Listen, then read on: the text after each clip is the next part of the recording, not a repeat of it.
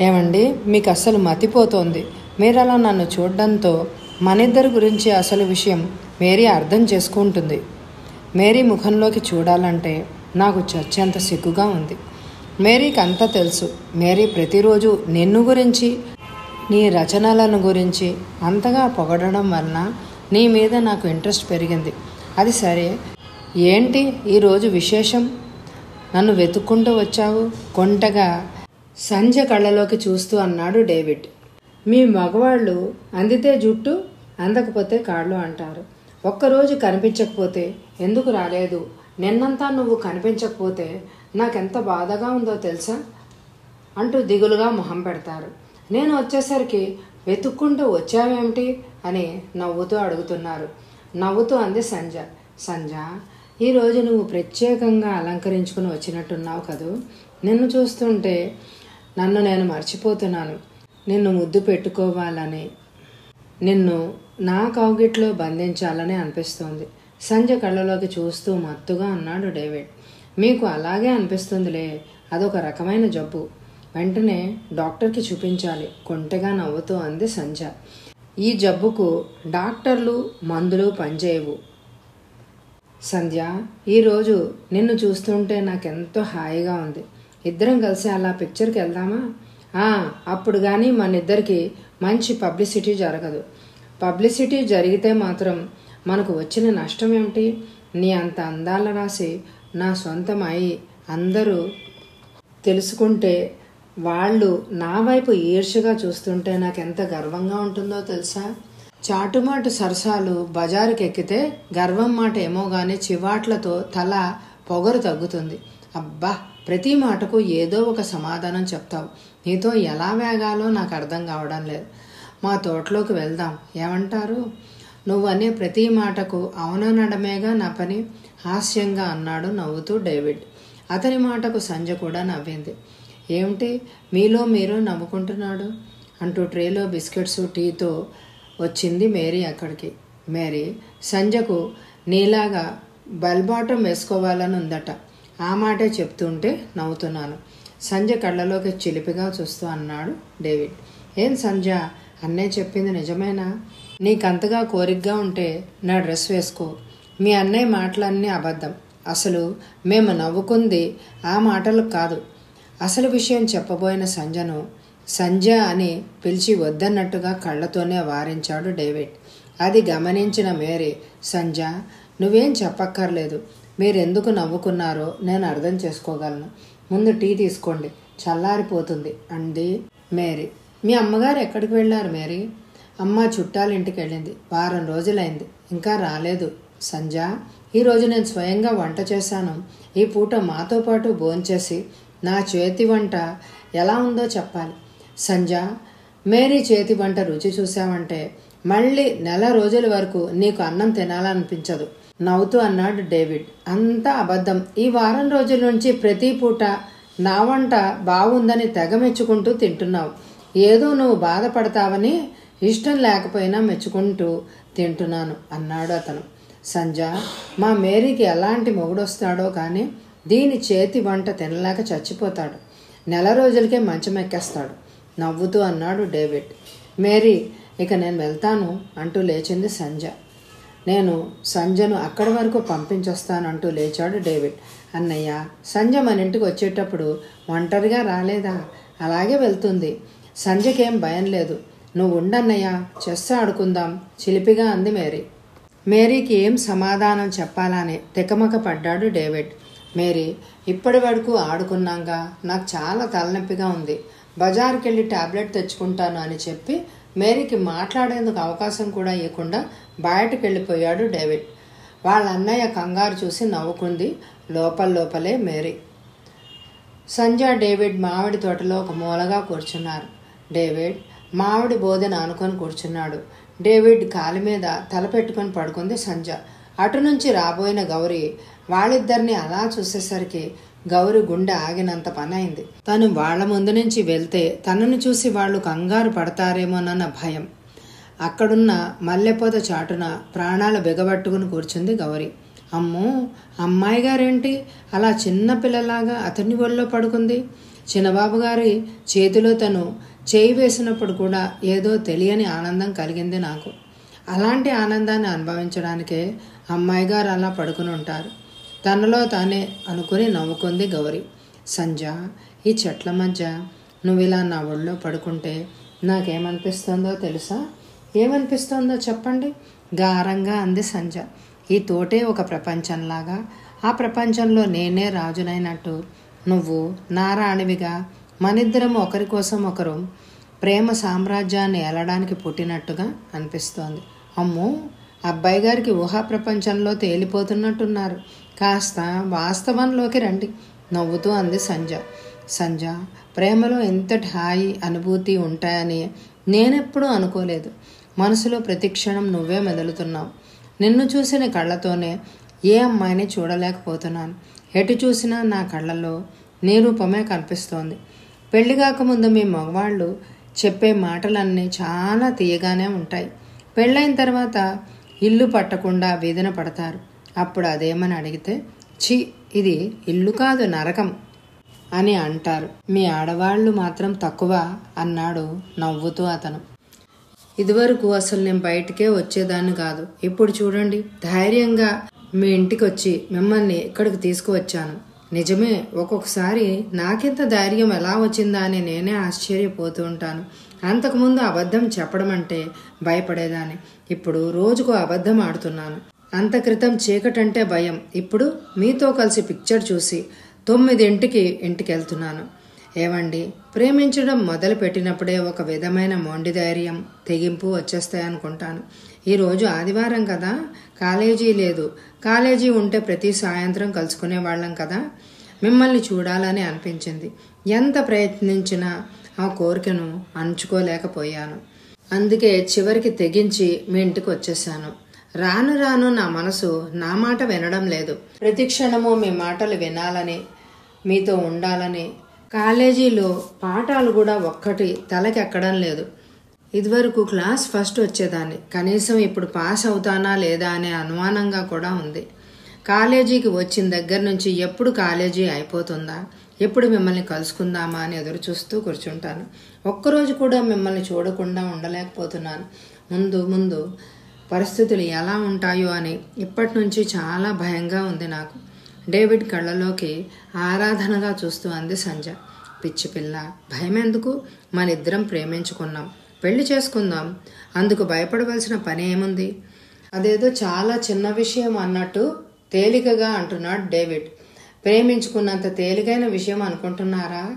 పెళ్ళి చేసుకోవడం ప్రేమించుకోవడం మన ఇద్దరి మనసులకు సంబంధించిన విషయం. రెండు కుటుంబాలకు సంబంధించిన విషయం. మన ఇద్దరి కులమతాలు వేరు.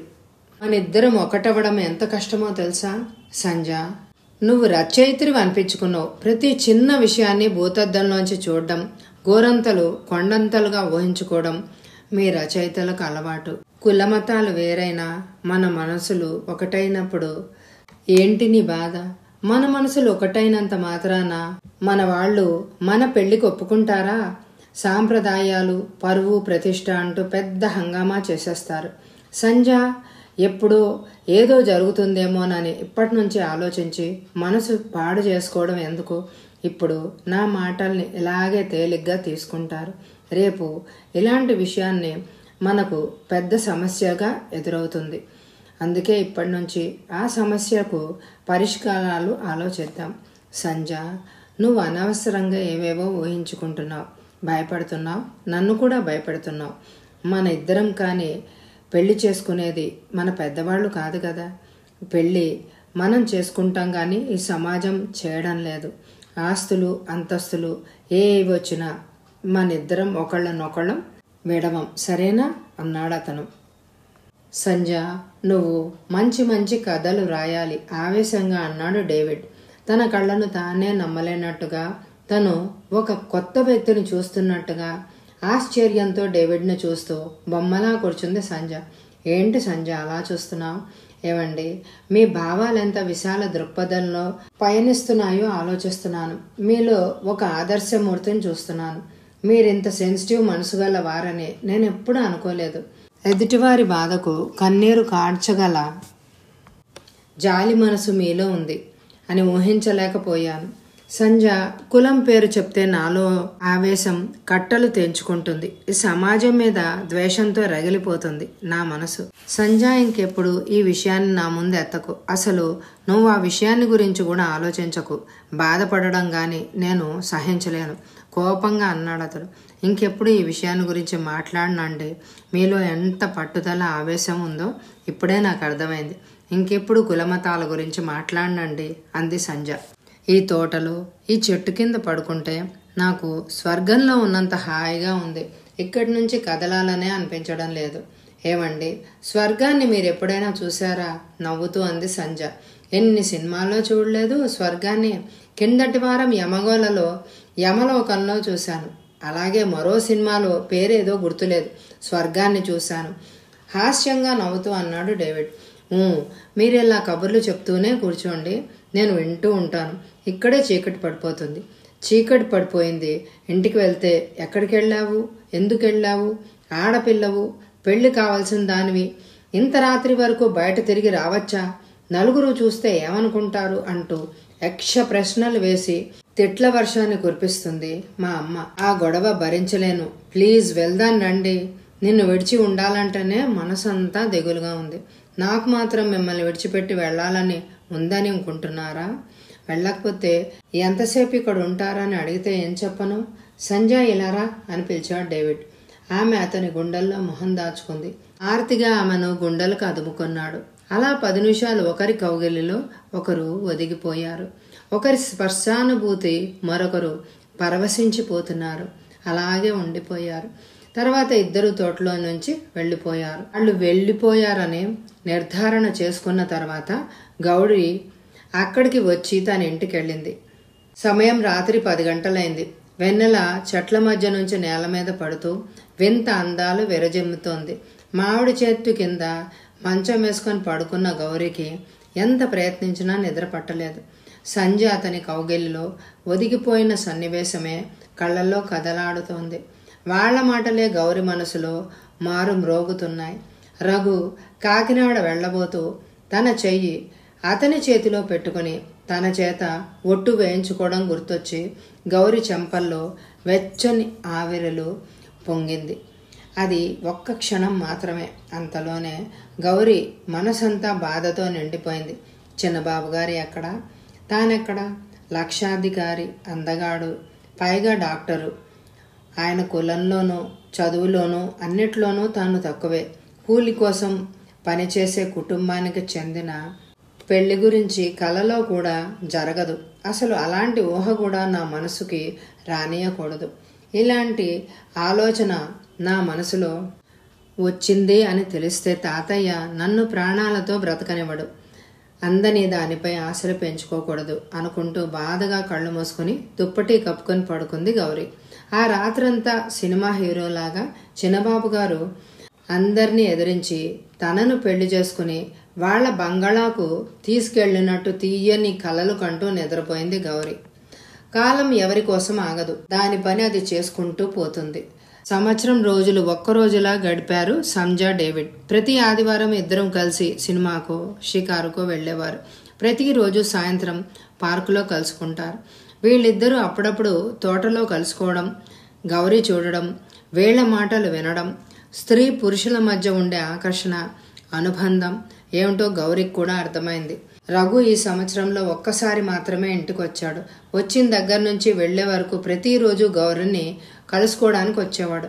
అలాంటి సన్నివేశాలే గౌరి ఆశలు రేకెత్తిచ్చాయి. సంజ మనసు తెలుసుకోలేని రవి మాత్రం సంజ తనకు కాబోయే భార్య అన్న భావంతోనే ఉండేవాడు. ఆ భావంతోనే సంజను చూసేవాడు. సెలవులకు వచ్చినప్పుడల్లా సంజను సినిమాలకు షికార్లకు రమ్మని వేధించేవాడు. తనపై ఆశలు పెంచుకోవద్దని అతన్ని పెళ్ళి చేసుకునే ఉద్దేశం తనకు లేదని రవితో ఎప్పటికప్పుడు చెప్పాలనే అనుకునేది సంజ కానీ సెలవుల్లో నాలుగు రోజులు ఉండి వెళ్తే మళ్ళీ ఏ ఆరు నెలలకో వస్తాడు. ఇప్పుడే చెప్తే ఆ విషయాన్ని మనసులో పెట్టుకుని చదువు పాడు చేసుకుంటాడని చెప్పేది కాదు. రవి ఉన్నన్ని రోజులు అతడికి ఎలాంటి అనుమానం రాకుండా ప్రవర్తించేది. రఘు రవి ఇద్దరు మెడిసిన్ పూర్తి చేసి హౌస్ సర్జన్ చేయడానికి హైదరాబాద్ వెళ్ళారు. కాలేజీ సెదవులు ఇవ్వడం వల్ల సంజ డేవిడ్ను చూడక నాలుగు రోజులైంది. ఒకరోజు సాయంత్రం నాలుగు గంటలకు డేవిడ్ ఇంటికి వెళ్ళింది సంజ సంజ వెళ్ళేసరికి డేవిడ్ ఇంట్లో లేడు. ఫ్రెండ్స్తో పిక్చర్కి వెళ్ళాడు. మేరీ వారపత్రిక చూస్తూ వరండాలోనే కూర్చుంది. మేరీని చూసి తన కళ్ళను తానే నమ్మలేకపోయింది. సంజయ్ కాలేజీకి సెలవులు ఇచ్చిన పది రోజుల నుంచి మేరీని చూడలేదు. పది రోజులకే బాగా చిక్కిపోయి గుర్తు పట్టలేనంతగా మారిపోయింది. సంజని చూసి రాని నవ్వు నవ్వుతూ రా సంజ అంది మేరీ. మేరీ ఏం జరిగింది? ఎందుకలా ఉన్నావు? అంటూ ప్రశ్నల వర్షం కురిపించింది సంజ నీతో ఒక ముఖ్యమైన విషయం మాట్లాడాలి. సంజ అలా బయటకు వెళ్దాం పదా అంటూ బయటకు నడిచింది మేరీ. మేరీని అనుసరించింది సంజ మేరీ ఇప్పుడు చెప్పు ఎందుకు అలా ఉన్నావు? సంజ మన క్లాస్మేట్ రాజారెడ్డి నీకు తెలుసు కదూ? అవును తెలుసు. రాజారెడ్డి నేను ప్రేమించుకున్నాం. ప్రేమించుకుంటే సంతోషించాలి కానీ ఇలా దిగులు పడతావెందుకు?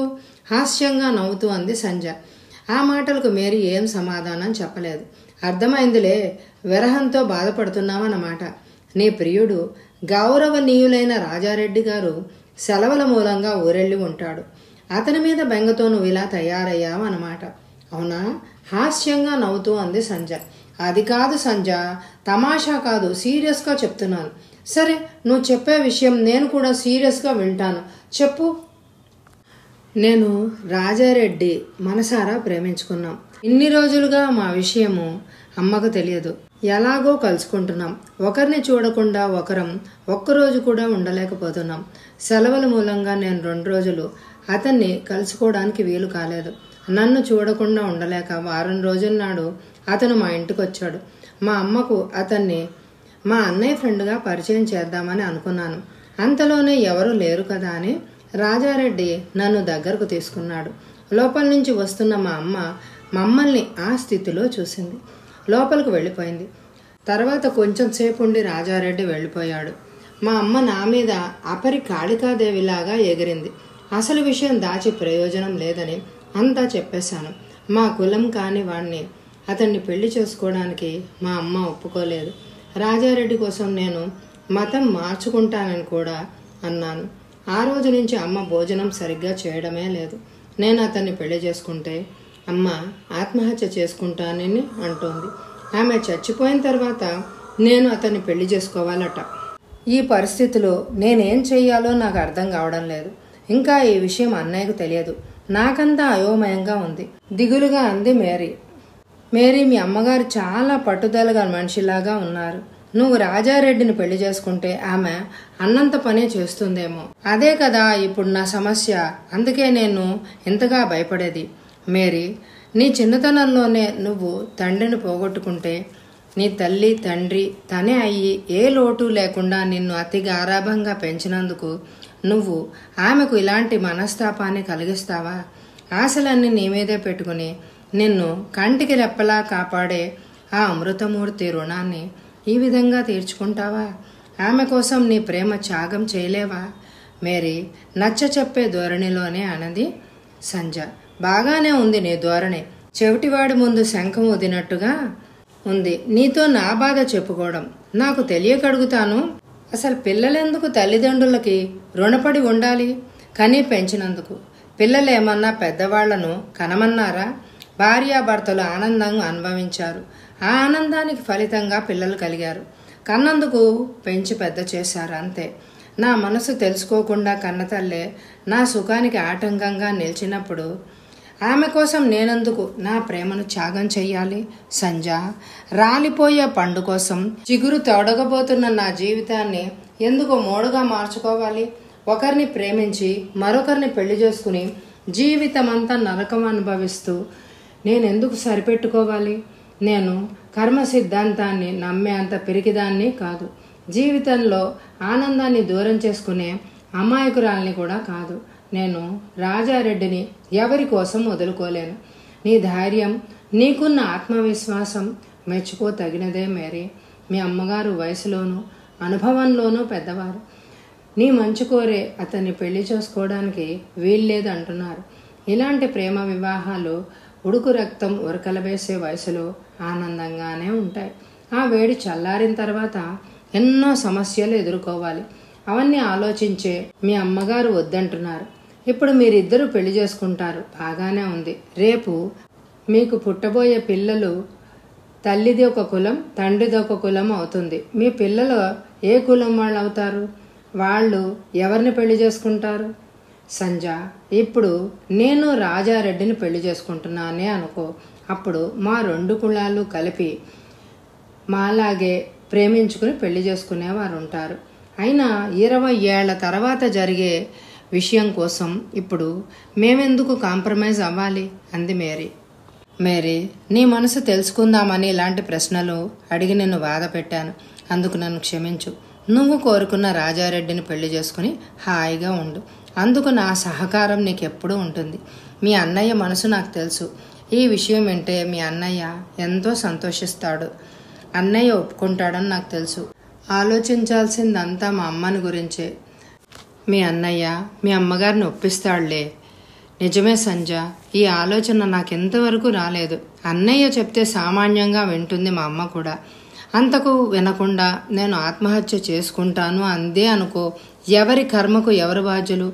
ఆమె చావు అలా రాసిపెట్టి ఉంటే అలాగే జరుగుతుంది. ఇప్పుడు మనసు ప్రశాంతంగా ఉందా? అప్పుడేనా? నేను రాజారెడ్డిని పెళ్ళి చేసుకున్న తర్వాతే నా మనసుకు ప్రశాంతత. ఈ విషయాన్ని గురించి ఆలోచిస్తూ మనసు పాడు చేసుకోకు. రా హోటల్కి వెళ్ళి టీ తాగుదాం అంటూ హోటల్ వైపు నడిచింది సంజ ఇద్దరు టీ తాగి హోటల్ నుంచి బయటకు వచ్చారు. మేరీ నువ్వు ఇంటికి వెళ్ళు. మరి రేపు వస్తాను. మీ అన్నయ్యతో వచ్చి వెళ్ళానని చెప్పు. ఇక నేను వెళ్తాను అని చెప్పి రిక్షా ఎక్కింది సంజ మేరీ కూడా తన ఇంటి వైపు వెళ్ళింది. ఆ రెండో రోజే మేరీ విషయం అంతా డేవిడ్తో చెప్పింది సంజ అలాగా? ధైర్యంలో నాకు చెల్లెలు అనిపించింది మేరీ. సంజ మేరీని చూసైనా నేర్చుకో. నీకు పిరికితనం పోయి కాస్త అయినా ధైర్యం వస్తుంది. నవ్వుతూ అన్నాడు డేవిడ్. మీ హాస్యాల తర్వాత ముందు మేరీ పెళ్ళి గురించి ఆలోచించండి. పాపం మేరీ దిగులుతో చిక్కిపోయింది. ఇంకా ఆలోచించేది ఏముంది సంజ మేరీని చేసుకోవడానికి అతడికి ఇష్టమే కదా? అలాంటప్పుడు వాళ్ళ పెద్దవాళ్ళకు అతనే నచ్చజెప్పుకుంటాడు ఇప్పుడు మనకు ఒక సమస్య తీరిపోయింది. మేరీ తన భర్తను తానే వెతుక్కుంది. తన బాధ్యత నాకు తగ్గింది. దానికి పెళ్ళయి అది అత్తారింటికి వెళ్తే మనకు సమస్య ఉండదు. మనకు లైన్ క్లియర్ అవుతుంది. వెంటనే మనం కూడా పెళ్ళి చేసేసుకోవచ్చు. అబ్బా అప్పుడే మేరీ పెళ్ళైపోయినట్లే మాట్లాడుతున్నారు నవ్వుతూ అంది సంజ. పెళ్ళి కొడుకు పెళ్ళి కూతురు తయారుగా ఉన్నారు. వాళ్ళ పెళ్ళి చేయడానికి పెళ్ళి పెద్దను నేను సిద్ధంగా ఉన్నాను. ఇక పెళ్ళి ఎంతలో? నాలుగు రోజుల్లో పెళ్ళైపోతుంది హాస్యంగా నవ్వుతూ అన్నాడు డేవిడ్. ఏంటి సంజ నువ్వేంటి మొహం అలా పెట్టావు? మేరీ పెళ్ళైపోతుందే నా పెళ్ళి ఎప్పుడా అని దిగులు పడుతున్నావా? కొంటగా నవ్వుతూ అన్నాడు డేవిడ్. చీ పొండి. మీరు మరీ చిన్నపిల్లలు అయిపోతున్నారు. సిగ్గుపడుతూ అంది సంజ. సరే వెళ్ళమన్నావుగా? వెళ్తున్నానంటూ లేవబోయాడు. అప్పుడే వెళ్ళిపోతారా? నేను తమాషా కంటే మీరు నిజంగానే వెళ్ళిపోతారా? దిగులుగా మొహం పెడుతూ అంది సంజ. అందుకే అన్నారు. ఆడవాళ్ళ మాటలకు అర్థాలు వేరయ్యా అని నిన్ను ఉడికించడానికే వెళ్తాన్నాను కానీ నిజంగా వెళ్ళిపోతానని అనుకున్నావా? చిలిపిగా సంజ కళ్ళలోకి చూస్తూ అన్నాడు డేవిడ్. మాటలతోనే మనుషులను మోసం చేస్తారు మీరు. నవ్వుతూ అంది సంజ నాలుగు రోజుల నుంచి దర్శనాలే కరువయ్యాయి. ఎక్కడికి వెళ్ళారు నేను ఎదురుగా ఉన్నప్పుడు మాత్రమే మిమ్మల్ని చూడకుండా ఒక్కరోజు కూడా ఉండలేనండి అని చిలక పలుకులు పలుకుతావు. ఇంటికెళ్తే నీకు నేను గుర్తుంటానా? అయ్యో నన్ను కూడా చూడకుండా ఉండలేడే అన్న జాస నీకుంటే నాలుగు రోజులు నన్ను చూడకుండా ఉండగలవా? తెచ్చిపెట్టుకున్న కోపంతో అన్నాడు డేవిడ్. నేనా మీరా? అలాంటి చిలక పలుకులు పలికేది మీరు ఇన్ని మాటలు అన్నా న్యాయంగా మిమ్మల్ని అనాలి నేను అసలు. మీకోసం నేను రెండుసార్లు మీ ఇంటికి వచ్చాను తమరి జాసంతా సినిమాల వైపు మళ్ళింది. అందుకు బాధ్యురాల్ని నేనా? నిజంగా నా కోసం మా ఇంటికి రెండుసార్లు వచ్చావా సంజ ఆరాధనగా అడిగాడు డేవిడ్. అబద్ధాలు చెప్పే అలవాటు నాకు లేదు. వచ్చానో రాలేదో? మీ చెల్లెల్ని అడగండి. ఏం చేయమంటావు సంజ వరుసగా నువ్వు రెండు రోజులు కనిపించకపోయేసరికి మతి పోయినట్లు అయింది నాకు ఏ పని చేయబుద్ధి కాలేదు. అందుకే వరుసగా పిక్చర్స్కి వెళ్ళాను. అసలు నాకు ఎక్కువగా పిక్చర్ చూసే అలవాటే లేదు. అతని మాటలకు ఆరాధనగా అతని వైపు చూస్తూ కూర్చుంది సంజ. ఏమిటి? దెయ్యం పట్టిందాల్లాగా అలా చూస్తున్నావు? మెరుపులా కనిపిస్తావు. ఇక వెళ్తానండి అని చెప్పి వెళ్ళిపోతావు. నీ ప్రేమతో నన్ను పిచ్చివాణ్ణి చేసి నీ పెంపుడు కుక్కలాగా తయారు చేసుకుంటున్నావు నన్ను. ఏమండి? ఈరోజు ఏదో నాతో యుద్ధానికి సిద్ధంగా ఉన్నట్టున్నారు నవ్వుతూ అంది సంజ నా బాధ నీకేం తెలుసు? ఒక్కసారి ఎంతో దగ్గరైనట్టుగా కనిపిస్తావు. మానసికంగా ఎంత దగ్గరగా ఉంటావో శారీరకంగా అంత దూరంగా ఉంటావు. నిన్ను చూస్తుంటే ఒకసారి కోపం వస్తుంది ఒకసారి జాలేస్తుంది. సంజా మనసారా ప్రేమించిన ప్రియురాలు ఎదురుగా చిరునవ్వులు చిందిస్తూ ఉంటే కనీసం చెయ్యి కూడా తాకనీయకుండా నిగ్రహంగా ఉండడానికి నేనేమన్నా ప్రవరాక్యుణ్ణి అని అనుకున్నావా? కోపంగా అన్నాడు అతను ఎందుకండి అంత కోపం? ఇప్పుడు నేనేమన్నాను? భయంగా డేవిడ్ వైపు చూస్తూ అంది సంజ ఎంత అమాయకంగా మొహం పెట్టావో చూడు. ఆ అమాయకత్వానికి నేను ఇంతగా లొంగిపోయాను. నీకు నీ ముఖం చూస్తుంటే నాకు కోపం కూడా రాదు నవ్వుతూ అన్నాడు డేవిడ్. అమ్మయ్య నవ్వారు. ఇంకా కోపం పోయినట్టేనా? అసలు నీ మీద నాకు కోపం వస్తేగా పోవడానికి? అది తెచ్చిపెట్టుకున్న కోపం. నీ మీద కోపం రావడం అంటే నా మీద నాకే కోపం వచ్చినట్టు నవ్వుతూ అన్నాడు డేవిడ్. అలా కబుర్లు చెప్పుకుంటూ చాలాసేపు ఆ పార్కులో కూర్చున్నారు. ఏమండి? భయంగా పిలిచింది సంజ ఏమిటి సంజ ఏమండి? చీకటి పడిపోతోంది అండి. వెళ్తాను. ఆ మాట చెప్పడానికే వచ్చావా? అని అంటారేమో అని భయంగా ఉంది. వెళ్ళకపోతే అమ్మ ఇంటి దగ్గర ఎంత గొడవ చేస్తుందో అని భయంగా ఉంది. డేవిడ్ వైపు జాలిగా చూస్తూ అంది సంజ. వెళ్దాం పదా. కానీ ఒక షరతు. ఏంటండి? ఈ సెలవులు అయిపోయేంత వరకు ప్రతిరోజు నువ్వు నాకు కనిపిస్తూ ఉండాలి. ఆ విషయం మీరు నాకు ప్రత్యేకంగా చెప్పాలా? చిలిపిగా నవ్వుతూ అంది సంజ. ఇద్దరు ఎవరిళ్ళ వైపుకి వాళ్ళు వెళ్ళిపోయారు. మరొక సంవత్సరం గడిచింది. డేవిడ్ వాళ్ళ అమ్మకు నచ్చచెప్పి రాజారెడ్డితో చెల్లెలు పెళ్ళి జరిపించాడు. భర్త ఉద్యోగరీత్యా భర్తతో పాటు మేరీ కూడా మద్రాసు వెళ్ళిపోయింది. రవి రఘు ఇంకా హైదరాబాద్ నుంచి రాలేదు. హౌస్ సర్జన్ పూర్తి అయిన అనుభవం కోసం మరొక డాక్టర్ దగ్గర పనిచేస్తున్నారు. డేవిడ్ వాళ్ళ అమ్మగారు హార్ట్అటాక్తో రెండు రోజుల క్రితం చనిపోయింది. డేవిడ్ ఒక ప్రైవేట్ కంపెనీలో ఉద్యోగం చేస్తున్నాడు. నెలకు ఐదు వందల జీతం. మేరీ భర్తతో వెళ్ళిపోవడం వాళ్ళ అమ్మగారు చనిపోవడంతో ఒంటరితనం భరించలేక తనతో పాటు కంపెనీలో పనిచేసే ఆనంద్కు వాళ్ళింట్లో సగం పోర్షన్ అద్దెకిచ్చాడు. సంజ డేవిడ్ వీలైనప్పుడల్లా డేవిడ్ ఇంట్లో కలుసుకుంటున్నారు.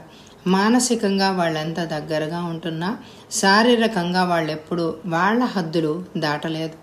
డేవిడ్కు ఉద్యోగం దొరికిన దగ్గర నుంచి ఎంత త్వరగా సంజను తనదాన్ని చేసుకుందామా అని ఆరాటంగా ఉంది. సంజకు తను డేవిడ్ను పెళ్ళి చేసుకుంటానని చెప్పే ధైర్యం లేక ఎప్పటికప్పుడు పెళ్ళి విషయం వాయిదా వేస్తోంది. గౌరీ చిన్నబాబు గారి రాక కోసం వెయ్యి కళ్ళతో ఎదురు చూస్తోంది. రఘు రవి హైదరాబాద్ నుంచి వచ్చేసరికి వాళ్ళు సొంతంగా ప్రాక్టీస్ పెట్టుకోవడానికి తోటకు ఆనుకుని ఉన్న నాలుగు ఎకరాల స్థలంలో అన్ని సౌకర్యాలతో ఆధునికమైన బిల్డింగ్స్ కట్టిస్తున్నారు చౌదరి గారు. బిల్డింగ్స్ కట్టించడం పూర్తయింది. కరెంటు బిగించడం రంగులు వేయడం మాత్రం మిగిలి ఉంది. చౌదరి గారు ఆ పనులు చేయడంలోనే నిమగ్నులై ఉన్నారు. సమయం రాత్రి తొమ్మిది గంటలు దాటుతోంది. నిద్ర పట్టక గదిలోంచి బయటకొచ్చి ఆరు బయట పొగడు చెట్టు కింద పడక కుర్చీ వేసుకొని కూర్చున్నాడు డేవిడ్.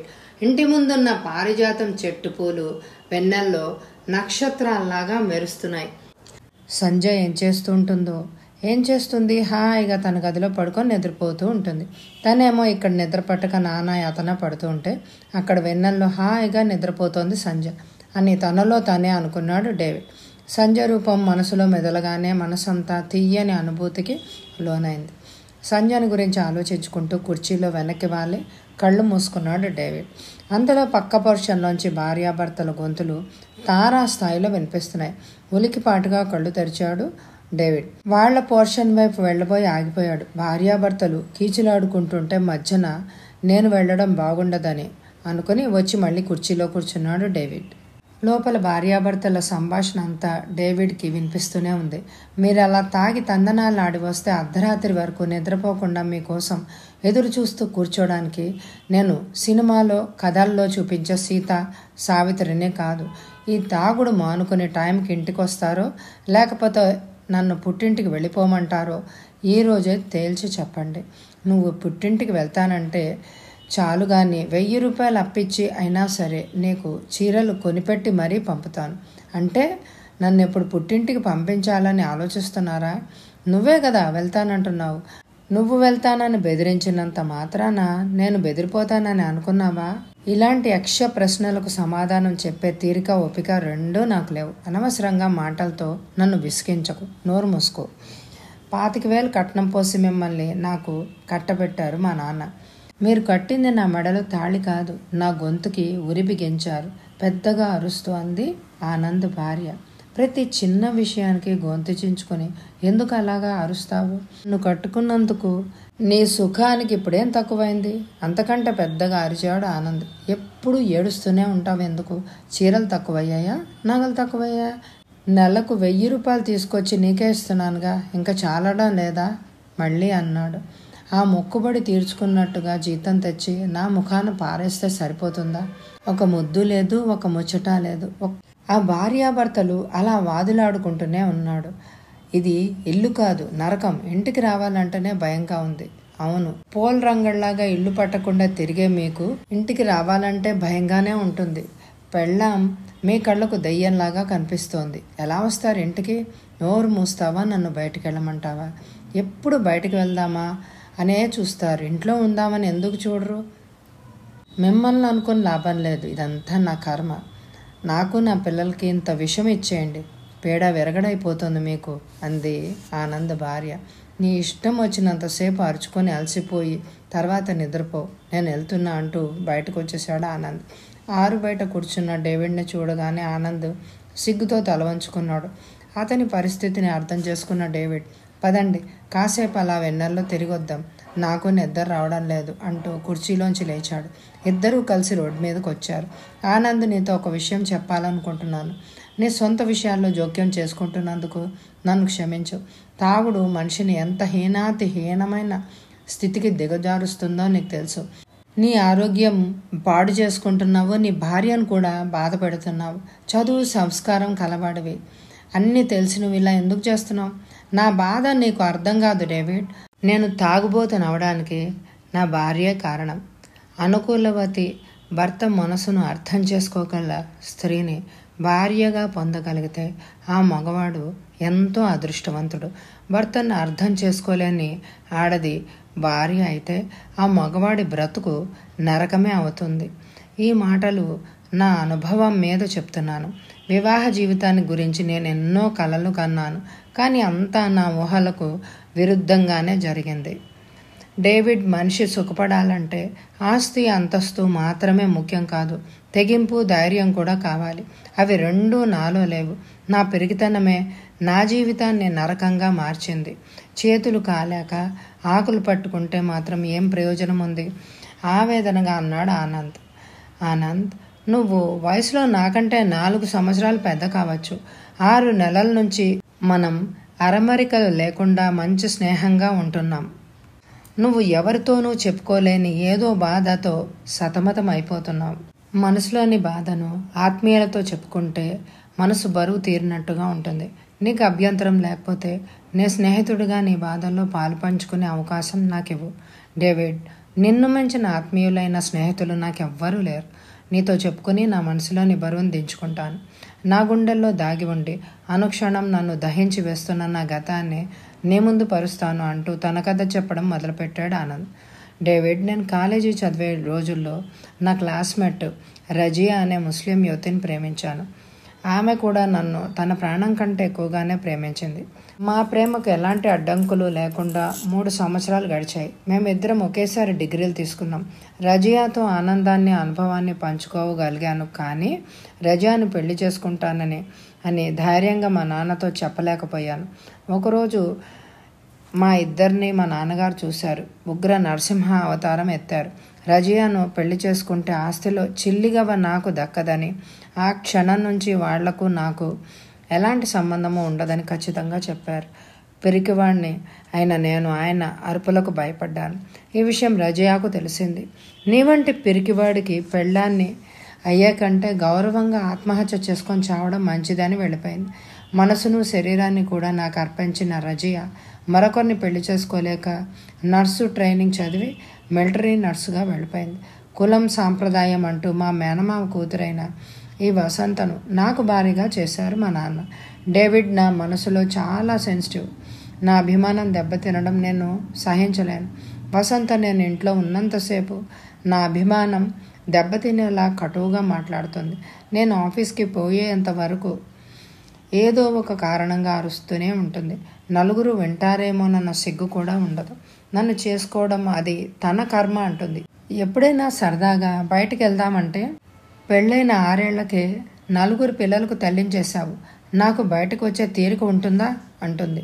రాను రాను నాకు అలాంటి సరదాల మీదే ఇంట్రెస్ట్ పోయింది. నెలకు వెయ్యి రూపాయల జీతం తెచ్చి ఇచ్చిన చీరలు నగలు అంటూ జీతం తీసుకున్న పదిహేను రోజులకే డబ్బంతా ఖర్చు అయిపోతుంది మళ్ళీ అప్పటి నుంచి అప్పులు చేయడం మొదలుపెట్టాలి. ఈ పరిస్థితుల్లో నన్నేం చేయమంటావు డేవిడ్? ఒకవైపు మనసిచ్చిన రజయాన్ని మర్చిపోలేక ఇలాంటి వారితో కాపరం చేయలేక నేను ఎలాంటి నరకాన్ని అనుభవిస్తున్నానో నీకు తెలియదు ఇలాంటి నరకాన్ని భరించి ఉండలేకనే తాగుడికి బానిసనయ్యాను. ఎంతో ఆవేదనగా అన్నాడు ఆనంద్. నిజమే ఆనంద్. నువ్వు అన్నట్టు రజేనే పెళ్ళి చేసుకుని ఉన్నట్టయితే ఈరోజు నువ్వు ఇలాంటి బాధ అనుభవించాల్సిన అవసరమే ఉండేది కాదు. ఆనంద్ ప్రతి క్షణం గతాన్ని మర్చిపోవడానికి భవిష్యత్తుపై ఆశలు పెంచుకుంటూ బ్రతకడం నేర్చుకోవాలి. జరిగిపోయిన దాని గురించి ఆలోచించుకుంటూ ఇలాంటి వ్యసనాలకు లోనై జీవితాన్ని మరింత దుర్భరం చేసుకుంటావా? అనునయంగా అన్నాడు డేవిడ్. నాకు ఇంతకంటే మరొక దారి లేదు డేవిడ్. వసంత నా మనసు అర్థం చేసుకోగలిగితే నేను రజయ్యను మర్చిపోగలిగేవాడని. ఆ రోజు మా నాన్నకు ఎదురు చెప్పలేక రజయ్ని దూరం చేసుకున్నాను. ఇప్పుడు ఆ మహానుభావుడు ఈ లోకాన్ని వదిలిపెట్టి వెళ్ళిపోయాడు. నరకం నేను అనుభవిస్తున్నాను. డేవిడ్ మనిషి జీవితాన్ని నాశనం చేయడానికి పిరిగితనాన్ని మించిన శత్రువులు ఎవరూ ఉండరు. ఆవేదనగా అన్నాడు ఆనంద్. ఆనంద్ సమస్యలను మర్చిపోవడానికి తాగుడు పరిష్కారం కాదు. అలవాట్లు మనిషికి బానిసగా ఉండాలి కానీ మనిషి అలవాట్లకు బానిస కాకూడదు. ఈ రోజు నుంచి తాగనని నాకు మాట ఇవ్వు వద్దు డేవిడ్ మాట తప్పే అలవాటు నాకు లేదు. నేను తాగకుండా బ్రతకలేను. కొద్ది గంటల సేపైనా నేను ఈ నరకంలో నుంచి దూరంగా వెళ్ళకపోతే మతి పోతుందని భయంగా ఉంది. ఒక్కసారిగా మానలేకపోయినా క్రమక్రమంగా తగ్గించు ఆనంద్. ప్రయత్నిస్తాను డేవిడ్. మన కులాలు మతాలు వేరైనా మన మనసులు దగ్గరయ్యాయి. నీలాంటి స్నేహితుడు నాకున్నందుకు ఈరోజు మనసారా సంతోషిస్తున్నాను. డేవిడ్ చేతులు పట్టుకుని అన్నాడు ఆనంద్.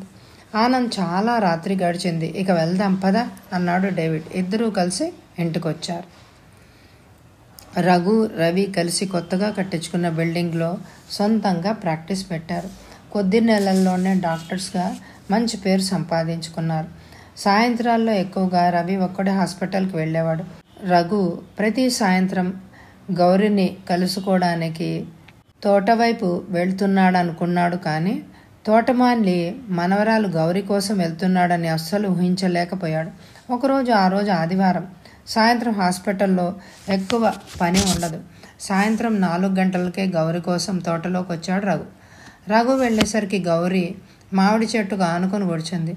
ఎప్పుడు లేడి పిల్లలాగా తోటంతా గెంతులేస్తూ తిరిగే గౌరి అలవాటుకు విరుద్ధంగా అలా దిగులుగా కూర్చుందేమిటి అని అనుకుంటూ ఆమె దగ్గరగా వచ్చాడు రఘు.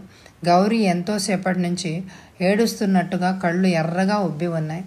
తడి ఆరని కళ్ళలో నుంచి రెండు కన్నీటి చుక్కలు రాలే. గౌరీ ఏడుస్తున్నావా? ఎందుకు? మీ తాతయ్య ఏమన్నా అన్నాడా? లేక ఎవరైనా ఏమన్నా అన్నారా? ఆమె భుజాలు పట్టుకుని ఊపుతూ ప్రశ్నల వర్షం కురిపించాడు రఘు. రఘు తన పట్ల చూపుతున్న అనురాగానికి ప్రేమకు గౌరీ కరిగిపోయి ఉబ్బికి వస్తున్న దుఃఖాన్ని ఆపుకోలేక పెద్దగా ఏడ్చింది. గౌరీ ఏడుస్తున్నావెందుకో చెప్పు. కారణం చెప్పకుండా నువ్వు ఇలా ఏడిస్తే నా మనసు ఎంత బాధగా ఉంటుందో తెలుసా? చెప్పు గౌరీ. అతని వైపు కన్నార్పకుండా చూస్తూ కూర్చుండిపోయింది. ఏంటి గౌరీ అలా చూస్తున్నావు? ఈరోజు నీకు కొత్తగా కనిపిస్తున్నానా? లేదు చిన్నబాబు గారు. నేను ఏడిస్తే మీరెందుకు బాధపడ్డం? నాకు మీకు ఏమిటి సంబంధం? గౌరీ మన ఇద్దరి మధ్య ఎలాంటి అనుబంధం ఉందో నీకు తెలియదా నా నోటితో చెప్పించాలనా నీ ఉద్దేశం? అదిగో అలా చూడు. ఆ మామిడి చెట్టుకు పెనవేసుకుపోయిన ఆ పూలతీగను చూడు. ఏ బంధంతో ఆ పూలతీగ ఆ మానును పెనవేసుకుపోయింది అదే ప్రకృతిలోని సృష్టి రహస్యం. నేను నిన్ను ఎంతగా ప్రేమిస్తున్నానో నీకు తెలియదు గౌరీ. నువ్వు బాధపడితే నాకు బాధగా ఉండదా? చెప్పు. ఇప్పుడన్నా నువ్వు ఎందుకు ఏడుస్తున్నావో కారణం చెప్పు. రఘు మనసులో తన పట్ల ఎంత ప్రేమ ఉందో తెలిసిన తర్వాత సంతోషంతో కొద్ది నిమిషాలు మాటలు రాలేదు ఆమెకి.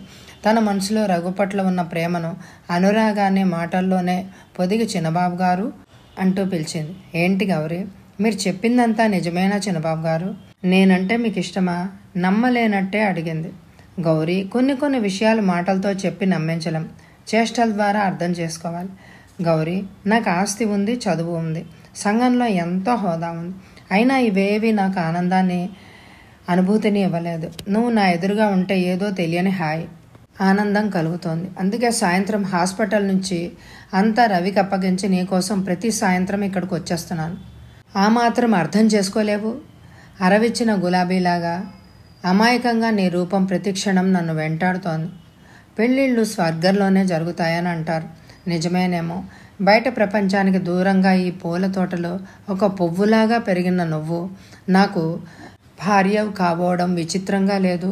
అసలు నీకోసమే సిటీలో ప్రాక్టీస్ పెట్టే అభిప్రాయాన్ని మార్చుకుని ఇక్కడ పెట్టాను. వీలైనంత త్వరగా మన విషయం నాన్నగారికి చెప్తాను. చిన్నబాబు గారు మీకు నాకు నింగికి నేలకు ఉన్నంత తేడా ఉంది. నింగిలోని చందమామ లాంటి మీకు బురదలోని కలువ లాంటి నాకు పెళ్ళి జరగడం కలలో మాట. అంత ఆశ నాకు లేదు. దిగులుగా అంది గౌరి. అసలు నీకు నేనంటే అభిమానం ఉందా లేదా? అబద్ధం చెప్పకుండా నా కళ్ళలోకి చూసి సమాధానం చెప్పు. చిన్నబాబు గారు మొదటిసారిగా మీ చేతిలో నేను చెయ్యి వేసినప్పుడే నా మనసుకు మీరే నా భర్త అయ్యారు. ఆ రోజు నుంచి ఈ రోజు వరకు నా గుండెల్లో మీ రూపాన్నే నిలుపుకున్నాను. మీరు బూట్ల శబ్దం చేసుకుంటూ వస్తుంటే నా గుండెలు ఆ అడుగుల చప్పుడుకి ఎగిసెగిసి పడతాయి. మీరు వెళ్ళిన తర్వాత మీ కాలి గుర్తులు కనిపించిన చోట అరవిచ్చిన మల్లెపూలు చల్లి ఆ చోటును కళ్ళకద్దుకుంటాను. ఈరోజు ఈరోజు ఎందుకు ఏడుస్తున్నానో తెలుసా బాబుగారు రెండు రోజులుగా మీరు ఇక్కడికి రావడం లేదు. మీరు కనిపించకపోయేసరికి మనసు అంతా దిగులుగా ఉంది. అన్నం తినాలనిపించలేదు. ఏ పని చేయాలనిపించలేదు.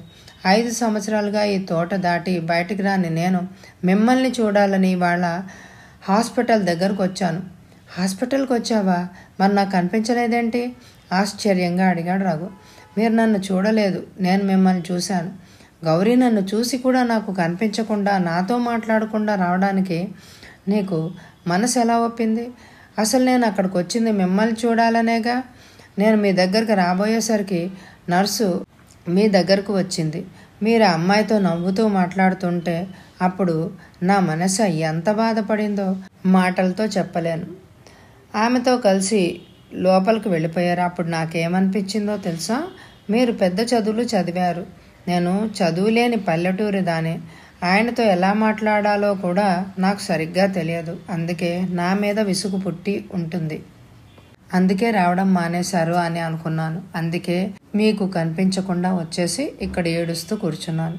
తన మనసులోని విషయాన్నంతా అమాయకంగా చెప్పింది గౌరి. గౌరీ ముఖం చూసి నవ్వాలో ఏడవాళ్ళు అర్థం కాలేదు రఘుకి. గౌరీ ఇంత అమాయకురాలువైన నీలో కూడా ఇలాంటి అసూయ ఉందా?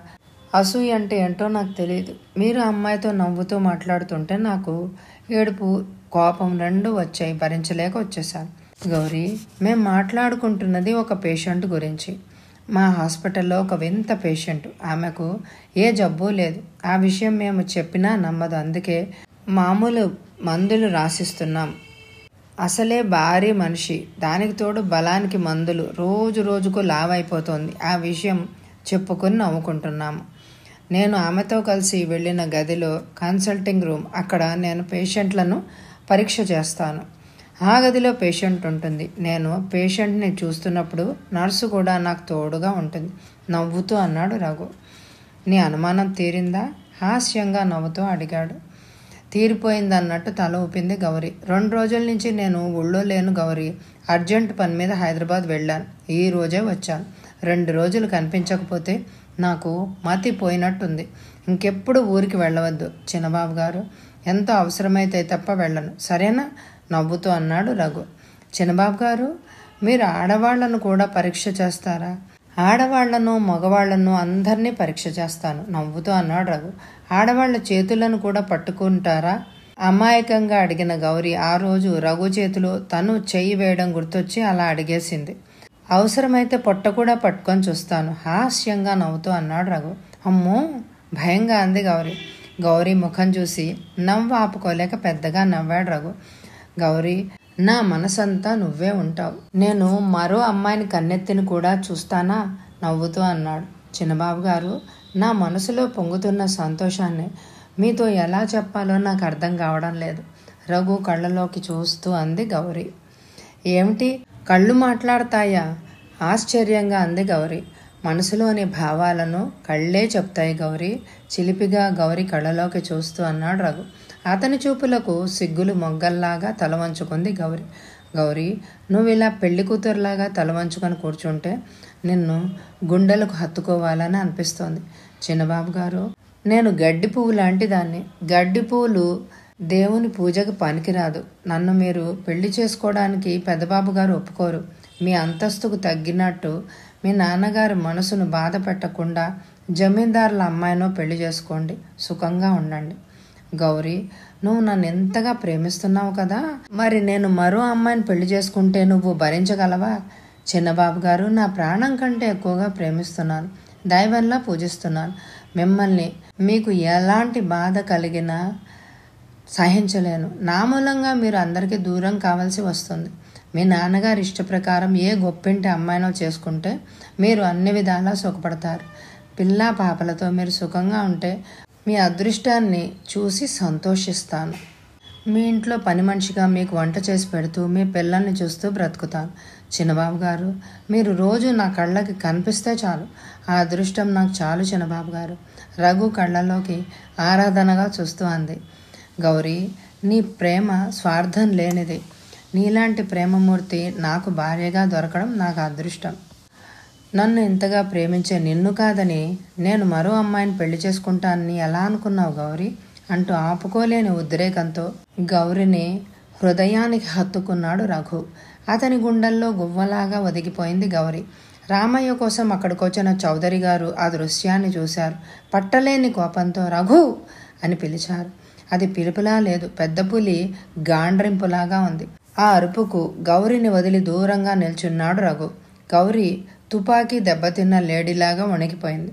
రఘు నీతో మాట్లాడాలి. ఇంటికి రా అంటూ గంభీరంగా అడుగులేసుకుంటూ అక్కడి నుంచి వెళ్ళిపోయారు చౌదరి గారు. చిన్నబాబు గారు నాకు భయంగా ఉంది ఏడుస్తూ అంది గౌరి. గౌరీ నీకేం భయం లేదు నేనున్నా కదా. మా నాన్నగారు మనల్ని ఇలా చూడడం ఆయన ఊహించని సంఘటన. అందుకే అలా అరిచాను. ఆయనకు నచ్చ చెప్తానుగా అన్ని విషయాలు మా నాన్నగారితో చెప్తాను. ఈ గొడవలతో నేను ఒకటి రెండు రోజులు నిన్ను కలుసుకోవడానికి వీలు కాదేమో. నువ్వు బాధపడకు ధైర్యంగా ఉండు అంటూ భయంతో రెపరెపలాడుతున్న గౌరిని కనురెప్పల మీద ముద్దు పెట్టుకుని వెళ్ళిపోయాడు రఘు. అతను వెళ్ళిన వైపే చూస్తూ నిలబడింది ఆమె. రఘు ఇంటికొచ్చేసరికి అతని కోసం ఎదురు చూస్తున్నారు చౌదరి గారు. దెబ్బతిన్న బెబ్బులిలాగా హాల్లో అటు ఇటు పచారులు చేస్తున్నారు ఆయన. రఘు ధైర్యంతో వెళ్ళి చౌదరి గారి ముందు నిల్చున్నాడు. ఆయన రఘుతో మాట్లాడలేదు. పది నిమిషాలు గడిచిపోయాయి. ఎంతసేపు నిల్చున్నా ఆయన మాట్లాడకపోతే రఘు లోపలికి వెళ్ళిపోయాడు. ఎలాంటి మార్పు లేకుండా రెండు రోజులు గడిచిపోయాయి. ఆ రోజు రఘుతో తలనొప్పిగా ఉండడం వల్ల హాస్పిటల్ పని రవిని చూసుకోమని చెప్పి ఉదయం పది గంటలకే ఇంటికి వచ్చాడు రఘు ఇంటికి వచ్చేసరికి చౌదరి గారు ఎవరి మీదనో కేకలు వేస్తున్నారు. రఘు బట్టలు మార్చుకోవడానికి తన గదిలోకి వెళ్ళాడు. అక్కడకు వినిపిస్తున్నాయి ఆయన అరుపులు. రామయ్య నువ్వు పెద్ద మనిషివి అనుకున్నాను కానీ ఇలా తిన్న ఇంటి వాసాలు లెక్క పెడతావనుకోలేదు ఎంగిల్ మెతుకులు తినే కు కుక్కకుండే విశ్వాసం కూడా నీకు లేకుండా పోయింది. పాతిక సంవత్సరాలు నా తిండి తింటూ నాకే ద్రోహం తలపెడతావా? నీ మనవరాల్ని నా కొడుకు ఎరగా వేసి ఇంత నీచానికి దిగజారుతావా? ఆస్తి కోసం ఇలాంటి గడ్డి తినే పనులు చేస్తావా? కళ్ళలో నిప్పులు రాలుస్తూ కోపంగా అరిచారు ఆయన. పెదబాబు గారు అంత మాట అనకండి. నాకే పాపం తెలియదు. ప్రమాణం చేసి చెప్తున్నాను. నాకింతవరకు ఈ సంగతే తెలియదు. ఆవేదనగా అన్నాడు రంగయ్య. మేము పేదవాళ్ళమైన అభిమానంగా బ్రతికేవాళ్ళం బాబుగారు గౌరి అమాయకురాలు. దానికేం తెలియదు బాబు. స్వర్గానికి నిచ్చెనలు వేయాలనుకోవడం మా గౌరి తప్పే కావచ్చు. మీరు పెద్దవాళ్ళు. ఒక్క నిమిషం ఆలోచించండి బాబుగారు. రెండు చేతులు కలిస్తే గాని తప్పట్లు కావు. గౌరి ఏనాడైనా తోట దాటి బయటకొచ్చిందా?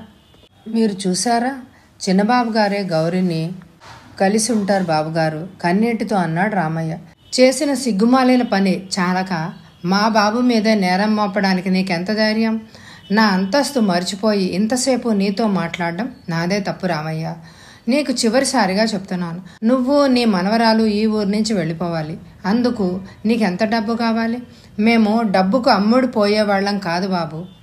పాతిక సంవత్సరాలుగా మీ తోట నేను అమ్ముకొని బ్రతుకుతున్నవాడిని ఈరోజు ఎక్కడికి పోగలను? అన్నాడు ఏడుస్తూ రామయ్య. నీకు ఆ విశ్వాసమే ఉంటే నీ హద్దులేమిటో నువ్వు మర్చిపోయి ఇలా నువ్వు ఇలాంటి పని చేసేవాడివే కాదు. బాబుగారు మీ కోపం చల్లారే వరకు మమ్మల్ని తిట్టండి కొట్టండి. అంతేగాని తోటలో నుంచి మాత్రం మమ్మల్ని వెళ్ళమనకండి. అతి దీనంగా ఏడుస్తూ ప్రాధేయపడుతున్నాడు రామయ్య. కళ్ళబొల్లి కన్నీటికి నా మనసు కరగదు. ఇదే నా పరువు ప్రతిష్టలకు సంబంధించిన విషయం. నువ్వు ఇక్కడి నుంచి వెళ్తావో ఎలా చస్తావో నాకు అనవసరం. నువ్వు నీ మనవరాలు ఇంకొక రోజు కూడా నా తోటలో ఉండడానికి వీల్లేదు. మర్యాదగా మీరు వెళ్ళారా సరే సరే. లేదా పనివాళ్ళతో మిమ్మల్ని గెంటించవలసి వస్తుంది. జాగ్రత్త. అంతవరకు వాళ్ళ మధ్య జరుగుతున్న సంభాషణ అంతా విన్న రఘు ఆవేశాన్ని అదుపులో పెట్టుకోలేక వాళ్ళ ముందుకొచ్చాడు. రఘును చూసిన చౌదరి గారు ఇక్కడికి నువ్వెందుకు వచ్చావు అన్నట్టుగా చూశారు రఘు వైపు రామయ్య నువ్వేం నేరం చేయనప్పుడు ఈ ఊరు నుంచి నువ్వెందుకు వెళ్ళిపోవాలి? అయినా ఈ ఊరు నుంచి నిన్ను వెళ్ళిపోమని శాసించడానికి ఈయనకేం అధికారం ఉంది? రామయ్య నువ్వెక్కడికి వెళ్ళనవసరం లేదు. రేపటి నుంచి నువ్వు నాతోనే ఉంటావు.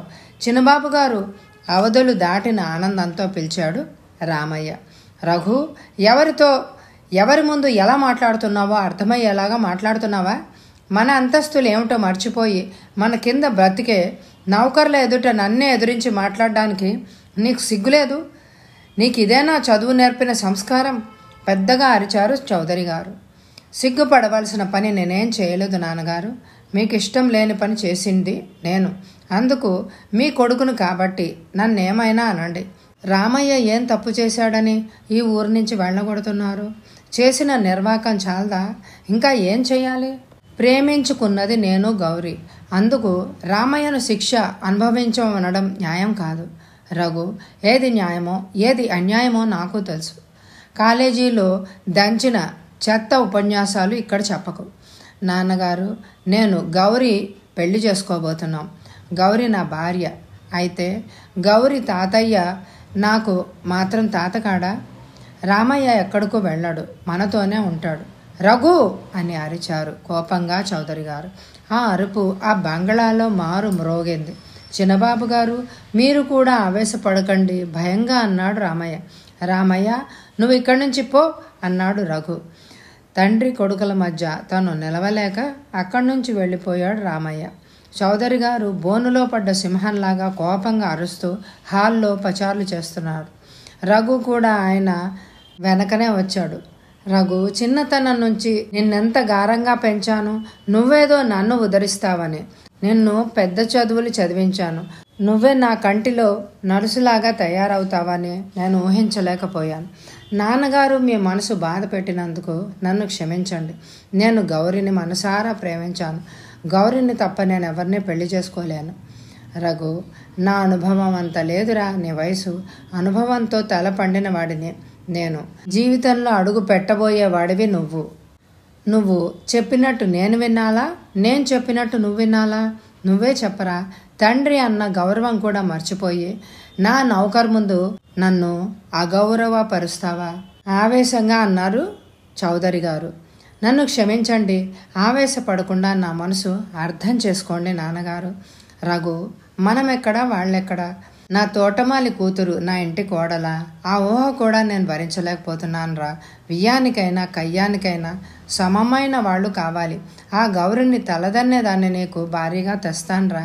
నాన్నగారు గౌరి కంటే అందగత్తెను మీరు కోడలుగా తేగలరేమో కానీ గౌరిని తప్ప నేను ఎవరిని భార్యగా ప్రేమించలేను.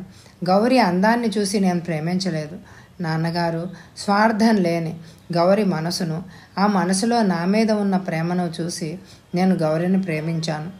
గౌరి నన్ను దైవంలాగా ఆరాధిస్తుంది నా కోసమే బ్రతుకుతుంది. గౌరికి నీ భార్య అయ్యే అర్హత ఉంటే చాలదు ఇంటి కోడలుగా రాగల అర్హత కూడా ఉండాలి. నాన్నగారు మీరు నాకు నచ్చ చెప్పాలని ప్రయత్నించడం అనవసరం. రఘు బాగా ఆలోచించే ఈ మాట అంటున్నావా?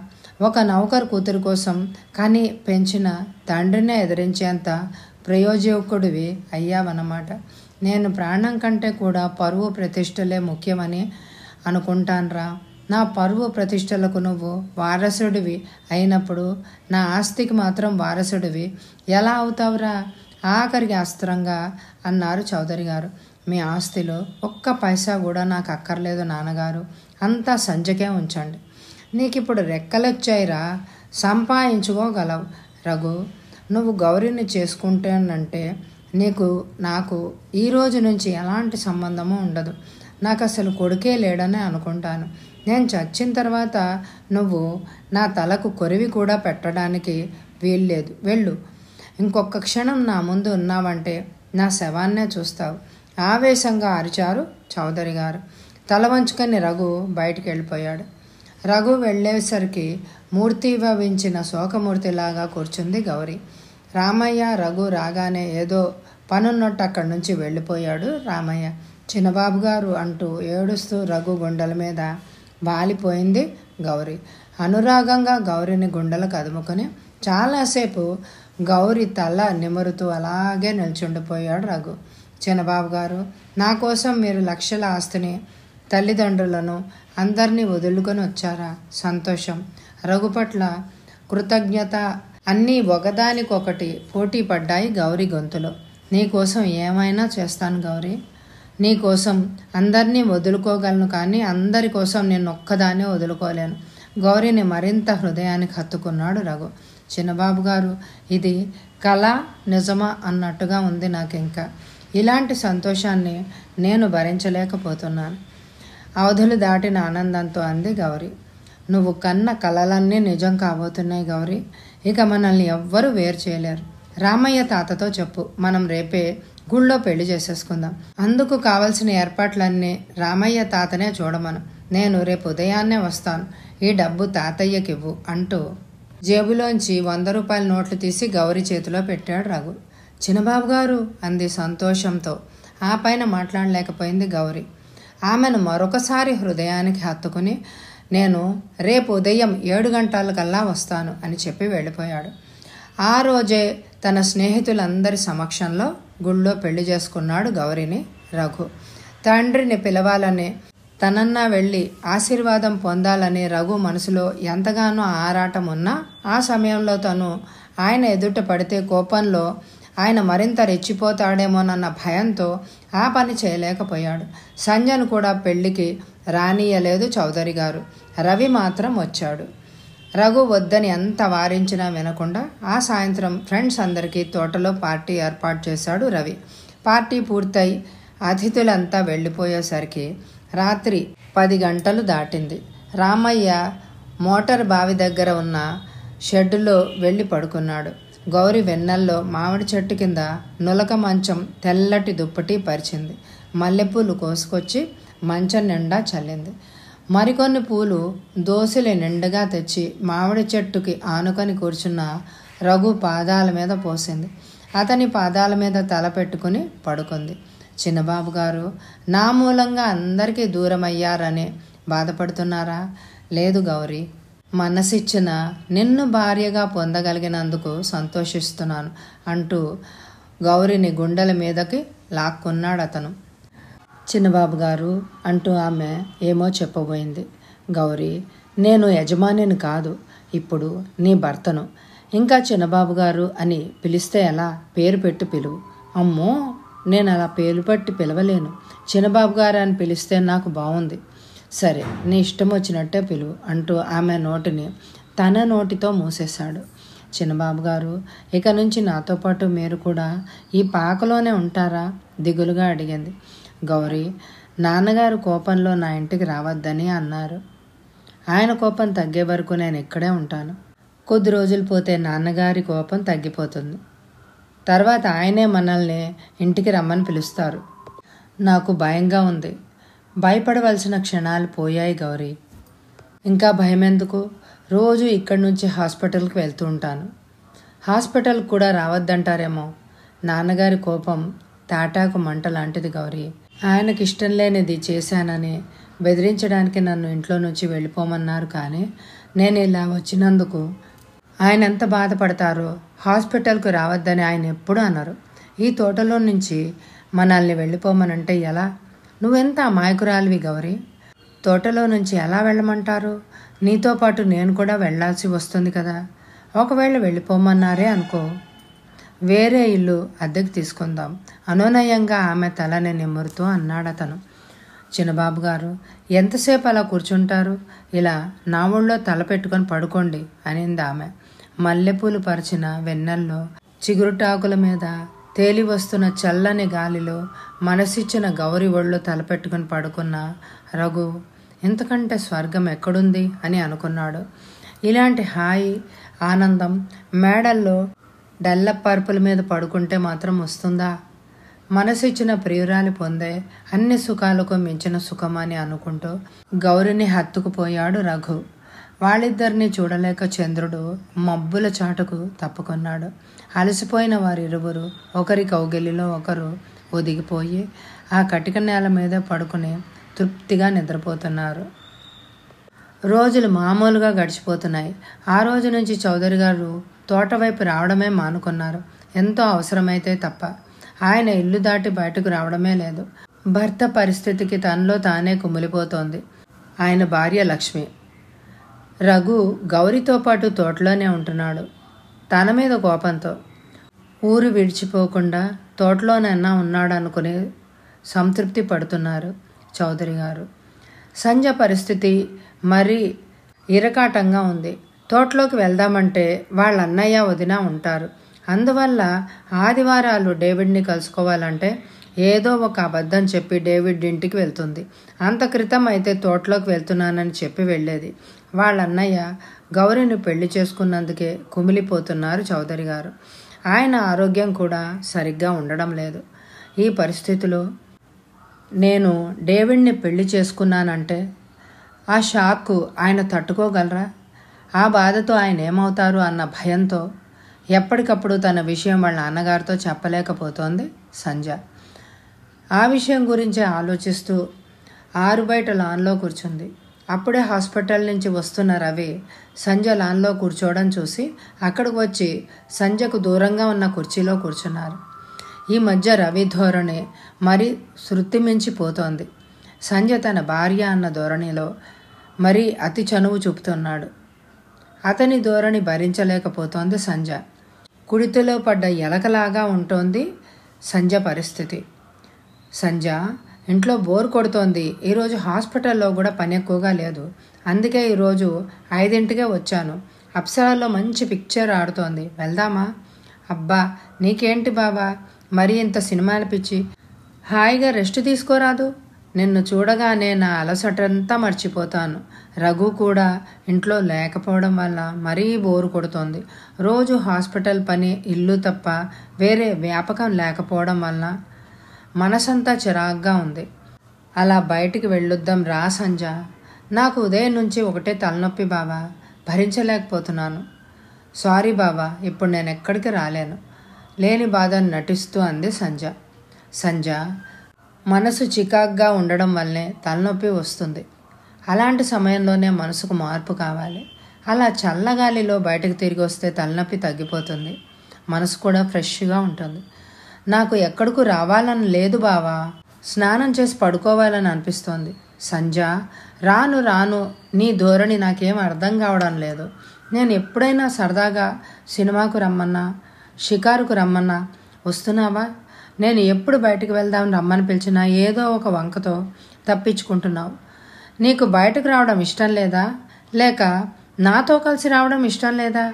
ఆ విషయమన్నా సూటిగా చెప్పు కోపంగా అన్నాడు రవి. ప్రతి విషయానికి నువ్వు ఇలా నన్ను అపార్థం చేసుకుంటూ కోపంతో ఎగిరిపడుతూ ఉంటే నేనేం చెప్పగలను? నాన్నగారు అనారోగ్యంతో మంచం మీద ఉన్నారు. అమ్మ దిగులుతో కుమిలిపోతోంది. వాళ్ళని అలా చూస్తూ నేను సినిమాలకు షికారులకు నీతో కలిసి సరదాగా ఎలా తిరగగలను? ఆ మాత్రం అర్థం చేసుకోలేవా? నాన్నగారికి ధైర్యం చెప్పవలసిన నువ్వే ఆయన గురించి పట్టించుకోవడమే మానేశావు.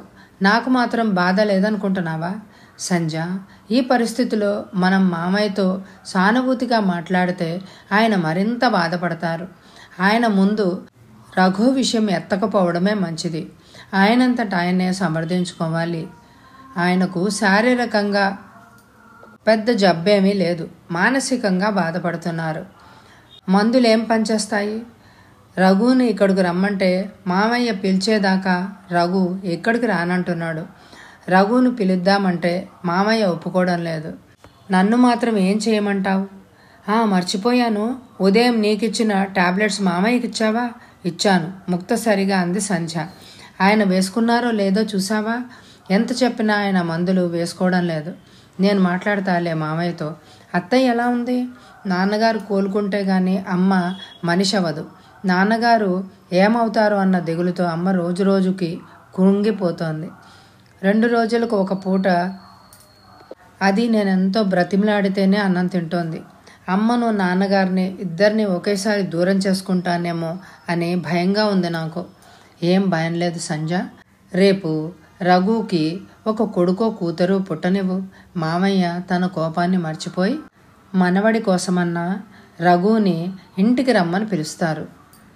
ఆ తర్వాత అంతా మామూలే అవుతుంది. జూనియర్ రఘు వచ్చేవరకే ఈ బాధలన్నీ. మామయ్య తనంతట తానుగా రఘుని రమ్మని పిలవడానికి ఆయన పెద్దరికం అడ్డు వస్తోంది. రఘుకేమో పిలవకుండా రావడానికి చిన్నతనంగా ఉంది. కాలమే వీళ్ళిద్దరినీ కలపాలి. బావా స్నానం చేసి బట్టలు మార్చుకొని రారాదు సంజ ఆవేశంలో నీ మనసును అర్థం చేసుకోకుండా కటువుగా మాట్లాడి నేను బాధ పెట్టాను క్షమించు. ఇందులో నీ తప్పేముంది బావా? మనలో మనకు క్షమార్పణలు ఎందుకు నేను స్నానం చేసి వస్తాను సంజ అంటూ వెళ్ళిపోయాడు రవి. అమ్మయ్య వాన కురిసి వెలిసినట్టుగా ఉంది. ఈ రోజుకు ఎలాగో ఈ గండం గడిచింది అని తేలిగ్గా నెట్టూర్చింది సంజ సంజ డేవిడ్ ఇద్దరు పార్క్లో కూర్చున్నారు. సంజ నా చదువు పూర్తయి ఉద్యోగంలో కూడా చేరాను. నేను స్థిరపడ్డాను. ఇంకా మన పెళ్ళి నువ్వెందుకు ఆలస్యం చేస్తున్నావో నాకు అర్థం కావడం లేదు. విసుగ్గా అన్నాడు డేవిడ్. మన విషయం మా నాన్నగారితో ఎలా చెప్పనా అని ఆలోచిస్తున్నాను. మా అన్నయ్య గౌరిని చేసుకుని ఇంట్లోంచి వెళ్ళిపోయిన దగ్గర నుంచి నాన్నగారు మతిలేని వారిలాగా తయారయ్యారు. ఆ షాక్ నుంచి ఆయన ఇంకా తేరుకోకముందే మన విషయం చెప్తే ఆయన తట్టుకోగలరా అనే భయంగా ఉంది. అందుకే ఆలస్యం చేస్తున్నాను. భయపడుతూ చెప్పకుండా ఎంతకాలం ఉంటావు? ఎప్పుడో ఒకప్పుడు మన విషయం ఆయనకు చెప్పాలి కదా. నీకంత భయంగా ఉంటే నేనొచ్చి మీ నాన్నగారితో చెప్పనా? అమ్మో ఆ పని మాత్రం చేయకండి. సమయం చూసి త్వరలోనే నేనే చెప్తాను. ఇంకా ఎప్పుడు చెప్పేది? ఎన్ని వెన్నెల రాత్రులు వృధాగా పోతున్నాయో చూడు. కరిగిపోతున్న రోజులు తిరిగి రావు. సంజ నీకు వారం రోజులు టైం ఇస్తున్నాను. ఈ వారం లోపల మీ నాన్నగారితో చెప్తావా? సరే సరే. లేదా నేనే వచ్చి చెప్తాను. వారం రోజులు టైం ఇచ్చారుగా? నవ్వుతూ అంది సంచ నిన్ను చూస్తూ నీకు దూరంగా ఉండాలంటే నాకెంత బాధగా ఉందో తెలుసా? అయినా మీ నాన్నగారంటే నీకెందుకంత భయం? భయం కాదు ఆయన మీద గౌరవం. నిన్ను ఏమనాలో అర్థం కాలేదు. నువ్వు మీ నాన్నగారితో చెప్పి ఆయన ఒప్పుకుని మనం పెళ్ళి చేసుకునేసరికి నేను ముసలాడిని అయిపోయేలా ఉన్నాను విసుగ్గా అన్నాడు డేవిడ్. అబ్బా వారం రోజుల వరకు ఆ విషయం మర్చిపోండి నవ్వుతూ అంది సంజ నేను వెళ్తున్నాను. పనుంది అంటూ లేవబోయాడు డేవిడ్. ఏమండి ఆ మాట ప్రతిరోజు నేననేదాన్ని. ఈరోజు మీరంటున్నారు. నవ్వుతూ అంది సంజ. ఎందుకు? నీ ఎదురుగా కూర్చుంటే మాత్రం ప్రయోజనం ఏముంది? విసుగ్గా అన్నాడు డేవిడ్. ఏమండి ప్రేమ మనసులకు సంబంధించింది. కోరిక శరీరానికి సంబంధించింది. మీరు నన్ను మనసారా ప్రేమించడం లేదు. శారీరకంగా ప్రేమిస్తున్నారు. అందుకే ఈ మాట అనగలిగారు. బాధగా అంది సంజ సంజ ఇన్ని రోజులుగా నువ్వు నన్ను అర్థం చేసుకున్నది ఎంతేనా నిన్ను శారీరకంగా ప్రేమిస్తే నిన్ను బలవంతంగానైనా అనుభవించి ఉండేవాడిని. నీకోసం ఎన్ని రోజులు తపస్సు చేయాల్సిన అవసరమే ఉండేది కాదు. రేపు ఆఫీస్లో ఇన్స్పెక్షన్ ఉంది. అందుకని ఇప్పుడు వెళ్తున్నాను. నా వర్క్ ఇంకా పూర్తి కాలేదు. నిజంగానే మిమ్మల్ని అపార్థం చేసుకున్నాను. అందుకు ఎంతో బాధపడుతున్నాను. నన్ను క్షమించండి. సిగ్గుతో తలవంచుకుంది సంజ. అలా దిగులుగా ముఖం పెట్టకు. నేను చూడలేను. నువ్వు కాస్త నవ్వుమొహం పెట్టు. నవ్వుతూ అన్నాడు డేవిడ్. అతని కళ్ళల్లోకి అనురాగంగా చూస్తూ నవ్వింది సంజ. అమ్మయ్య నవ్వావు సంజ. ప్రతిరోజు సాయంత్రం ఐదు గంటలు కాగానే నువ్వు నా కోసం ఎదురు చూస్తూ ఉంటావని గుర్తుకొస్తుంది. అంతే. ఆఫీస్లో ఎంత పని ఉన్నా వచ్చేస్తాను. రోజు జరిగే తంతు ఇదే. ఆఫీస్లో వర్క్ పేరుకుపోయి ఉంది. రేపు ఇన్స్పెక్షన్. ఈ రాత్రి అంతా నిద్రపోకుండా చేస్తే కూడా పూర్తవదు నన్నేం చేయమంటావో చెప్పు. నేను కూడా మీతో పాటు ఆఫీస్కి రానా? ఇద్దరం కలిసి పూర్తి చేద్దాం. నవ్వుతూ అనింది సంజ. నిజంగానా? సంతోషంగా అడిగాడు డేవిడ్. ఒక పెళ్ళికాని అమ్మాయి రాత్రంతా పరాయి మగవాడితో ఉంటే నలుగురు ఏమనుకుంటారు? నలుగురి సంగతి మనకెందుకోయ్? మన సంగతి మనం చూసుకుందాం. ఏమండి ఇక ఇంటికి వెళ్ళి ఆఫీస్ పని చూసుకోకూడదు? లేకపోతే రేపు ఆఫీసర్ చేత అక్షింతలు వేయించుకోవాల్సి ఉంటుంది అంటూ లేచింది సంచ ఆ రోజు చౌదరి గారు ఆరు బయట లాన్లో కూర్చున్నారు.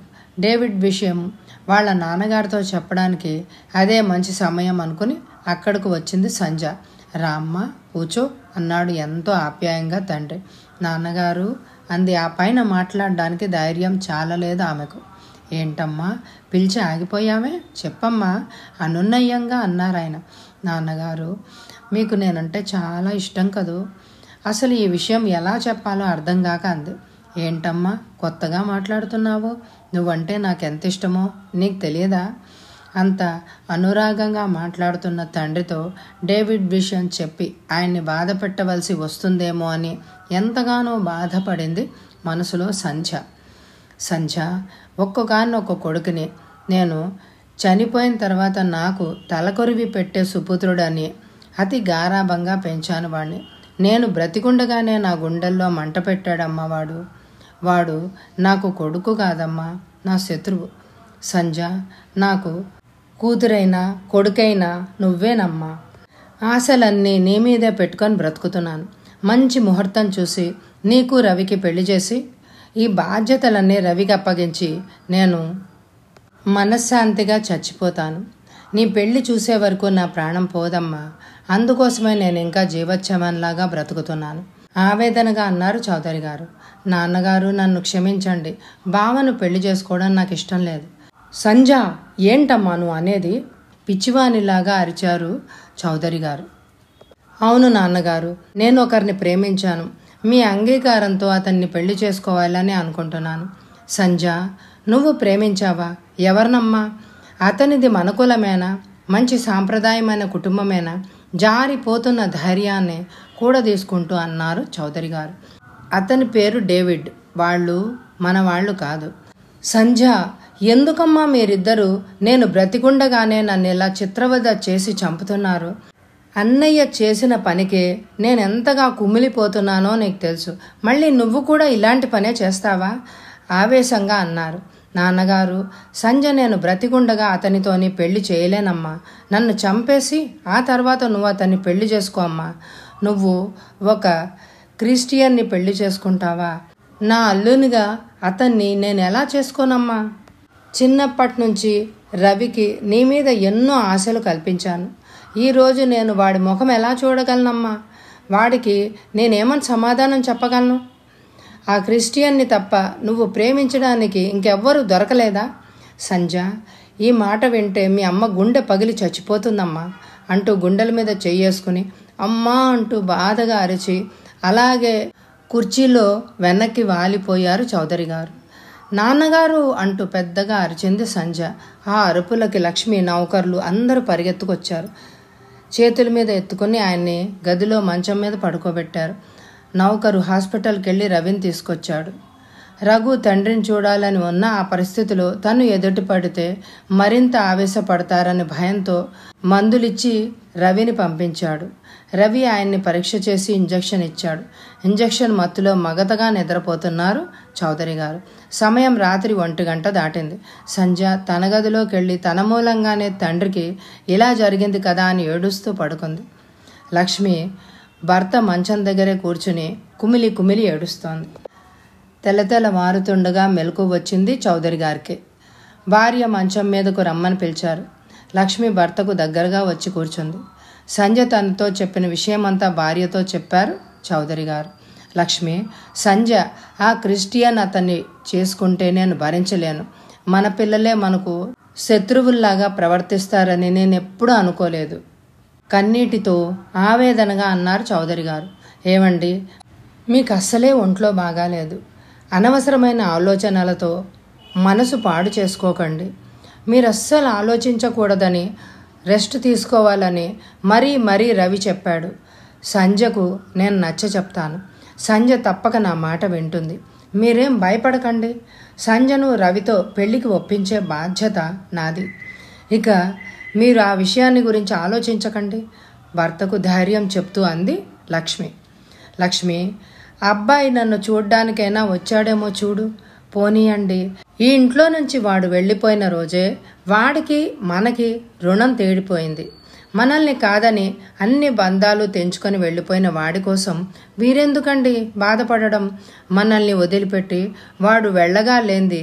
వాణ్ణి చూడకుండా మనం ఉండలేమా? కొడుకు మీద ఎంత ప్రేమున్నా కొడుకు ఈ సమయంలో కూడా రాలేదే అని మనసులో ఎంత బాధగా ఉన్నా భర్త ఎదుట తను కూడా బాధపడితే ఆయన ఆరోగ్యం దెబ్బతింటుందేమో అన్న భయంతో ఎంతో ధైర్యంగా ఆ మాటలు చెప్పింది లక్ష్మి. అంతేలే లక్ష్మి. సంజకు నువ్వు నచ్చ చెప్తావు కదూ? ఆ బాధ్యత నాది. మీరు కళ్ళు మూసుకొని పడుకోండి అంటూ ఫ్యాన్ ఆన్ చేసి ఆయనకి దుప్పటి కప్పింది లక్ష్మి. ఆలోచించడానికి కూడా ఓపిక లేనట్టు కళ్ళు మూసుకున్నారు చౌదరి గారు. తెల్లవారిన తర్వాత తండ్రి గదిలోకి వెళ్ళింది సంజ ఆయన కూతురు తన గదిలోకి రావడం చూసి కూడా చూడనట్టు కళ్ళు మూసుకున్నారు. అది గమనించిన సంజ మనసులో చాలా బాధపడింది. అక్కడ నిలబడలేక ఏడుస్తూ తన గదిలోకి వెళ్ళిపోయింది. కొంత సమయం తర్వాత సంజ గదిలోకి తల్లి వచ్చింది. సంజ నీతో మాట్లాడాలి.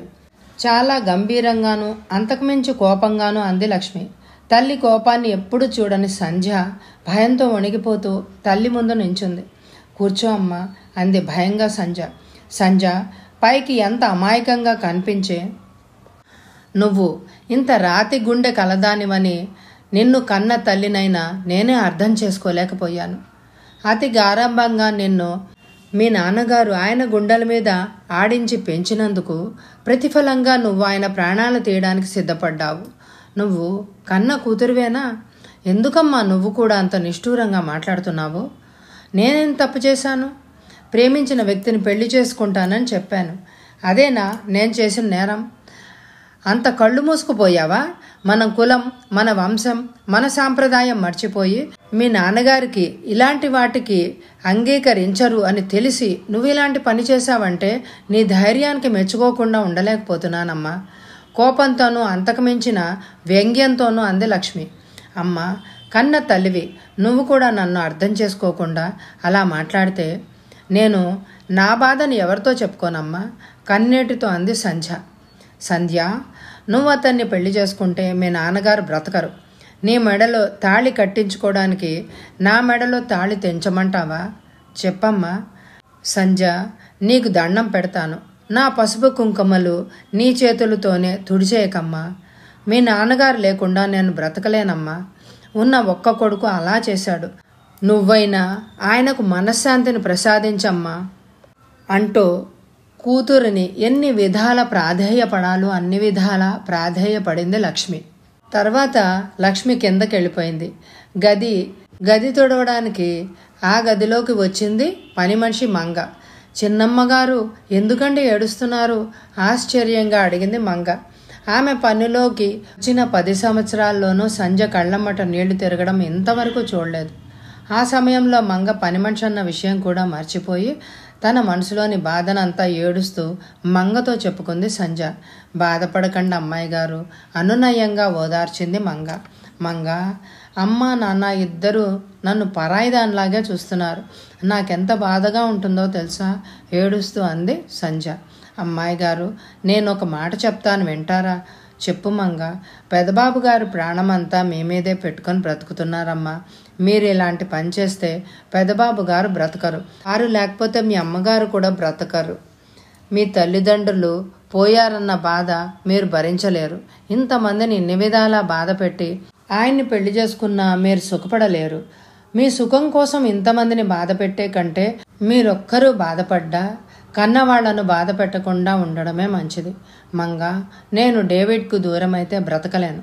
కొత్తలో బాధగానే ఉంటుందమ్మా. తర్వాత మీ భర్త మీ పిల్లలు అనుకుంటూ మీ సంసార గొడవల్లో మొలిగిపోతారు తర్వాత ఆయన పూర్తిగా మర్చిపోతారు. ఆ కులంకాన్ని ఆయన చేసుకున్నారే అనుకోండి. అమ్మగారు నాన్నగారు బ్రతకలేరు. నలుగురు మిమ్మల్ని వేలెత్తి చూపుతారు. ఆ తర్వాత ఎన్నో బాధలు పడాలి. కష్టాలని కొని తెచ్చుకున్నట్లు అవుతుంది. నా మాట వినండి. వయసు వేడిలో ఇలాగే అనిపిస్తుంది. తర్వాత అంతా మర్చిపోతారు. అనునయంగా నచ్చ చెప్పింది మంగ. తర్వాత గది ఉడవడం పూర్తి చేసి మంగ కిందకి వెళ్ళిపోయింది. సంజకు మనసంతా గందరగోళంలా ఉంది.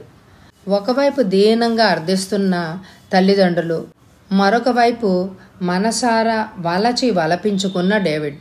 తల్లిదండ్రుల కోసం ప్రేమించిన డేవిడ్ను వదులుకోవాలా? డేవిడ్ కోసం కన్నవాళ్ళను వదులుకోవాలా? ఎవరి కోసం ఎవరినో వదులుకోవాలి? ఇలాంటి సమాధానం దొరకని ప్రశ్నలతో సతమతమవుతూ చాలాసేపు ఆలోచిస్తూ కూర్చుంది. కొత్తలో బాధగానే ఉంటుంది. తర్వాత అంతా మర్చిపోతారు అన్న మంగ మాటలే సంజ మనసులో మారు మ్రోగుతున్నాయి. ఆ రాత్రంతా నిద్రపోకుండా భోజనం చేయకుండా ఏడుస్తూ అలాగే పడుకుంది. చివరికి తల్లిదండ్రుల కోసం తన ప్రేమను త్యాగం చేయడానికే నిర్ణయించుకుంది.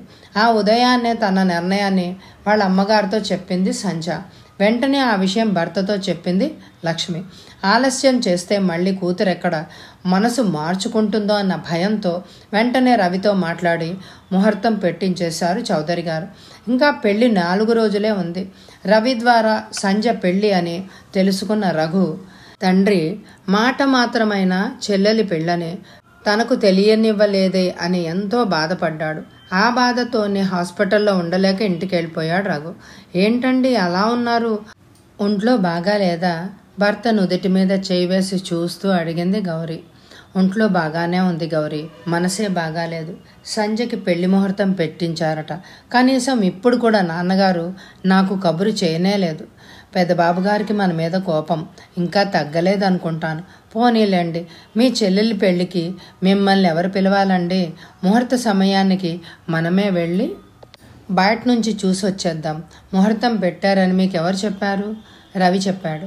పెళ్ళికొడుకు ఎవరు ఇంకెవరు? చిన్నప్పటి నుంచి అనుకుంటున్న సంబంధమే. రవికి ఇచ్చి చేస్తున్నారు. ఏమండి? మీరు చెప్పేది నిజమా? ఆశ్చర్యంగా అడిగింది గౌరీ. ఏంటి గౌరీ? నువ్వెందుకంత ఆశ్చర్యపోతున్నావు? ఆశ్చర్యంగా అడిగాడు రఘు. ఏమండి? సంజ డేవిడ్ అనే అతన్ని ప్రేమించింది. మీరు ఇక్కడికి రాకముందు ప్రతి ఆదివారం వాళ్ళిద్దరూ ఇక్కడికి వచ్చి గంటల తరబడి కబుర్లు చెప్పుకుంటూ కూర్చునేవాళ్ళు. చదువుకునేటప్పుడు ప్రతి సాయంకాలము వచ్చేవాళ్ళు. వాళ్ళిద్దరూ స్నేహంగా ఉండేవాళ్ళేమో. సంజ అతన్ని ప్రేమించలేదేమో? అనుమానంగా అడిగాడు రఘు. ఏమండి? స్నేహానికి ప్రేమకు నాకు తేడా తెలియదనుకుంటున్నారా? సంజ అతని ఒళ్ళో పడుకునేది. వాళ్ళిద్దరూ భార్యాభర్తల్లాగా మాట్లాడుకోవడం నేను చాలాసార్లు విన్నాను. నువ్వు చెప్పేది నిజమేనా గౌరీ? ఏమండి సంజ మనసారా డేవిడ్నే ప్రేమించింది. మరి రవితో పెళ్ళెందుకు ఒప్పుకుంది? నాకు అర్థం కావడం లేదు. సంజ ఒట్టి పెరికిది. తన మనసులోని విషయం మీ నాన్నగారితో చెప్పడానికి భయపడి ఉంటుంది. అందుకే రవితో పెళ్ళికి ఒప్పుకుందేమో. సంజకు అన్నయ్య ఉండి నేను ఏ విధంగా సంజకు సహాయం చేయలేకపోతున్నాను ఆవేదనగా అన్నాడు రఘు. వాళ్ళలా మాట్లాడుకుంటూ ఉండగానే వాళ్ళ అన్నయ్యను చూడాలని సంజ అక్కడికి వచ్చింది నిరాశ నిస్పృహలకు నిలయంగా ఉన్న సంజ ముఖం చూడగానే తన ఊహ నిజం అనుకున్నాడు రఘు. సంజ రా అమ్మ ఇంతకాలానికి నీకు అన్నయ్యని చూడాలని అనిపించిందా అమ్మ? ఎంతో ఆప్యాయంగా సంజ చేతిని తన చేతిలోకి తీసుకుని నిమురుతూ అన్నాడు రఘు. గౌరీ ఆ అన్నా చెల్లెళ్ళ అనుబంధాన్ని చూస్తూ నిల్చుంది. గౌరీ నువ్వు వెళ్ళి కాఫీ పెట్టు అన్నాడు రఘు. ఆ మాటలతో గౌరీ లోపలికెళ్ళింది. సంజ అమ్మ నాన్నగారు ఆరోగ్యంగా ఉన్నారా? నాన్నగారు ఇంకా పూర్తిగా కోలుకోలేదు. నా పెళ్ళి అని లేని ఓపిక తెచ్చుకొని తిరుగుతున్నారు. సంజ నేను ఒక మాట అడుగుతాను. నిజం చెప్తావు కదూ? అన్నయ్య నేను ఎప్పుడైనా నీతో అబద్ధం చెప్పానా? అడుగు. నువ్వు మనస్ఫూర్తిగా ఇష్టపడే రవిని పెళ్ళి చేసుకుంటున్నావా? సూటిగా సంజ కళ్ళలోకి చూస్తూ అడిగాడు రఘు. అన్నయ్య అంటూ పొంగి వస్తున్న కన్నీటిని ఆపుకోలేక రఘు గుండెల మీద వాలిపోయి పెద్దగా ఏడ్చేసింది సంజ సంజ ఏం జరిగిందమ్మా? చెప్పమ్మా. అన్నయ్య నేను డేవిడ్ మనసారా ప్రేమించుకున్నాం. అమ్మ నాన్నగారు నన్ను బెదిరించి బలవంతంగా ఈ పెళ్ళి కొప్పించారు. నాకు రవిని చేసుకోవడం ఇష్టం లేదు అంటూ జరిగిందంతా చెప్పింది సంజ ఎంత పని చేశావమ్మా? అమ్మ నాన్నల కోసం నీ ప్రేమను త్యాగం చేసి నీ జీవితాన్ని నీ చేతులారా నువ్వే నాశనం చేసుకుంటావా? అంతకంటే నేనేం చేయగలను అన్నయ్య? సంజ వివాహం అనేది నూరేళ్ళ పంటమ్మ. పెద్దవాళ్ళ కోసం వాళ్ళకు ఎదురు చెప్పే ధైర్యం లేక నువ్వు ఈరోజు డేవిడ్ని వదులుకొని రవిని పెళ్ళి చేసుకుంటే ఆ తర్వాత నీ జీవితం ఎంత నరకంగా ఉంటుందో నీకు తెలియదమ్మా. సంజ నన్ను చూడు. అందరిని ఎదిరించి నేను ప్రేమించిన గౌరీని పెళ్ళి చేసుకొని హాయిగా ఉన్నాను. నన్ను ఇప్పుడు ఎవరేమనుకుంటున్నారు? నాన్నగారి కోసం నీ ప్రేమను త్యాగం చేయడం అర్థం లేని త్యాగమమ్మ. నా మాట విను. ఈ పెళ్ళికి ఒప్పుకోవద్దు. నాకు అందరిలా సుఖపడే అదృష్టం లేదన్నయ్య. నేను నష్టజాతకురాల్ని ఏడుస్తూ అంది సంజ సంజ నువ్వు రవిని పెళ్ళి చేసుకున్నా డేవిడ్ని మర్చిపోలేవు. తొలి ప్రేమ ఎంత బలమైందో ఇప్పుడు నీకు తెలియదు. ప్రేమించిన డేవిడ్ని మర్చిపోలేక పెళ్ళి చేసుకున్న రవితో కాపరం చేయలేక నువ్వు మోగగా రోధిస్తున్నప్పుడు నీ కన్నీరు ఎవ్వరూ తొడవరమ్మా. అయ్యో పాపమని నీ మీద ఎవ్వరూ జాలి చూపరు. నీ త్యాగాన్ని ఎవ్వరూ గుర్తించరు. ఇప్పటికైనా నా మాట వినమ్మా. ఈ పెళ్ళి నాన్నగారితో చెప్పి నేను ఆపచేయిస్తాను. నువ్వు ప్రేమించిన డేవిడ్తో నీ పెళ్ళి నేను జరిపిస్తాను. నీ భవిష్యత్తు ఇప్పుడు నీ చేతుల్లోనే ఉందమ్మా. అన్నయ్య శుభలేఖలు కూడా ప్రింట్ అయ్యాయి. ముఖ్యమైన వాళ్ళందరికీ శుభలేఖలు వెళ్ళాయి. ఇప్పుడు కాదంటే నాన్నగారు బ్రతకరన్నయ్య. ఏడుస్తూ అంది సంజ ఎంత అమాయకురాలివమ్మా. నాన్నగారు ఏమవుతారు? నేను పెళ్ళి చేసుకుంటే ఏమయ్యారు? ఆయుష్ ఉన్నంత వరకు బ్రతుకుతారు. ముందు కోపంగా చిరుబూరిలాడినా కొద్ది రోజులకే ఆయన సర్దుకుంటారు. నాన్నగారి కన్నీరు నేను చూడలేనన్నయ్య వాళ్ళ కన్నీళ్ళు చూడలేక నీ జీవితాన్ని కన్నీటి పాలు చేసుకుంటావా? వాళ్ళ కోసం నువ్వు ఇంత త్యాగం చేసినా రేపు నిన్ను ఓదార్చడానికి వాళ్ళు మిగలరమ్మా. బాధపడక అన్నయ్య ఇంతవరకు వచ్చిన తర్వాత నేను చేయగలిగింది మాత్రం ఏముంది? ఎలా జరగాలనుంటే అలా జరుగుతుంది. సంజ కమ్మరవాని చేతిలో మట్టి రకరకాల ఆకృతుల్ని పొందుతుంది. అలాగే జీవితాన్ని మలుచుకోవడం మన చేతుల్లోనే ఉందమ్మా. ఆవేదనగా అన్నాడు రఘు. ఇంతలో లోపల నుంచి గౌరీ కాఫీ తెచ్చి సంజకి ఒక కప్పు భర్తకు ఒక కప్పు అందించింది. ఏడుస్తున్న సంజను చూస్తుంటే గౌరికి చాలా జాలేసింది. సంజ అందరినీ కాదని మీ అన్నయ్య నన్ను పెళ్ళి చేసుకున్నారు. అయిన వాళ్ళంతా దూరమైన ఆ లోటే కనిపించకుండా మేము చూడు ఎంత హాయిగా ఉన్నామో. ఒకరి కోసం నీ భవిష్యత్తు పాడు చేసుకోవద్దమ్మా. వదిన నువ్వెంతో అదృష్టవంతురాలివి. నేను దురదృష్టవంతురాల్ని. విధిని నమ్మే నేను ఇంతకంటే చేయగలిగింది ఏమీ లేదు. ఏడుస్తూ అంది సంజ సంజ నిర్ణయం మారదని గౌరీక ఏమీ చెప్పలేదు. భారమైన మనసుతో ఒకరితో ఒకరు ఏం మాట్లాడుకోలేకపోయారు. కొద్దిసేపు ఉండి సంజ ఇంటికి వెళ్ళిపోయింది నాలుగు రోజుల నుంచి సంజ కనిపించకపోయేసరికి డేవిడ్కు మతి పోయినట్టుగా ఉంది. ఆ రోజు ఆదివారం సంజ వస్తుందేమోనని కొండంత ఆశతో సంజ కోసం ఎదురు చూస్తూ ఇంట్లోనే కూర్చుండిపోయాడు డేవిడ్. సంజ పెళ్ళి ఇంకా రెండు రోజులే ఉంది. చాలామంది దగ్గర బంధువులంతా పెళ్ళికి వచ్చేశారు మరొక రెండు రోజుల్లో తను శాశ్వతంగా డేవిడ్కు పరాయిది అయిపోతుంది అందుకే చివరిసారిగా డేవిడ్ని కలుసుకుని జరిగిందంతా చెప్పి అతన్ని క్షమించమని అడగాలని డేవిడ్ దగ్గరకు వచ్చింది సంధ్య సంధ్యని చూడగానే తన కళ్ళను తానే నమ్మలేకపోయాడు డేవిడ్. నాలుగు రోజులకే జ్వరం పడి లేచిన దానిలాగా గుర్తు పట్టలేనంతగా చిక్కిపోయింది. డేవిడ్ కళ్ళలోకి చూసే ధైర్యం లేక నేను నీకు శాశ్వతంగా దూరం అవుతున్నానని అతనితో చెప్పలేక భరించలేని ఆవేదంతో డేవిడ్ పాదాల మీద వాలిపోయి పెద్దగా తన హృదయ భారం తీరేలాగా ఏడ్చింది సంజ. ఆమె ఎందుకు ఏడుస్తోందో అర్థం కాని డేవిడ్ అనునయంగా సంజ తల నిమురుతో కూర్చున్నాడు. సంజ సంజ ఈ వారం రోజుల నుంచి ఇక్కడికి ఎందుకు రావడం లేదు? ఈ వారం రోజులు నిన్ను చూడకపోతే నాకెంతో దిగులుగా ఉంది తెలుసా? ఎందుకు సంజ అలా ఉన్నావు? నువ్వు ఇలా ఏడుస్తుంటే నా గుండెను కత్తితో రెండుగా చీలుస్తున్నంత బాధగా ఉంది. మీ నాన్నగారు మన పెళ్ళికి ఒప్పుకోలేదా? అందుకే నా ఏడుస్తున్నావు. సంజ ఎవరు ఒప్పుకున్నా ఒప్పుకోకపోయినా నేను నేను పెళ్ళి చేసుకుంటాను. నీకు మైనారిటీ తీరిపోయింది. మన పెళ్ళి ఎవరూ ఆపలేరు. మనం రిజిస్టర్ మ్యారేజ్ చేసుకుందాం. అనునయంగా సంజ తల నిమురుతూ అన్నాడు డేవిడ్. ఏవండి? అని పిలిచింది. ఆ పైన దుఃఖంతో మాట్లాడలేకపోయింది. సంజ నా కోసం నువ్వు అయిన వాళ్ళను ఆస్తిని వదులుకొని రాగలిగితే నిన్ను నేను మేడల్లో ఉంచలేకపోయినా నా గుండెల్లో దాచుకుంటాను. బాధపడకు. నిన్ను పోషించుకోగలను.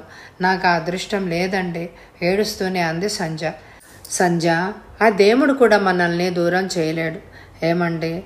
మీలాంటి ప్రేమమూర్తిని భర్తగా పొందే అదృష్టం నాకు లేదండి. మీకు తీరని ద్రోహం చేశాను. నన్ను క్షమించండి. మిమ్మల్ని మోసం చేశాను. నా పాపానికి నిష్కృతి లేదు. అతి దీనంగా ఏడుస్తూ అంది సంజ సంజ నీకు అసలు ఒంట్లో బాగుందా ఏం మాట్లాడుతున్నావో నీకు అర్థమవుతోందా? అని భయంగా అడిగాడు డేవిడ్. నాకు మా బావతో పెళ్ళి జరగబోతోంది. మాటలు కూడదీసుకుంటూ అంది సంజ ఆ మాటకు పక్కలో బాంబు పేలినట్టుగా భయపడ్డాడు డేవిడ్. మతిపోయిన వానిలాగా కొద్ది క్షణాలు మాట్లాడలేకపోయాడు. పది నిమిషాలకు తేరుకున్నాడు. సంజ నువ్వు చెప్పేది నిజమేనా? నో! అలా జరగడానికి వీల్లేదు. నన్ను ఏడిపించడానికి ఇలా ఆశయంగా మాట్లాడుతున్నావు కదూ? నువ్వు చెప్పింది అబద్ధమని చెప్పు సంజ పిచ్చివానిలాగా ఆవేశంగా సంజ భుజాలు పట్టుకుని ఊపుతూ అన్నాడు డేవిడ్. నిజాన్ని అబద్ధమని చెప్పి మిమ్మల్ని ఇంకా మోసం చేయలేనండి ఏడుస్తూ అంది సంజ సంజ నీకేమైనా మతిపోయిందా? ఇంకా నిజాన్ని నమ్మలేక అనుమానంగానే అడిగాడు డేవిడ్. ప్రమాణం చేసి చెప్తున్నాను నా పెళ్ళి ఇంకా రెండు రోజులే ఉంది. సంజ నిన్ను నేనెంతగా ప్రేమించానో తెలుసా? నాతోటిదే నీ ప్రపంచం అన్నట్టుగా నీ తీయని మాటలతో నన్ను నమ్మించి నన్నెందుకు ఇలా మోసం చేశావు? కాలక్షేపం కోసం నాతో ఆడుకున్నావా సంజ నీ ప్రేమంతా నాటకమేనా? నేను బ్రతికుండగా నువ్వు నా కళ్ళెదుటే మరొకరికి సొంతం అవుతూ ఉంటే చూస్తూ నేను ఎలా బ్రతకగలను? నువ్వెందుకు ఇలాంటి పని చేశావు? నా జీవితంతో ఎందుకు ఆడుకున్నావు? నన్ను పెళ్ళి చేసుకునే ఉద్దేశం నీకు లేకపోబట్టే మన పెళ్ళి జరగకుండా వాయిదా వేశావు. నువ్వు పెళ్ళి చేసుకోవాలని లేనప్పుడు నాతో అసలు ప్రేమ కలాపాలు ఎందుకు సాగించావు? నాలో ఎందుకు ఆశలు పెంచావు? ఆవేశంగా అన్నాడు డేవిడ్. అన్ని ప్రశ్నలకు సమాధానం చెప్పలేక తల వంచుకుంది సంజ. మాట్లాడవేం సంజ? నా ప్రశ్నకు సమాధానం చెప్పు. ఎందుకు ఇలాంటి పని చేశావు? నన్ను ప్రేమించడానికి అడ్డుగా లేని అంతస్తు. నన్ను పెళ్ళి చేసుకోవడానికి అడ్డం వచ్చిందా? నాకంటే అందగాడు ఆస్తి కలవాడు దొరికేసరికి నన్ను వదిలేసి వాణ్ణి కట్టుకోవాలని అనుకున్నావా? ఆవేశంగా అరిచాడు డేవిడ్. విధి వంచితురాల్ని నేను. ఇంతకంటే నేనేమి చెప్పలేను ఏడుస్తూనే అంది సంజ. విధి వంచితురాలివి కాదు అమాయకుల జీవితాలతో సరదా కోసం ఆడుకునే రాక్షసి వినువు ఎంతమందిని ఇలా మోసం చేస్తావు? నువ్వు ఆడదానివి కాదు ప్రేమానురాగాలకు నిలయం స్త్రీ హృదయం అని అంటారు. నువ్వు కషాయి గుండె కలదానివి సంజ కషాయివాడు కూడా మేకను ఎంతో ప్రేమగా పెంచుతాడు. తర్వాత ఒక్క దెబ్బతో దాని తల నరికేస్తాడు. నువ్వు అలాంటి దానివే. ఇంతకాలం నీ ప్రేమతో నన్ను పిచ్చివాణ్ణి చేసి నీ వెంట పెంపుడు కుక్కలాగా తిప్పుకున్నావు. ఇప్పుడు నువ్వు దూరం అయితే నేను ఎలా బ్రతకాలి? నువ్వు రెండు రోజులు కనిపించకపోతేనే నాకు మతిపోయినట్టుగా ఉంటుందే. నువ్వు శాశ్వతంగా దూరమైతే నేను బ్రతకగలనా సంజ? మీ నాన్నగారి పాదాల మీద పడైనా ఆయన మన పెళ్ళికి ఒప్పుకునేలాగా చేస్తాను. మీ నాన్నగారి దగ్గరకు వెళ్దాం పదా సంజ. ఆవేదనగాను అంతకు మించిన బాధగాను అన్నాడు డేవిడ్. నన్ను క్షమించి నన్ను మర్చిపోండి. అతి దీనంగా ఏడుస్తూ అంది సంజ. ఎంత తేలిగ్గా చెప్పావు సంజ. ఆ మాట మాసిన చీరను మార్చినట్టు నువ్వు నన్ను కాదని మరొక వ్యక్తిని పెళ్ళి చేసుకోపోతున్నావు. కానీ నీ అంత ధైర్యం నాకు లేదు. నిన్ను ప్రాణం కంటే ఎక్కువగా ప్రేమించాను. అందుకు ఇదా నాకు ప్రతిఫలం. సంజ నువ్వు ఆడదానివేనా? అసలు నీకు మనసు అనేది ఉందా? సంజ వెళ్ళు. ఇంకొక్క క్షణం నా కళ్ళ ముందు ఉన్నావంటే నిన్ను హత్య చేసి నేను ఆత్మహత్య చేసుకుంటాను. వెళ్ళు. పిచ్చివాడినిలాగా అరుస్తూ సంజను బలవంతంగా బయటికి పంపి తలుపులు వేసుకున్నాడు డేవిడ్. పెళ్ళి పందిట్లో మంగళ వాయిద్యాలు శ్రావ్యంగా మోగుతున్నాయి. రఘుకు గౌరికి సంజ పెళ్ళి చూడాలని అనిపించలేదు. సంజ ముఖం చూడాలంటేనే బాధగా ఉంది రఘుకు. అందుకే పెళ్ళి దగ్గరకు కూడా వెళ్ళకుండా ఒక చోట నిలబడలేక తోటంతా తిరుగుతున్నాడు. రెండు రోజుల నుంచి తిండి లేదు నిద్ర లేదు డేవిడ్కు. పెళ్ళి పందిట్లోకి వెళ్ళి తను సంజ ప్రేమించుకున్నామని అందరి ఎదుట ఎలుగొత్తి చాటాలని తన సంజను తనదానిగా చేసుకోవాలన్నంత ఆవేశంతో సంజ ఇంటి ముందుకు వచ్చాడు డేవిడ్. బంగ్లా ముందు వేసిన పెద్ద పందిరిలో విరబూసిన పూలతో నిర్మించిన కళ్యాణ మండపంలో పెండ్లి కొడుకు కూర్చుని ఉన్నాడు. పెళ్ళి కొడుకును చూడగానే అతని గొంతు నులిమి చంపేయాలన్నంత ఆవేశం వచ్చింది డేవిడ్కు. బ్రాహ్మణుడు శాస్త్రయుక్తంగా మంత్రాలు చదువుతున్నాడు. ఆ పందిరిలో వేసిన కుర్చీలు నిండుగా ఎంతో ఖరీదైన మనుషులు కూర్చుని ఉన్నారు. గేటును అనుకొని పిచ్చివాణిలాగా కళ్యాణ మండపం వైపు చూస్తూ నిల్చున్నాడు డేవిడ్. ఎర్రని కంచిపట్టు చీర అదే రంగు జాకెటు చేతుల నిండా ఎర్రరాళ్ళ గాజులు తల నిండా మల్లెపూలు కనకాంబరాలు కదంబమాల నుదుట కళ్యాణ తిలకంతో చేతిలో పూలదండ పట్టుకొని దివి నుంచి పొరపాటున భువికి దిగివచ్చిన దేవకన్యలాగా కళ్యాణ మండపంలోకి వచ్చింది సంజ. సంజ పెళ్ళి కూతురిగా కళ్యాణ మండపంలో రవి పక్కన కూర్చోగానే ఆ దృశ్యాన్ని కళ్ళారా చూసిన డేవిడ్ గుండెల్లో ఎన్ని అగ్ని గోళాలు బరద్దలయ్యాయో అతనికే తెలుసు. మనసంతా బాధతో రగిలిపోతోంది. ఆ భగవంతునికే తెలియాలి. సంజయ్ని బలవంతంగా అక్కడి నుంచి తనతో తీసుకుపోవాలని అనుకున్నాడు. కానీ ఆ పరిస్థితిలో ఏమీ చేయలేని నిస్సహాయ స్థితిలో కన్నీరు కారుస్తూ మతి లేని వాడిలాగా సంజను చూస్తూ ఆ గేటును అనుకుని అలాగే నిల్చున్నాడు. డేవిడ్ మంగళసూత్ర ధారణ జరుగుతోంది. ఒక్కసారిగా తారాస్థాయిలో మేళాలు మ్రోగాయి. ఆ ధ్వని డేవిడ్ గుండెలకు సమ్మెట పోటులాగా తగిలింది. సంజ ఈ క్షణం నుంచి నువ్వు నాకు పరాయిదానివి. నిన్ను కళ్ళారా చూసుకునే అదృష్టం కూడా నాకు లేదు. సంజ కోటి కోరికలతో కొత్త జీవితంలోకి అడుగు పెట్టబోతున్నావు. పిల్లా పాపలతో పసుపు కుంకాలతో నువ్వు నూరేళ్ళు ఆనందంగా ఉండాలని మనసారా దీవిస్తున్నాను. నాతో పరిచయాన్ని ఒక పీడ కళలాగా మర్చిపోయి నువ్వు నీ భర్తతో ఆనందంగా ఉంటే నాకు అంతే చాలు అని మనసులోనే సంజను దీవించి అక్కడి నుంచి వెళ్ళిపోయాడు డేవిడ్. సమయం రాత్రి పది గంటలైంది. డేవిడ్ వరండాలో కుర్చీ వేసుకొని కూర్చుని ఉన్నాడు. ఆనంద్కు డేవిడ్ ప్రేమించడం సంజకు వాళ్ళ బావతో ఈరోజు పెళ్ళి జరగడం అంతా తెలుసు. డేవిడ్ను ఓదార్చడానికి ధైర్యం లేక అతన్నేమీ మాట్లాడించకుండా డేవిడ్కు ఎదురుగా ఉన్న కుర్చీలో కూర్చున్నాడు. ఆనంద్ గతాన్ని మర్చిపోవడానికి నువ్వు తాగే ఆ విషయం ఈరోజు నాకు కూడా కావాలి. నువ్వెందుకు తాగుతున్నావో నాకు ఇప్పుడు అర్థమైంది. నేను తాగుతాను ఆనంద్. నన్ను నేను పూర్తిగా మర్చిపోయేలాగా తాగుతాను. ప్లీజ్ ఆ విషయం తెచ్చిపెట్టు. ఆవేశంగా అన్నాడు డేవిడ్. క్రాఫ్ అంతా చెరిగిపోయి కళ్ళు చింత నిప్పులు అయ్యాయి డేవిడ్ని అలా చూస్తుంటే ఏ అఘాయిత్యం చేస్తాడో అని భయం కూడా వేసింది ఆనంద్కు. డేవిడ్ నాకు చాలా నీతులు నువ్వే చెప్పావు. గతాన్ని మర్చిపోవడానికి ప్రయత్నిస్తూ భవిష్యత్తుపై ఆశలు పెంచుకుంటూ బ్రతకడం నేర్చుకోవాలి అని చెప్పావు. మర్చిపోయావా? నీ ప్రేమను తిరస్కరించి వెళ్ళిపోయిన అమ్మాయి కోసం నువ్వెందుకు బాధపడాలి? నువ్వు పెళ్ళి చేసుకోవడానికి దేశంలో అమ్మాయిలే కరువయ్యారా? నా మాట విను డేవిడ్. నువ్వు ప్రేమించిన అమ్మాయి దగ్గర కంటే నిన్ను ప్రేమించే అమ్మాయిల దగ్గరే నువ్వు ఎక్కువ సుఖపడగలవు. నా మాట విను. నువ్వు సంజను మర్చిపో. నువ్వు నిజంగా పిచ్చివాడివి. లేకపోతే నిన్నెంత మోసం చేసిన ఆ అమ్మాయి కోసం నువ్వెంతగా బాధపడతావా? అనునయంగా అన్నాడు ఆనంద్. ఆనంద్ నేను సంజను ఎంతగా ప్రేమించానో నీకు తెలియదు. ఎటు చూసినా నాకు చిరునవ్వులు చిందించే సంజ ముఖమే కనిపిస్తోంది. నేను సంజను ఎలా మర్చిపోగలను? ప్రతి అమ్మాయిలోనూ నాకు సంజ రూపమే కనిపిస్తోంది ఆనంద్. నేను సంజను మర్చిపోలేను. అతి దీనంగా విలపిస్తూ అన్నాడు డేవిడ్. అతని బాధ చూడలేకపోయాడు ఆనంద్. ఆనంద్ వెళ్ళు విస్కీ బాటిల్ తీసుకురా. నేను ఈరోజు తాగాలి.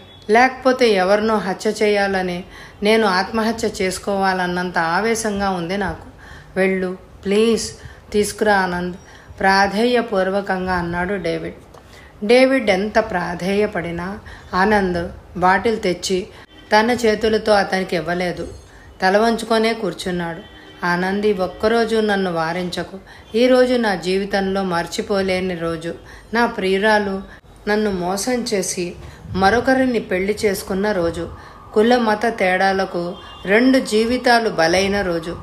నువ్వు వెళ్ళకపోతే నేనే వెళ్ళి తెచ్చుకుంటాను అంటూ లేవబోయాడు డేవిడ్. ఆ సమయంలో అతనిని వారించలేక తన ఇంట్లోకి వెళ్ళి విస్కీ బాటిల్ గ్లాసులు నీళ్ళు అన్నీ తెచ్చి డేవిడ్ ముందున్న టీపైమే పెట్టాడు. ఆనంద్ నీళ్ళు కూడా కలుపుకోకుండా బాటిల్ ఎత్తి విస్కీని మంచినీళ్ళలాగా తాగేశాడు డేవిడ్. అసలే మొదటిసారిగా తాగడం. అందులోనూ నీళ్ళు కలుపుకోకుండా తాగడం వల్ల గొంతంతా మండిపోయింది. అయినా ఆపకుండా బాటిల్లోని విస్కీ అంతా కడుపులోకి నింపాడు డేవిడ్. అతనిని వారించే శక్తి లేక చూస్తూ కూర్చున్నాడు ఆనంద్. కొద్దిసేపటికి విస్కీ మత్తులో ఆ కుర్చీలోనే నిద్రపోయాడు డేవిడ్. ఆనంద్ అతన్ని తన భుజం మీద ఆనించుకొని తీసుకొచ్చి గదిలో మంచం మీద పడుకోబెట్టి దుప్పటి కప్పి తను కూడా అతని మంచానికి దగ్గరగా మడత మంచం వేసుకొని పడుకున్నాడు. రెండు నెలలు గడిచాయి. చౌదరి గారు రెండోసారి వచ్చిన గుండె నొప్పితో ఈ లోకం విడిచి వెళ్ళిపోయారు. భర్త మరణించిన దిగులుతో చౌదరి గారు పోయిన నెల రోజులకే లక్ష్మి కూడా భర్తను చేరుకుంది. తండ్రి చనిపోయిన దగ్గర నుంచి గౌరితో పాటు రఘు కూడా తోటలోంచి సొంత ఇంట్లోకి వచ్చాడు. రఘు ఎంత బ్రతిమిలాడినా వినకుండా రామయ్య తాత ఆ తోటలోనే ఉంటున్నాడు. రఘు రవి మామూలుగా కలిసే ప్రాక్టీస్ చేస్తున్నారు. అంతకు ముందులాగా అందరూ ఆ ఇంట్లోనే ఉంటున్నారు. యాంత్రికంగా జరిగిపోతున్నాయి రోజులు. సంజను చూసి తనలో తాను కుమిలిపోతున్నాడు రఘు. గౌరీ కూడా సంజ పరిస్థితికి ఎంతో జాలి పడుతూ సంజకు కన్న తల్లిలాగా ఉండి సంజను వేయి కళ్ళతో చూసుకుంటోంది. రాజారెడ్డి ఉద్యోగం మానేసి పై చదువులు చదవడానికి ఆమెను తీసుకెళ్ళాడు. మేరీ కూడా భర్తతో అమెరికా వెళ్ళడం వలన ఇక్కడి సంగతులు ఏవి మేరీకి తెలియదు.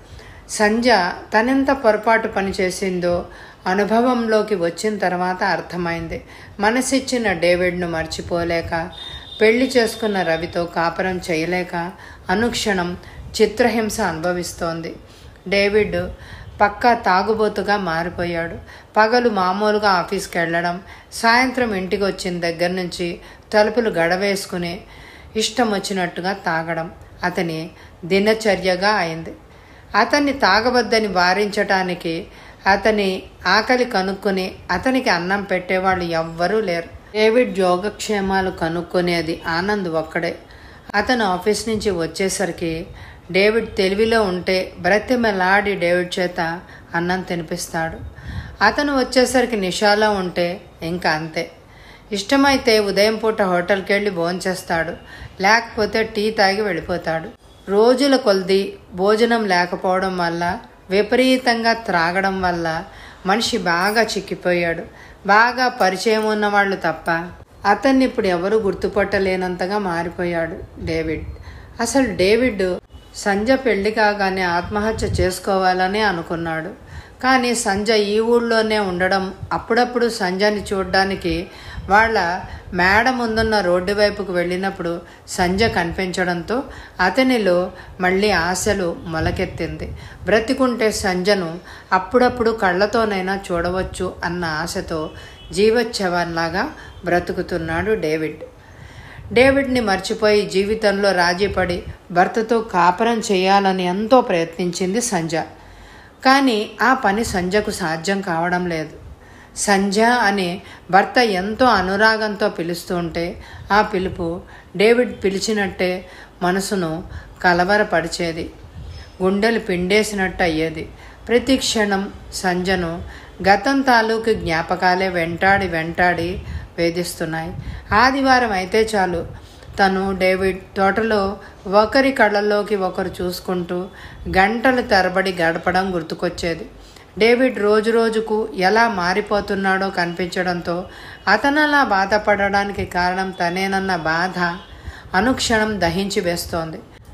సంజను డేవిడ్కు రోజుకు ఒకసారైనా చూడకపోతే పిచ్చెక్కినట్టుగా ఉంది. అందుకని ఒకప్పుడు ప్రతి సాయంత్రం ఆఫీస్ నుంచి వస్తూనే సంజయ్ ఇంటి ముందు నుంచి రోడ్డు మీద ఏదో పనున్నట్టే వెళ్తున్నాడు. ఆ సమయంలో తను చూడడానికే డేవిడ్ అటువైపు వస్తున్నాడని తెలుసుకున్న సంజ సాయంత్రం నాలుగు గంటల నుంచే మేడ మీద నిల్చుని ఉంటుంది సంధ్య అదృష్టం కొద్దీ ఆ విషయం రవి గమనించడానికి వీలు లేకుండా అతను ఐదు గంటలకు క్లీనింగ్కి వెళ్తూ ఉంటాడు. డేవిడ్ ఐదు గంటలకు ఆగానే ఆఫీస్ నుంచి బయటకు వస్తాడు ఐదు ఆరున్నర ప్రాంతంలో సంజయ్ ఇంటి ముందు నుంచి వస్తాడు. గౌరికి ఆ విషయం తెలుసు. అందుకే ఆ సమయంలో సంజయ్తో ఎవరైనా మాట్లాడుతున్నా సంజకు ఏదో పని చెప్పి సంజను మేడ మీదకి పంపిస్తుంది. తను వాళ్ళతో మాట్లాడుతూ కూర్చుంటుంది.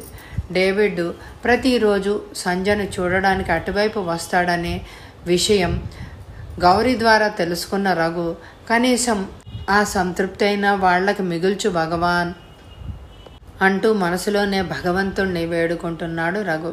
ఆ విధంగా నైనా చెల్లెలు కాస్త మనశ్శాంతిగా ఉండగలిగితే అంతే చాలనే అనుకున్నాడు. ఆ విషయం రవికి తెలియకుండా జాగ్రత్తగా ఉండమని గౌరిని హెచ్చరించాడు. రఘుకు సంజయ్ ఎదుట గౌరితో చనువుగా మాట్లాడాలంటేనే బాధగా ఉంటుంది. సామాన్యంగా రాత్రి సమయాలలో తప్ప పగలు సంజయ్ ఎదురుగా ఉంటే గౌరితో సరదాగా మాట్లాడడమే మానేశాడు. ఆ విషయం తెలుసుకున్న గౌరి కూడా ఎవరి మనసు నొప్పించకుండా అందరికీ అనుకూలంగా నడుచుకుంటుంది. ఎవరో పాప ఆడుకుంటూ బంతి విసరడంతో ఆ బంతి సంజకు తగిలి గతంలో నుంచి తేరుకుంది సంజ ఆంటీ నా బంతి ఇవ్వబు ముద్దుగా అడిగింది పాప. నవ్వుతూ బంతి అందించింది పాపకు సంజ బంతి తీసుకొని పాప అక్కడి నుంచి వెళ్ళిపోయింది. అటు పగటికి ఇటు రాత్రికి చెందని ఈ సంధ్యా సమయంలాగే ఉంది నా బ్రతుకు. అటు ధైర్యం చేసి అందాన్ని ఎదిరించి ప్రేమించిన డేవిడ్ని పెళ్ళి చేసుకుని సుఖపడలేకపోయాను. ఇటు డేవిడ్ని మర్చిపోయి పెళ్ళి చేసుకున్న రవితో కాపురం చేయలేకపోతున్నాను. అటు డేవిడ్కు చెందలేకపోయాను. ఇటు రవికి సొంతం కాలేకపోయాను. ఇద్దరిలో ఏ ఒక్కరి దాన్ని కాలేకపోయాను. నా బ్రతుకు ఈ సంధ్యా సమయం లాంటిదే అని అనుకుని భారంగా నెట్టూర్చింది సంధ్య. సంజయ్ చూడ్డానికి ఆ రోడ్డు మీద నుంచి అలా ముందుకు వెళ్తున్న డేవిడ్ మళ్ళీ వెంటనే వెనక్కు వస్తూ సంజయ్ని చూస్తూ అలా వెళ్ళిపోతాడు. ఆ రోడ్డు మీద ఇటు నుంచి అటు అటు నుంచి ఇటు డేవిడ్ నడవడానికి పట్టే సమయం ఐదు నిమిషాలే. ఆ తర్వాత డేవిడ్ వెళ్ళిపోగానే వికలమైన మనసుతో ఇంట్లో నిలవలేక మెరీనాకు వచ్చి సంధ్యా సమయంలో ఆ సముద్ర పొడ్డున కూర్చుంటుంది. ఇది సంధ్య దినచర్య. మెరీనాకు వచ్చిన వాళ్ళంతా ఒక్కొక్కరే ఎవరిళ్ళకు వాళ్ళు వెళ్ళిపోతున్నారు. సంజ కూడా లేచి ఇంటికి వచ్చింది సంజ తనతో సరదాగా ప్రవర్తించకపోవడం ఎప్పుడూ ముభావంగా ఉండడంతో కొత్తలో సిగ్గేమోనాన్ని సరిపెట్టుకున్నాడు రవి. తర్వాత నుంచి తల్లిదండ్రులు ఒక్క నెలలో మరణించడంతో సంజయ్ ఆ షాక్ నుంచి ఇంకా పూర్తిగా తేరుకోలేదేమోనని అనుకున్నాడు. అందుకే సంజయ్ను ఏ విషయంలోనూ బాధ పెట్టలేదు రవి. సమయం రాత్రి ఏడు గంటలైంది. ఆరు బయట లాన్లో కూర్చుంది సంజ తేనెటీగల్లాంటి ఆలోచనలు చుట్టుముట్టాయి. సంజ మనసును. అన్నయ్య ఆ రోజు అన్నట్టుగానే తను తల్లిదండ్రుల కన్నీళ్ళు చూడలేక తన జీవితాన్ని కన్నెట్టు పాలు చేసుకుంది. ఎవరి కోసమైతే తన జీవితాన్ని త్యాగం చేసిందో ఇప్పుడు వాళ్ళిద్దరూ ఈ లోకంలో లేరు. అన్నయ్య మాటలు విని ఆయన నా మనసు మార్చుకొని డేవిడ్ని పెళ్ళి చేసుకోలేకపోయానే అని అనుక్షణం తనలో తానే కుమిలిపోతుంది సంజ ఇప్పుడు ఎంత ఏడ్చి మాత్రం ఏం ప్రయోజనం ఉంది? చేతులు కాలేక ఆకులు పట్టుకున్నట్టుంది తన బ్రతుకు. కులం కులం అంటూ అమ్మ నాన్నగారే నా జీవితం నాశనం చేశారు. కుల మతాల గురించి ఆలోచించకుండా అన్నయ్య గౌరీని చేసుకుని హాయిగా ఉన్నాడు. ఒకరి జీవితం ఒకరి కోసం ఎప్పుడూ బలి చేసుకోకూడదు. నాలాంటి పిరికివాళ్ళు ఎవ్వరినీ ప్రేమించకూడదు. పిరికివాళ్ళు ప్రేమకు అర్హులు కారు. మనిషి సుఖపడాలంటే మనసిచ్చిన మనిషి సహచర్యం కావాలి. కానీ ఆస్తి అంతస్తులు కులమతాలు కాదు. ఏ కులమైనా ఏ మతమైనా మనసారా వలచి వలపించుకున్న ప్రియునితోనే మగువ జీవితంలోని ఆనందం ముడిపడి ఉంటుంది. ఆ విషయం నేను ఆలస్యంగా తెలుసుకున్నాను. అందుకే నా జీవితం నేనే బలి చేసుకున్నాను అని మనసులో అనుకుంటూ ఏడుస్తూ కూర్చుంది సంజ అలా ఏ మార్పు లేకుండా భారంగా జరుగుతున్నాయి రోజులు. మరొక సంవత్సరం రోజులు గడిచిపోయాయి. ఎంత ప్రయత్నించినా ఎన్ని రోజులు గడిచిపోయినా సంజ డేవిడ్ను మర్చిపోలేకపోతోంది. రవితో కాపురం చేయలేకపోతోంది. ఎంత ప్రయత్నించినా ఎంత లాలించినా తను అనురాగంగా చూసిన సంజలో తాను కోరుకున్న మార్పు తీసుకురాలేకపోయాడు రవి. ఎందుకు నువ్వు ఇలా మారిపోయావు? నేనంటే ఇష్టం లేదా? అని చాలాసార్లు సంజన్ అడిగాడు. అన్నిటికీ ఆమె కన్నీరే సమాధానం అవుతుంది రవికి. సంవత్సరమైనా ఇంకా తల్లిదండ్రుల మరణాన్ని మర్చిపోలేకపోతోంది అని తన మనసును తను సరిపెట్టుకుంటూ వస్తున్నాడు రవి. ఒకసారి సంజ మీద విసుగు కోపం రెండు అధికమవుతాయి రవికి. అప్పుడప్పుడు కోపంతో సంజను కసురుకోవడం కూడా జరుగుతోంది. ఒకరోజు ఆదివారం. ఆ రోజు ఆదివారం ఆదివారం రవి ఇంట్లో ఉంటాడని డేవిడ్ ఆ రోజు అటువైపు రాడు. రవి కూడా హాస్పిటల్ లేకపోవడం వల్ల తన గదిలోనే ఉన్నాడు. సంజ భర్తకు టీ తీసుకొని ఆ గదిలోకి వెళ్ళింది. టీ తీసుకోండి చల్లారిపోతుంది అంటూ భర్త ముందున్న టీపాయ్ మీద పెడుతూ అంది సంజ భర్తకు కనీసం టీ ఇవ్వాలనే విషయమైనా నీకు గుర్తొచ్చినందుకు నేను సంతోషించాలి. వ్యంగ్యంగా అంటూ టీ కప్పు తీసుకున్నాడు రవి. ఎందుకండి అంత నిష్ఠూరంగా మాట్లాడతారు? మీకెప్పుడు ఏం కావాలో నేను చూడడం లేదా? చూస్తున్నావు సంజ నాకు ఏ టైంలో టీ కావాలో ఏ టైంలో నేను స్నానం చేస్తానో ఏ కూరలతో భోంచేస్తానో చేస్తానో మొదలగు పనులు నేను డబ్బు పారేస్తే నీకంటే జాగ్రత్తగా ఈ పనులు చేస్తారు పనివాళ్ళు. అలాంటి పనులు నేను పనివాళ్ళ చేతనైనా చేయించుకోగలను. కానీ భర్తగా నాకేం కావాలో భార్యవైన నీకు తెలుసు. కొన్ని విషయాలు నీతోనే ముడిపడి ఉంటాయి. ఆ విషయం మాత్రం నువ్వు మర్చిపోతున్నావు. ఏమండి? ఏమిటండి మీరు అనేది నాకేం అర్థం కావడం లేదు. భయంగా భర్త వైపు చూస్తూ అంది సంజ. ఏం సంజ? ఇంకా అర్థం కాలేదా? నువ్వే రోజైనా మన పెళ్ళైన ఈ సంవత్సరం రోజుల్లో నువ్వు నాతో సరదాగా గడిపావా? మనసారా మాట్లాడావా? భర్తగా నన్ను ఏనాడైనా అనురాగంగా లాలించావా? చెప్పు సంజ. నీ తీరే అంతాన్ని సరిపెట్టుకుందామంటే పెళ్ళి కాకముందు నువ్వెంత సరదాగా చిలిపిగా ఉండేదానివో నాకు తెలుసు. పెళ్ళైన దగ్గర నుంచి నువ్వెందుకు ఇలా మారిపోయావు? నేనంటే నీకు ఇష్టం లేదా? ఇష్టం లేని దానివి నన్ను పెళ్ళెందుకు చేసుకున్నావు? నా జీవితం అడవిగాచిన వెన్నెలలాగా ఎందుకు చేశావు? కోపంగా ప్రశ్నల వర్షం కురిపించాడు రవి. ఆ ప్రశ్నల వర్షానికి సమాధానం చెప్పలేక తల వంచుకుంది సంజ ఎందుకు సంజ తల వంచుకుంటున్నావు నా ప్రశ్నలకు సమాధానం చెప్పు. ఏమండి? చిన్నప్పటి నుంచే అమ్మా నాన్నగారు నన్ను ఎంతగానో ప్రేమించేవాళ్ళు. మీకు తెలుసు ఒక్క నెలలోనే ఇద్దరిని కోల్పోయాను. నేను మీతో సరదాగా గడపలేకపోతున్నానండి. ఏడుస్తూ అంది సంజ మరణం అనేది ఎప్పుడో ఒకప్పుడు అందరికీ వస్తుంది. ఇన్ని రోజులు గడిచినా ఇంకా మర్చిపోలేకపోతున్నావా? నా కళ్ళలోకి సూటిగా చూసి సమాధానం చెప్పు. కటువుగా అన్నాడు రవి. నేను ఏ విషయం తొందరగా మర్చిపోలేనండి. అందుకే ఇంత బాధపడుతున్నాను. ఏడుస్తూ అంది. సంజ మనసు లేకుండా కోరికలు పశువులే తీర్చుకుంటాయి.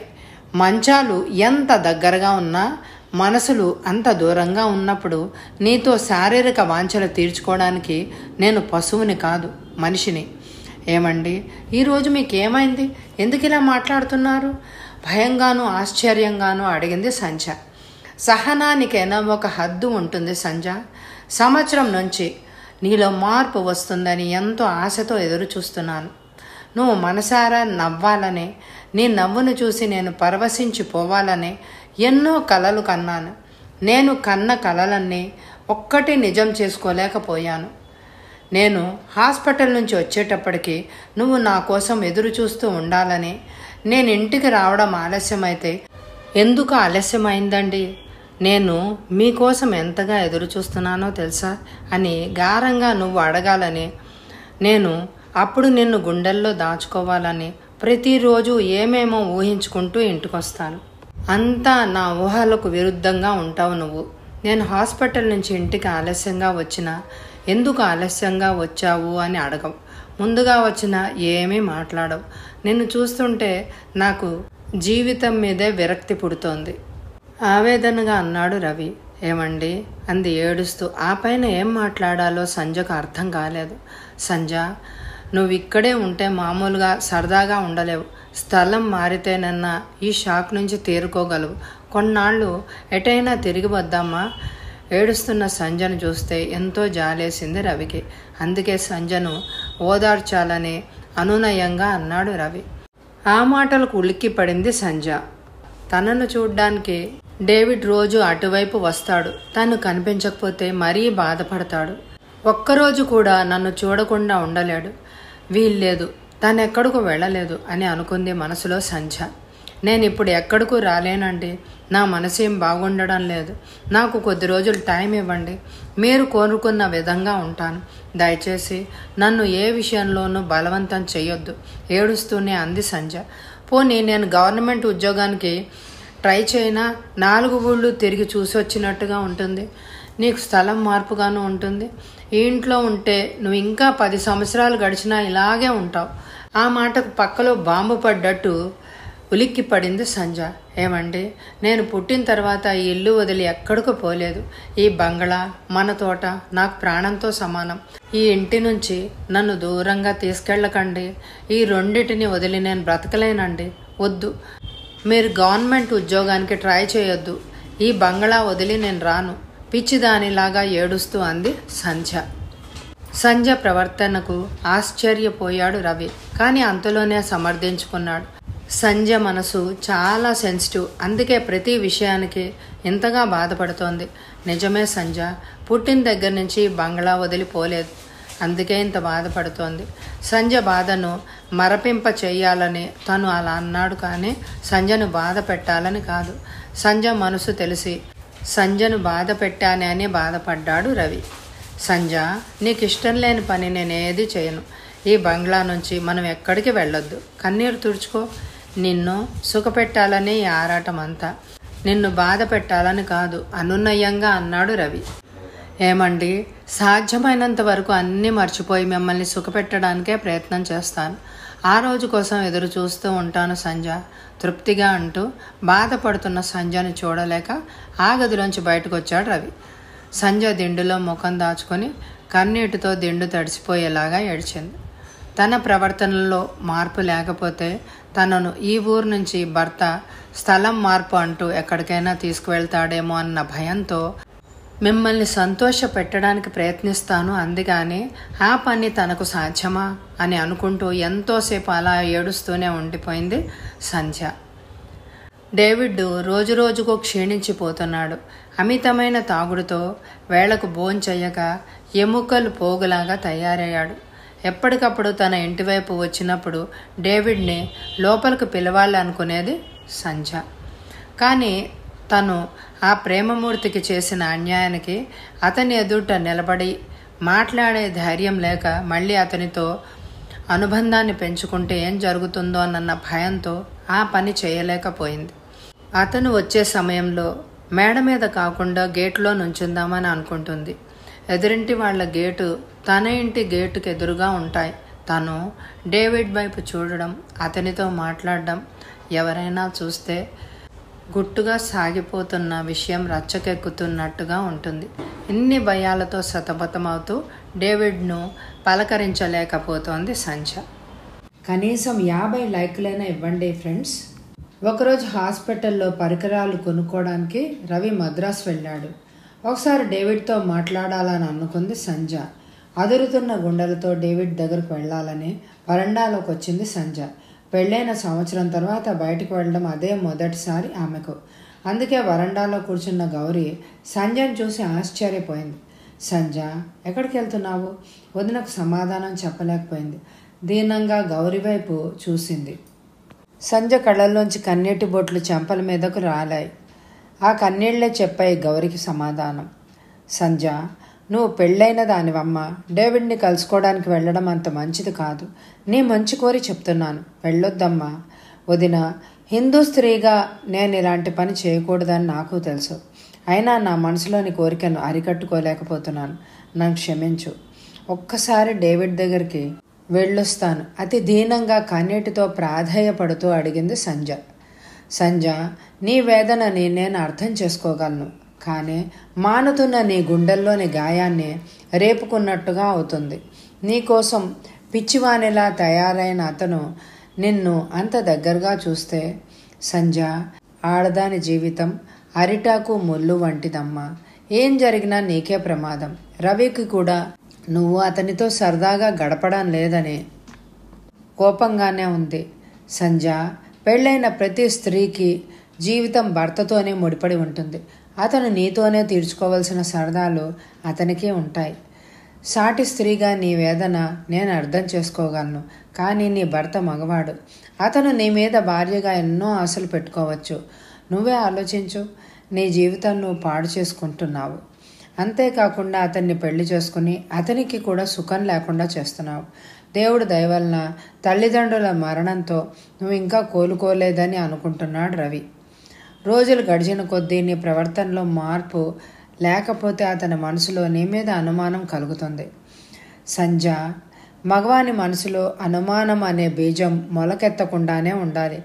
మొలకెత్తితే మనసంతా విస్తరిస్తుంది. మంచి చెడుల తారతమ్యాలు మరిచి పశువులా ప్రవర్తిస్తాడు. సంజ నీ మనసు ఎంత బాధగా ఉన్నా పైకి కనిపించనీయకు.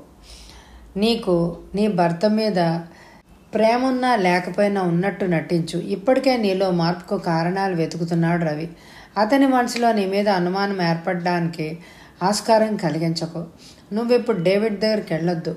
ఇలా అతనితో అనుబంధాన్ని పెంచుకుంటే నువ్వు రవికి భార్యగా ప్రవర్తించలేవు. అనునయంగా నచ్చ చెప్పపోయింది గౌరీ. వదిన నా గుండెల్లో ఎంత మండిపోతోందో నీకు తెలియదు. ఎప్పుడూ చెక్కు చెదరని చిరునవ్వుతో ఉండే డేవిడ్ మృత్యుముఖంలోకి అడుగు పెడుతున్నాడు చూస్తూ చూస్తూ ఎలా భరించను? ఏడుస్తూ అంది సంజ కొన్ని సమస్యలకి పరిష్కారం ఉండదు. ఆ రోజు నువ్వు ఇలాంటి నరకం ఎదుర్కోవలసి వస్తుందనే మీ అన్నయ్య అంతగా నచ్చ చెప్పినా నువ్వు వినలేదు. ఇప్పుడు బాధపడితే మాత్రం ప్రయోజనం ఏముంది? ఏం జరిగినా చూస్తూ ఊరుకోవడమే. ఆవేదనగా అంది గౌరీ. వదిన ఈ ఒక్కసారికి డేవిడ్ని కలుసుకోవడానికి నేను వెళ్తాను. ఇంకెప్పుడూ వెళ్ళను. నీ భయం నాకు అర్థమైంది వదిన. తల్లి లాంటి నీ మీద ప్రమాణం చేసి చెప్తున్నాను. మా మధ్య శారీరక సంబంధం ఎప్పుడూ లేదు వదిన. ఈ ఒక్కసారి అతనితో పది నిమిషాలు మాట్లాడి వచ్చేస్తాను వదిన. ఇలాంటి అవకాశం మళ్ళీ రాదు. ఈరోజు ఆదివారం డేవిడ్ ఇంట్లోనే ఉంటాడు. మళ్ళీ రేపు ఆయన మద్రాసు నుంచి వచ్చేస్తారు. వదిన నాకు ఈ అవకాశం దూరం చేయకు. గౌరీ చేతులు పట్టుకుని ఏడ్చింది సంజ సంజ బాధను చూస్తుంటే గౌరీ మనసు కెలికినట్టే అయింది. భగవాన్ మనిషికి మనిషికి మధ్య ఈ కులమతాల తేడాలను ఎందుకు సృష్టించావు? ఒకవేళ సృష్టించిన కులమతాల తేడాలున్న మనుషుల మధ్య ప్రేమను ఎందుకు కల్పిస్తావు? మళ్ళీ ఆ ప్రేమికులను విడదీసి వాళ్ళ బ్రతుకులు నాశనం చేసి వాళ్ళ జీవితాలతో ఎందుకు ఇలా ఆడుకుంటావు? ఈ అమాయకురాల్ని నేను ఎలా ఓదార్చగలను? తన ప్రియుణ్ణి కలుసుకోవాలని తన గుండెల్లో మంట చల్లార్చుకోవాలని ఆశపడుతున్న ఆమె కోరికను తల్లిలా తీర్చన?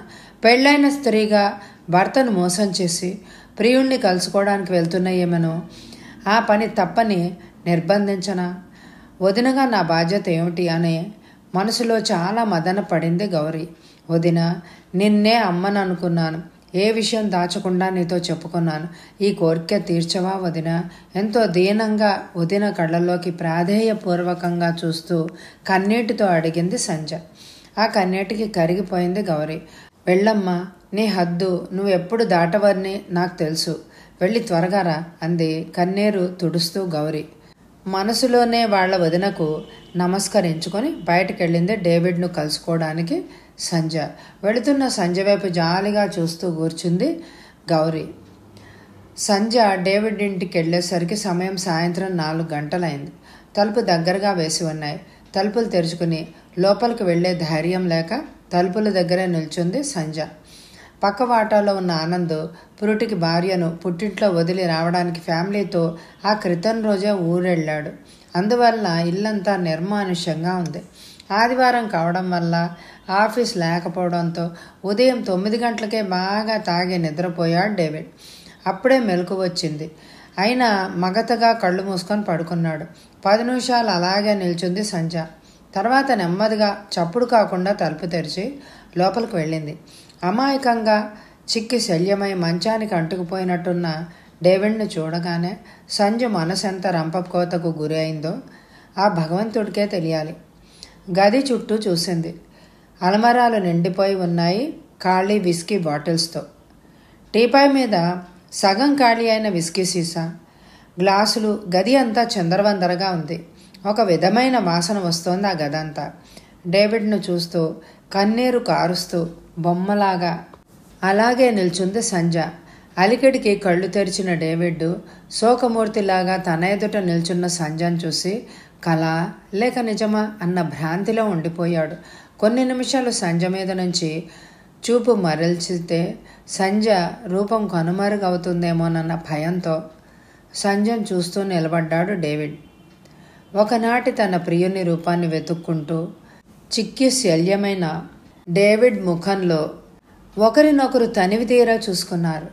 సంధ్య ఆర్తిగా అనురాగంగా పోగొట్టుకున్న పెన్నెదని దొరికినంత ఆనందంగా తన ప్రేమనంతా సంధ్య అన్న అక్షరాల్లోనే పొదిగి పిలిచాడు డేవిడ్. సంజను తన హృదయానికి హత్తుకుని ఇంతకాలం తను అనుభవించిన బాధనంతా మర్చిపోవాలని కుల మతాలన్నీ పట్టుకొని వేళ్ళాడే మనుషులందరికీ దూరంగా సంజను తనతో తీసుకుపోవాలని సంజను కన్నార్పకుండా చూస్తూ ఏమేమో అనుకుంటున్నాడు డేవిడ్. కానీ సంజ మెడలో వేలాడుతున్న మంగళసూత్రాలు పమిట చెరుగు చాటు నుంచి బయటికి కనిపిస్తూ ఉంటే వాటిని చూస్తూ తను ఊహించుకున్న వాటిలో ఏమీ చేయలేకపోయాడు. భరించలేని ఆవేదనతో చూపులు మరల్చుకున్నాడు డేవిడ్. డేవిడ్ని చూస్తూ అతని గుండెల్లో ఒదిగిపోవాలన్న ఆరాటాన్ని అణుచుకోలేక ఆవేదనతో సతమతమవుతోంది సంజ. మనసులోని భావాలన్నీ ఒకరికొకరు కళ్ళతోనే తెలుపుకున్నారు. అలా దాదాపు ఒక పావు గంట గడిచిపోయింది. సంజ ఇలారా నా కౌగిలిలో ఒదిగిపో అన్నట్టుగా తన చేతులను సంజ వైపు చాచబోయి వాస్తవం వెన్ను తట్టగా ఆ ప్రయత్నాన్ని విరమించుకున్నాడు డేవిడ్. ఎలా ఉన్నానో చూడాలని వచ్చావా సంజ వ్యంగ్యంగా అన్నాడు డేవిడ్. రోజు రోజుకు ఎలా పతనమవుతున్నానో ప్రతిరోజు చూస్తూనే ఉన్నాను. ఈరోజు కొత్తగా చూసేదేముంది? అతి ప్రయత్నం మీద ఉబికి వస్తున్న కన్నీళ్ళను ఆపుకుంటూ అంది సంజ మరెందుకు వచ్చావు కొన్ని ప్రశ్నలకు సమాధానాలు చెప్పలేం. నువ్వే ఒక అర్థం కాని ప్రశ్నగా మిగిలిపోయావు నాకు. అలా ఉండిపోవడమే మంచిది. నన్ను పూర్తిగా అర్థం చేసుకుంటే అసహించుకుంటావు. ఇప్పుడు మాత్రం నిన్ను అసహించుకోక ప్రేమిస్తున్నానని అనుకుంటున్నావా? కావాలనే. మీ ప్రేమకు దూరమైన నేను మీరు నన్ను ప్రేమిస్తారని ఎలా అనుకుంటాను? ప్రేమించడం మనుషుల జీవితాలతో ఆడుకోవడం నీ హాబీ. చిరిగిపోయిన చీరను గురించి ఎలా ఆలోచించడం మానేస్తావో ప్రేమించిన వాడిని గురించి కూడా అలాగే ఆలోచించడం మానేస్తావు.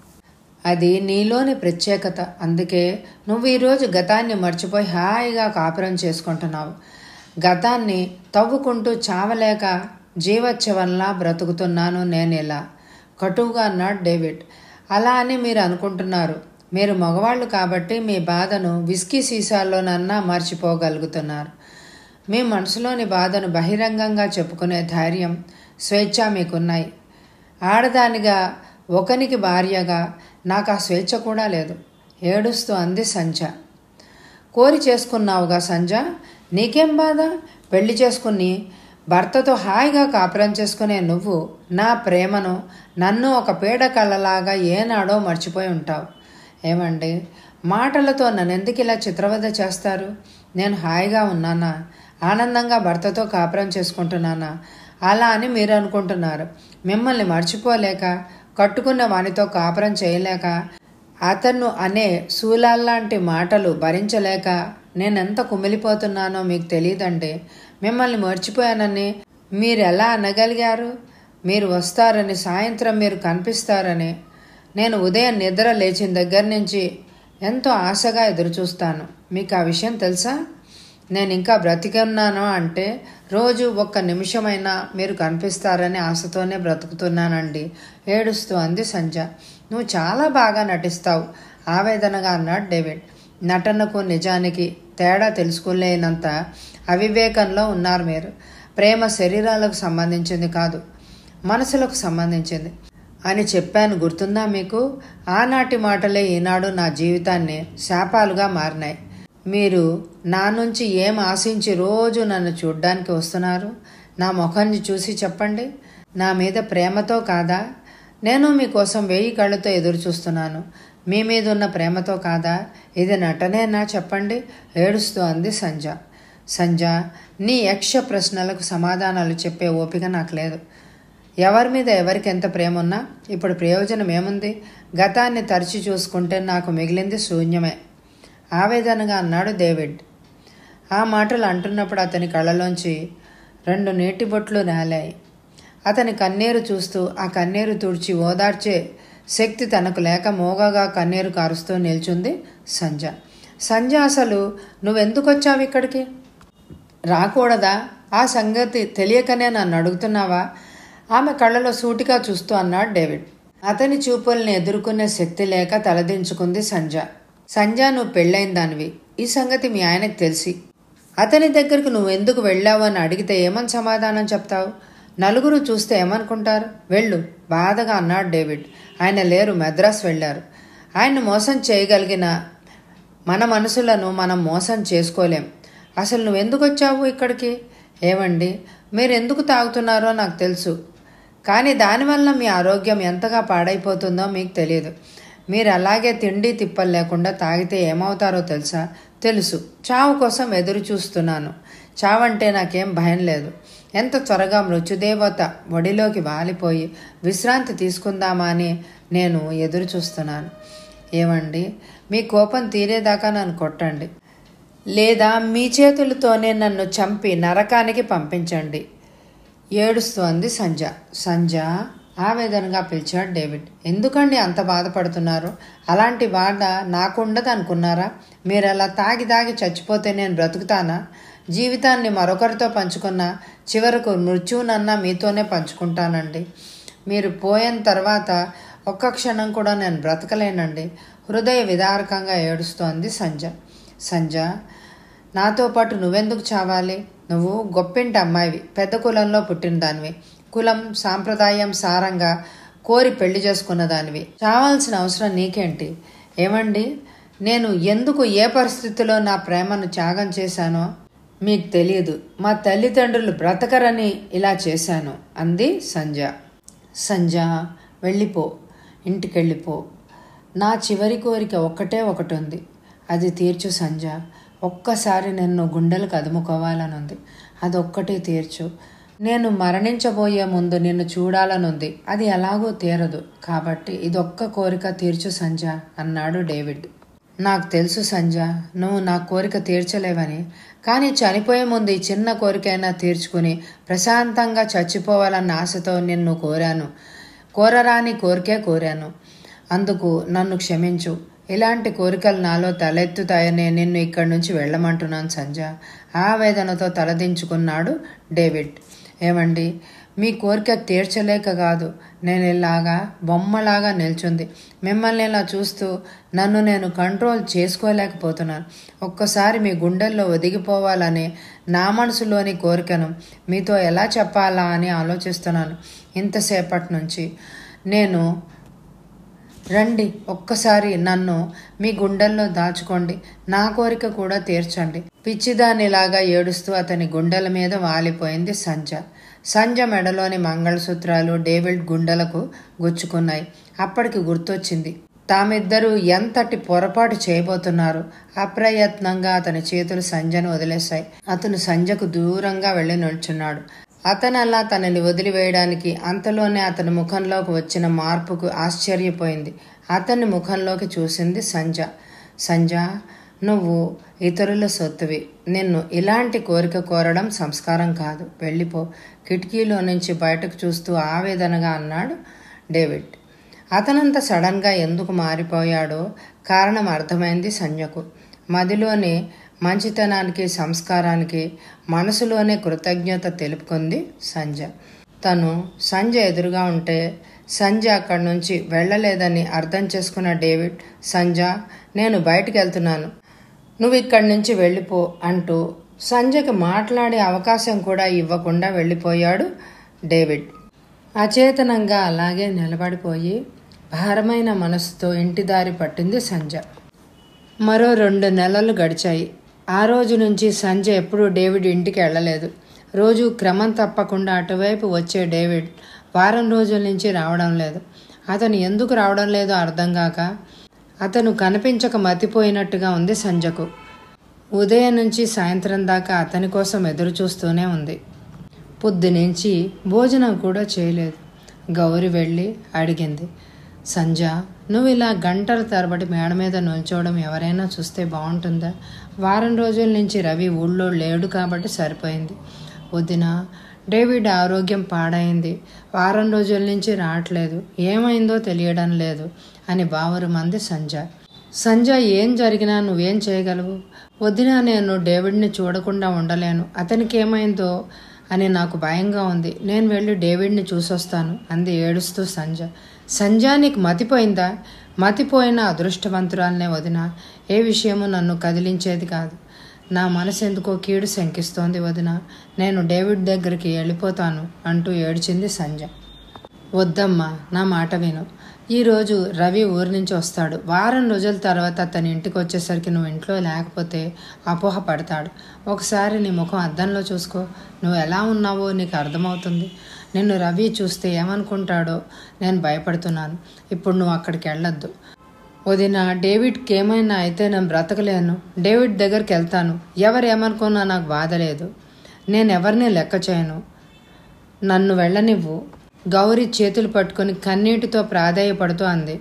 ఈ మాటలు చాలా ఆలస్యంగా చెప్పావు సంజ ఒక్క సంవత్సరం ముందు అని ఉంటే నీ జీవితం ఇలా అయ్యేది కాదు. మేడ మీద నిల్చున్న వాళ్ళిద్దరికీ గేట్ నుంచి లోపలికి వస్తున్న రవి కనిపించాడు. సంజ రవి ఊరి నుంచి వచ్చాడు. నీ కంటి నీరు అతనికి కనపడనివ్వకు. నేను వెళ్ళి అతని మాటల్లో దింపి టీ ఇస్తాను. నువ్వు ఈలోగా స్నానం చేసి ఇస్త్రీ చీర కట్టుకో అంటూ సంజకు మాట్లాడే అవకాశం ఇవ్వకుండా కిందకి వెళ్ళిపోయింది గౌరీ. సంజ తన పరిస్థితికి తానే జాలి పడుతూ భారమైన మనసుతో బాత్రూంలోకి వెళ్ళింది. స్నానం చేసి తెల్లటి ఫుల్ వాయిల్ చీర కట్టుకుని అదే కలర్ జాకెట్ వేసుకుంది. జుట్టంతా పైకి దువ్వి ముడేసుకుని పత్రిక చూస్తూ బెడ్రూమ్లో కూర్చుంది సంజ అప్పటికే టీ తాగి స్నానం చేసి పైకి వచ్చాడు రవి. తెల్లటి చీరలో అప్సరసలా ఉన్న భార్యను చూడగానే అతని మనసు పొరువెప్పిన నెమలిలాగా నాట్యం చేసింది. వారం రోజుల తర్వాత భార్యను చూడడం వల్ల సంజ పట్ల ప్రేమానురాగం కోరిక అన్నీ ఒకదానితో ఒకటి పోటీ పడ్డాయి రవి మనసులో. తదేకంగా సంజ అందాలను కళ్ళతోనే తాగేసేలాగా చూస్తున్నాడు రవి. వికలమైన మనసులో ఉన్న సంజకు ఎవరితో మాట్లాడాలని లేదు. వారం రోజుల తర్వాత ఊరి నుంచి వచ్చిన భర్తతో సరదాగా మాట్లాడకపోతే భర్త ఎలా అర్థం చేసుకుంటాడో అనే భయం ఒక పక్క భర్త ఎదుట మనసు చంపుకొని నటించవలసి వచ్చిందేనని ఆవేదన మరో పక్క. ఆవేదనతో సంజ మనసు కాలిపోతోంది. ఏంటండి అలా చూస్తున్నారు? లేని ప్రేమ నటిస్తూ రాని నవ్వు నవ్వుతూ అంది సంజ ఎంతకాలానికి నీ ముఖంలో నవ్వులను చూడగలిగాను సంజ ఆనందంతో అన్నాడు రవి. ఇప్పుడిప్పుడే గతాన్ని మర్చిపోవాలని ప్రయత్నిస్తున్నాను ద్వంద్వార్థంగా అంది. నీ నుంచి నేను కోరుకునేది కూడా అదే సంజ నీకోసం హైదరాబాద్ నుంచి ఏం తెచ్చానో తెలుసా? చీర తెచ్చి ఉంటారు. బీరువా నిండా చీరలు నిండిపోయి ఉన్నాయి. ఎక్కడికి వెళ్ళినా చీరలు తెస్తారు. ఎందుకు? డబ్బులు దండగా. నేను సంపాదించేదంతా నీకోసమే సంజ నువ్వు రోజుకో చీరలో బంగారపు బొమ్మలాగా మెరిసిపోతుంటే చూసి సంతోషించడం కంటే నాకేం కావాలి? మీ ప్రాక్టీస్ ఎలా ఉందండి? మాట మార్చి అంది సంజ ప్రాక్టీస్కే బ్రహ్మాండంగా ఉంది. మొదట నెలకు వెయ్యి రూపాయల ఆదాయం వచ్చేది. ఇప్పుడు ఒక్క రోజులో వెయ్యి రూపాయలు వస్తున్నాయి. డాక్టర్లు నాలుగు చేతుల సంపాదిస్తారన్న నిజాన్ని మీరు నిరూపించారన్నమాట. నేను కానీ రఘు కానీ డబ్బు సంపాదించడమే ధ్యేయంగా పెట్టుకోలేదు. అయినా వద్దంటే వచ్చి పడుతోంది డబ్బు. అబ్బా ఇలాంటి అందమైన సాయంత్రం సమయాల్లో హాస్పిటల్ విషయాలేనా మాట్లాడుకునేది? రోజంతా పేషెంట్ల గొడవతో విసిగిపోయాను. నువ్వు ఇక హాస్పిటల్ విషయాన్ని వదిలిపెట్టి సరదాగా కబుర్లు చెప్పు. కబుర్లు చెప్పడానికి ఏముంటాయి? ఇల్లు దాటి బయటికి వెళ్ళకుండా రోజంతా ఇంట్లోనే ఉంటానుగా నేను. ఏం చెప్పాను? మీరు చెప్పండి నేను వింటాను. నేను నీకోసం ఏం తెచ్చానో నువ్వు చెప్పనే లేదు. చెప్పానుగా చీర తెచ్చి ఉంటారని? చీర కాదు. సరే ఓడిపోయాను అని ఒప్పుకుంటున్నాను. ఏం తెచ్చారో చెప్పండి. సరే కళ్ళు మూసుకో ఇస్తాను అన్నాడు రవి. సంజ అతను చెప్పినట్టు కళ్ళు మూసుకుంది. జేబులోంచి ఒక అట్టపెట్టె తీసి సంజ చేతిలో పెట్టి ఇక కళ్ళు తెరువు అన్నాడు. సంధ్య కళ్ళు తెరిచి ఆ పెట్టెకేసి చూసింది. ఆ పెట్టెలో రంగు లీనుతున్న రవ్వలు పొదిగిన ఉంగరం ఉంది. ఆ ఉంగరం తీసి సంజ వేలుకి తోడిగాడు రవి. సంజ ఎలా ఉంది? చాలా బాగుంది. దీని ఖరీదెంత ఐదు వేలు. సంజ ఈరోజు నా పుట్టినరోజు. అందుకే ప్రేమగా నా గుర్తుగా నాకు నచ్చిన ఈ ఉంగరాన్ని నీ కోసం కొన్నాను. సంజ చేతిని ముద్దు పెట్టుకుంటూ అన్నాడు రవి. అదేంటండి? మీ పుట్టినరోజు అయితే నేను మీకు ప్రజెంటేషన్ ఇవ్వాలి కానీ మీరు నాకు ఇస్తున్నారేమిటి అయినా ఈరోజు మీ పుట్టినరోజు అని నాకెందుకు చెప్పలేదు? మీ ఫ్రెండ్స్ అందరికీ పార్టీ ఇచ్చేవాళ్ళంగా. పుట్టినరోజులకు పార్టీలు ఇవ్వడం నాకు మొదటి నుంచి అలవాట్లేదు. నా ప్రతి పుట్టినరోజుకు చదువుకుంటూ నేనే ఊళ్ళో ఉన్న మామయ్య నాకు ఏదో ఒక ప్రజెంటేషన్ ఇచ్చి ఆ రోజు ఖర్చు పెట్టుకోమని వంద రూపాయలు ఇచ్చేవాడు. ఆ డబ్బుతో నేను స్నేహితులతో హోటల్కి వెళ్ళి అందరం కలిసి పిక్చర్ చూసి వచ్చేవాళ్ళం. ఈ పుట్టినరోజుకు మామయ్య లేకపోవడం నా దురదృష్టం. సంజ పెళ్ళైన తర్వాత మన ఇద్దరం ఒక్కసారి కూడా కలిసి పిక్చర్కి వెళ్ళలేదు కదూ? ఈరోజు మన ఇద్దరం సరదాగా పిక్చర్కి వెళ్దామా? సంజ కళ్ళలోకి ఆశగా చూస్తూ అన్నాడు రవి. ఆ రోజు రవి మాటను కాదనలేకపోయింది సంజ. ఇరువురు కలిసి పిక్చర్కి వెళ్ళడానికి మేడ దిగి వచ్చారు. జంటగా బయటకు వెళ్తున్న వాళ్ళ వైపు తృప్తిగా చూసింది గౌరీ. సంజ సినిమా చూస్తుందే గాని మనసంతా డేవిడ్ చుట్టూనే పరిభ్రమిస్తోంది. అతను ఎందుకు రాలేదు? ఆరోగ్యం ఎలా ఉంది అన్న ప్రశ్నలు సంజ మనసుని కలిచివేస్తున్నాయి. రవి ఎంతో హుషారుగా సినిమా అయిపోయే వరకు ఏదో ఒకటి మాట్లాడుతూనే ఉన్నాడు. ఎలాగో పిక్చర్ పూర్తయింది. ఇద్దరూ కారులో ఇంటికొచ్చారు. రవి కార్ షెడ్లో పెట్టి లోపలికి రాబోయేసరికి హాస్పిటల్ నుంచి నర్సు వచ్చింది. హాస్పిటల్కు సీరియస్ కేసు వచ్చిందట. డాక్టర్ గారి కోసం వచ్చింది. రవికి అప్పుడు హాస్పిటల్కి వెళ్ళాలని లేకపోయినా ఆ సమయంలో రఘుని డిస్టర్బ్ చేయడం ఇష్టం లేక తనే వెళ్ళాడు నర్సు వెంట హాస్పిటల్కు. భర్త కోసం ఎదురు చూస్తూ వరండాలో కుర్చీ వేసుకొని కూర్చుంది సంజ సమయం పది గంటలు అవుతోంది. వెన్నెల. నేల మీద మల్లెలు పరిచినట్టుగా ఉంది. డేవిడ్ గురించి ఆలోచిస్తూ నిద్రపట్టక అక్కడే కూర్చుంది. సంజ వరండాకు ఆనుకొని ఉన్న గదే గౌరీ వాళ్ళ బెడ్రూమ్. వాళ్ళ గదిలో నుంచి నవ్వులు అనిపిస్తున్నాయి అన్నయ్య వాళ్ళు ఇంకా నిద్రపోలేదు కాబోలు అని అనుకుంది. అంతలో గదిలోంచి మాటలు వినిపించాయి. సంజకు వాళ్ళ మాటలు వినాలని లేకపోయినా అక్కడి నుంచి వెళ్ళే ఓపిక లేక అక్కడే కూర్చుంది. ఏమండి మీకు శుభవార్త. చెప్తే నాకేమిస్తారు? నవ్వుతూ అడిగింది గౌరీ. ఏమివ్వమంటావో నువ్వే చెప్పు గౌరీ. నేను చెప్పను. నవ్వుతూ అంది గౌరీ. గౌరీ నేనే నీ వాడిని అయినప్పుడు నేను నీకు ప్రత్యేకంగా ఏమివ్వగలను? నేను నా సంపాదన అంతా నీదే కదా? నీకేం బహుమతులు కావాలో ఎన్ని కావాలో నువ్వే కొనుక్కో. ఎంతో ఆరాధనగా ఉన్న రఘు గొంతు. గౌరీ ఎంత అదృష్టవంతురాలు. కోరుకున్న వ్యక్తిని పెళ్ళి చేసుకుని ప్రతి రాత్రి పున్నమి రాత్రిలాగా గడుపుతోంది. మనసులోనే గౌరీ అదృష్టానికి సంతోషపడింది సంజ. గౌరీ ఇంతకీ ఆ సంతోషకరమైన వార్త ఏంటో నాకు చెప్పనే లేదు. సస్పెన్స్ భరించలేకపోతున్నాను. త్వరగా చెప్పు. అబ్బా నాకు సిగ్గేస్తోందండి. ఎలా చెప్పను? అంతలా నాతో చెప్పడానికే సిగ్గుపడి ఆ సంతోషమైన వార్త ఏమిటబ్బా? అబ్బా మళ్ళీ పెద్ద డాక్టర్ ఇంత చిన్న విషయాన్ని అర్థం చేసుకోలేరు? మీరు ఇంకొక ఆరు నెలల్లో తండ్రి కాబోతున్నారు. అబ్బా ఎంత సంతోషకరమైన వార్త చెప్పావు గౌరీ. నేను తండ్రిని కాబోతున్నాను కదూ. ఎంతో సంతోషంగా ఉంది రఘు గొంతు. మీరు సంతోషం పట్టలేక నన్ను ఉక్కిరి బిక్కిరి చేసేస్తున్నారు. నాకు ఊపిరి ఆడడం లేదు. నన్ను వదలండి. గారంగా ఉంది గౌరీ గొంతు. గౌరీ నేను ఇప్పుడే వెళ్ళి సంజకు రవికి ఈ వార్త చెప్పి వస్తాను. అబ్బబ్బా మీరు మరీ చిన్న పిల్లల కంటే అన్యాయం. ఇప్పుడు ఏం చేయాలో కూడా తెలియదు ఇన్ని రోజుల తర్వాత సంజ భర్తతో కలిసి బయటికి వెళ్ళింది ఇంకా వచ్చి ఉండరు. ఒకవేళ వచ్చినా బెడ్రూమ్లో ఉంటారు. ఈ సమయంలో వెళ్ళి వాళ్ళని డిస్టర్బ్ చేస్తారా?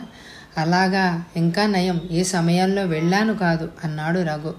వదిన నువ్వు అనుకుంటున్నట్టుగా నేను బెడ్రూమ్లో ప్రేమ లాహిరిలో తేలిపోవడం లేదు. కరిగిపోతున్న ఈ వెన్నెల రాత్రిలో కన్నీరు కారుస్తూ కూర్చున్నాను అని మనసులో ఆవేదనగా అనుకుంది సంజ అక్కడ కూర్చోలేక మేడ మీదకి తన గదిలోకి వెళ్ళిపోయింది సంజ మరొక రెండు రోజులు గడిచాయి. డేవిడ్ అటువైపు రాలేదు. సంజ అతని రాక కోసం మేడ మీద నుంచుని ఎదురు చూస్తూనే ఉంది. స్నేహితుని పెళ్ళికని రవి ఉదయమే కాకినాడ వెళ్ళాడు. డేవిడ్ని కలుసుకోవడానికి అతని ఇంటివైపు వెళ్ళింది సంజ డేవిడ్ ఉండే పోర్షన్కు తాళం పెట్టి ఉంది. పక్కవాట తలుపు కూడా తాళం పెట్టి ఉండడంతో నిరాశతో ఇంటికి వచ్చింది సంజ సమయం రాత్రి ఎనిమిది గంటలైంది. ఆరు బయట లాన్లో కూర్చుంది సంజ అప్పుడే హాస్పిటల్ నుంచి రఘు వచ్చాడు. బట్టలు కూడా మార్చుకోకుండా వచ్చి చెల్లెలకి ఎదురుగా కూర్చున్నాడు. వాళ్ళ అన్నయ్య మొహం చూడగానే ఎందుకో బాధపడుతున్నట్టు అనిపించింది సంజకు. అయినా తానుగా కారణం అడగలేక తలవంచు కూర్చుంది. సంజ అని పిలిచాడు. ఆ పైన అసలు విషయం సంజతో ఎలా చెప్పాలో అర్థం కాలేదు రఘుకు. అలా అని అసలు విషయం చెప్పకుండా దాచిపెడదామా అని అనుకున్నాడు. కానీ ప్రతిరోజు అతన్ని చూడడం కోసం సంజ ఎంతగా ఎదురుచూస్తోందో తనకు కూడా తెలుసు. ఎప్పుడో ఒకసారి చెప్పే కంటే సంజతో ఇప్పుడే చెప్పడం మంచిది అని అనుకున్నాడు. ఏంటన్నయ్య ఏదో చెప్పాలని పిలిచి ఆగిపోయావే? చెప్పన్నయ్యా. సంజ చూడమ్మా జనన మరణాలు మానవునికి సహజం. కాకపోతే కొందరు ముందుగా వెళ్తారు మరి కొందరు కాస్త ఆలస్యంగా వెళ్తూ ఉంటారు. అంతే తేడా. డాక్టర్స్గా మేము ఎన్నో మరణాలు చూస్తూ ఉంటాం. అందుకే మమ్మల్ని ఇలాంటి విషయాలు కదిలించలేవు. అన్నయ్య ఇప్పుడు ఈ విషయం నాకెందుకు చెప్తున్నావో అర్థం కావడం లేదు అంది సంజ. సృష్టి లీలలు ఏమిటో అర్థం కావమ్మా నేరం చేసేది ఒకరు అందుకు శిక్ష అనుభవించేది ఇంకొకరు. తప్పు నువ్వు చేస్తే శిక్ష డేవిడ్ అనుభవిస్తున్నాడు. చెల్లెల్ మొహంలోకి చూడలేక మరో దిక్కు చూస్తూ అన్నాడు బాధగా రఘు. అన్నయ్య డేవిడ్కి ఏం జరిగింది? అతను క్షేమంగా ఉన్నాడా? త్వరగా చెప్పన్నయ్య భయంగా ఆదుర్దాగా అడిగింది సంజ. కంగారు పడకమ్మా. ఆ విషయం నీతో ఎలా చెప్పాలా అని ఆలోచిస్తున్నాను. ఆ రోజు నేను ఎంత చెప్పినా నువ్వు వినలేదు. పిరికితనంతో నీ జీవితం పాడు చేసుకున్నావు. నిన్ను ప్రేమించిన నేరానికి డేవిడ్ బ్రతుకును బండల పాలు చేశావు. ఆవేదనగా అన్నాడు రఘు. అన్నయ్య అసలు ఏం జరిగిందో చెప్పు. డేవిడ్ ఆరోగ్యం పూర్తిగా దెబ్బతిందమ్మా. వారం రోజుల నుంచి జ్వరంతో మూసిన కన్ను తెరవకుండా పడి ఉండడంతో పాపం అతని ఆలనా పాలనా చూడడానికి అతనికి ఎవరు లేరు కదా. పక్కవాటాలో ఉన్న ఆనందు ఏదో మామూలు జ్వరమే కదా అని జ్వరానికి టాబ్లెట్ తెచ్చి డేవిడ్ చేత బలవంతంగా మింగించాట. వారం రోజులైనా జ్వరం తగ్గకపోగా ఈరోజు ఉదయం రక్తం కక్కుకున్నట్ట ఆనంద్ అతన్ని మన హాస్పిటల్ తీసుకొచ్చాడు. మాసిన గడ్డం మనిషి బాగా చిక్కిపోయి గుర్తుపట్టలేని స్థితిలో ఉన్నాడు. మొదట నేనే గుర్తుపట్టలేకపోయాను అనుకో ఆనంద్ చెప్పిన తర్వాత గుర్తు పట్టగలిగాను. ఆవేదనగా అన్నాడు. అన్నయ్య నువ్వు ఆయనను బాగా పరీక్షించి చూశావా? ప్రాణానికి ఏం భయం లేదు కదా? ఏడుస్తూ ప్రశ్నల వర్షం కురిపించింది. పరీక్ష చేశాను. ఊపిరితిత్తులు పూర్తిగా దెబ్బతిన్నాయి. ఏ డాక్టరు అతన్ని బతికించలేడు. గుండె కూడా చాలా వీక్గా ఉంది. ఎంత ప్రయత్నించినా అతను వారం రోజుల కంటే ఎక్కువ బ్రతకడు. బాధగా అన్నాడు రఘు. అన్నయ్య అంత మాట అనక అన్నయ్య. నీ చెల్లెలుగా నేను ఎప్పుడు ఏది అడగలేదు. నువ్వు ఎలాగైనా డేవిడ్ని బతికించు. ఎంత డబ్బు ఖర్చైనా నీకు డబ్బు ఖర్చు అవుతుందని నువ్వు వెనకాడొద్దన్నయ్యా అంది. అమ్మ చనిపోతూ లక్షలు విలువ చేసే నగలు నాకు ఇచ్చాయి అవి ఉన్నాయి. అవి ఇచ్చేస్తానన్నయ్యా ట్రీట్మెంట్ ఇప్పించు పిచ్చిదానిలాగా హృదయ విదారకంగా ఏడ్చింది సంజ అలా ఏడుస్తున్న చెల్లెల్ని ఎలా ఓదార్చాలో కూడా అర్థం కాక భరించలేని బాధతో చెల్లెల్ని చూస్తూ అలాగే కూర్చున్నాడు రఘు. ఆ సమయంలో మనసులోని బరువు తగ్గిపోయేలాగా సంజను ఏడవనివ్వడమే మంచిదనుకున్నాడు రఘు. అన్నయ్య డేవిడ్కి ఏం భయం లేదు. నేను బ్రతికిస్తానని చెప్పన్నయ్య ఇప్పటికీ డేవిడ్ను నేను ఎంతగా ప్రేమిస్తున్నానో నీకు తెలియదు. అతను చచ్చిపోతే నేను బ్రతకలేను అన్నయ్య అతి దీనంగా ఏడుస్తూ అంది నీ వేదన నేను అర్థం చేసుకోలేనమ్మా. అతను బ్రతుకుతాడు అనుకుంటే నాకున్న ఆస్తిని అంతటిని ఖర్చు పెట్టైనా నీ సంతోషం కోసం అతన్ని బతికించగలిగేవాణ్ణి. అతని వారం రోజుల కంటే ఎక్కువ ఆ భగవంతుడు కూడా బ్రతికించలేడు. అతని శరీరంలో ముఖ్యమైన భాగాలు దెబ్బతిన్నాయి. అన్నయ్య డేవిడ్ వారం రోజుల కంటే ఎక్కువ బ్రతకడా? నా కళ్ళ ముందే నేను ప్రాణం కంటే ఎక్కువగా ప్రేమిస్తున్నా. నా డేవిడ్ చచ్చిపోతాడా? పైకి చూస్తూ పిచ్చిదానిలాగా తనలో తానే అనుకుంది సంజ. అతను మరణిస్తే సంజకు మతి పోదు కదా అని భయపడ్డాడు రఘు. చెల్లెల్ని ఆ స్థితిలో చూడలేక అక్కడి నుంచి లోపలికి వెళ్ళిపోయాడు రఘు. చాలా రాత్రి వరకు మతిలేని దానిలాగా అలాగే కూర్చుండిపోయింది సంజ. అతను వారం రోజుల కంటే ఎక్కువ బ్రతకడు అన్న అన్నగారి మాటలే వినిపిస్తున్నాయి సంజకి. ఆమె అక్కడి నుంచి లేచి పరుగులాంటి నడకతో హాస్పిటల్ వైపు వెళ్ళింది. ఆ సమయంలో మంచి చెడుల గురించి కానీ పరువు ప్రతిష్టల గురించి కానీ ఆలోచించే స్థితిలో లేదు సంధ్య. అక్కడ పనిచేసే ఇద్దరు డాక్టర్స్కి ఒక డాక్టర్కి చెల్లెలు మరొక డాక్టర్కి భార్య సంజ అన్న సంగతి ఆ హాస్పిటల్ స్టాఫ్ అందరికీ తెలుసు. ఆ సమయంలో సంజ అలా రావడం హాస్పిటల్ స్టాఫ్ అంతా ఎంతో ఆశ్చర్యపోయారు. హాస్పిటల్ వాతావరణం అంతా ప్రశాంతంగా ఉంది. అక్కడ వరుసగా చాలా గదులు ఉన్నాయి. ఏ గదిలో ఉన్నాడో సంజకు తెలియదు. అందువల్ల స్టాఫ్ నర్సును పిలిచి అడిగింది. నర్సు వినయంగా డేవిడ్ ఉన్న గదిని చూపించి వెళ్ళింది. అదురుతున్న గుండెలతో ఆ గదిలోకి అడుగుపెట్టింది సంజ మంచం మీద డేవిడ్ సృహలేని స్థితిలో ఉన్నాడు. మంచానికి దగ్గరగా వంగి కూర్చుని అతని ముఖంలోకి చూసింది సంజ గడ్డం ఒత్తుగా పెరిగిపోయింది. బట్టలు మాసిపోయి ఉన్నాయి. మంచానికి అంటుకుపోయి ఉన్న డేవిడ్ని ఆ స్థితిలో చూడగానే సంజ గుండెల్లో ఎలాంటి మంటలు రేగాయో ఆ భగవంతుడిగే తెలియాలి. సృహ తప్పిపోకుండా అతి ప్రయత్నం మీద తనని తాను నిలదొక్కుంది ఏమండి? నేను సంజను మీ సంజనండి ఒక్కసారి కళ్ళు తెరిచి చూడండి. మిమ్మల్ని ఇలా వస్తుందని నేను ఊహించలేదండి. మీకోసం వచ్చానండి అంటూ ఏడ్చింది సంజ. నన్ను క్షమించండి నేనే మిమ్మల్ని చంపుకున్నాను అంటూ ఒక గంట సేపు ఏడ్చింది సంజ. అంతలో స్టాఫ్ నర్స్ అక్కడికి వచ్చి వారికి తెల్లవారే వరకు తెలివి రాదమ్మా. మీరు ఎంత బాధపడ్డా ఆయన కళ్ళు తెరవరు. ప్లీజ్ ఆయన్ని కదపొద్దు. లేవండి అని అంది. సంజ బయటకు వచ్చింది స్టాఫ్ నర్సు గది తలుపులు దగ్గరగా లాగి వెళ్ళిపోయింది. మూసి ఉన్న ఆ తలుపుల వైపే చూస్తూ నుంచుంది సంజ ఆ తర్వాత ఇంటికి వచ్చింది సంజ కోసమే ఎంతో ఆత్రంగా ఎదురు చూస్తోంది వరండాల్లో గౌరీ. వదినను చూడగానే వదిన అంటూ ఏడుస్తూ వదిన గుండెల మీద వాలిపోయింది సంజ సంజ రవి వచ్చి గంట సేపైంది. అయింది నువ్వు ఎక్కడికి వెళ్ళామని అడిగితే నీ ఫ్రెండ్కు సీరియస్గా ఉంటే చూసి రావడానికి హాస్పిటల్కి వెళ్ళావని చెప్పాను. నిన్ను అడిగితే నువ్వు కూడా అలాగే చెప్పు. మీ అన్నయ్య కూడా బయటకెళ్ళారు ఆ సమయంలో వెంటనే ఏం సమాధానం చెప్పాలో అర్థం కాక అలా చెప్పాను. సంజ నీ మనసులోని బాధను అతనికి కనిపించనీయకు. వెళ్ళు అనునయంగా అంది గౌరీ. సంజ మేడ మీదకి వెళ్ళింది. అప్పటికింకా రవి నిద్రపోలేదు. కిటికీ దగ్గర కుర్చీ వేసుకొని కూర్చుని సిగరెట్ కాలుస్తూ ఉన్నాడు. భర్త వైపు చూస్తూ నిల్చుంది. సంజ ఇప్పటివరకు ఎక్కడికి వెళ్ళావు తీక్షణంగా సంజను చూస్తూ అడిగాడు రవి. నా ఫ్రెండ్కు సీరియస్గా ఉందండి. అందుకనే ఎలాగూ మీరు ఇంట్లో లేరు కదా అని చూడ్డానికి వెళ్ళాను. భయంతో వణికిపోతూ సమాధానం చెప్పింది సంజ. సంజ కళ్ళల్లో కనిపిస్తున్న భయానికి రవిలోని కోపం కొవ్వొత్తిలాగా కరిగిపోయింది. సగం కాలిన సిగరెట్ని కిటికీలో నుంచి బయటకి విసిరేసి సంజకు దగ్గరగా వచ్చాడు. సంజ భయపడ్డావా? అనునయంగా అడిగాడు రవి. ఉబికి వస్తున్న దుఃఖాన్ని ఆపుకోలేక పెద్దగా ఏడ్చింది సంజ తన కోపానికి భయంతో సంజ అలా ఏడుస్తోందని అనుకున్నాడు కానీ సంజ ఆ సమయంలో ఎందుకు ఏడుస్తుందో రవికి తెలియదు. నిజానికి డేవిడ్ కోసం సంజ ఏడుస్తోంది.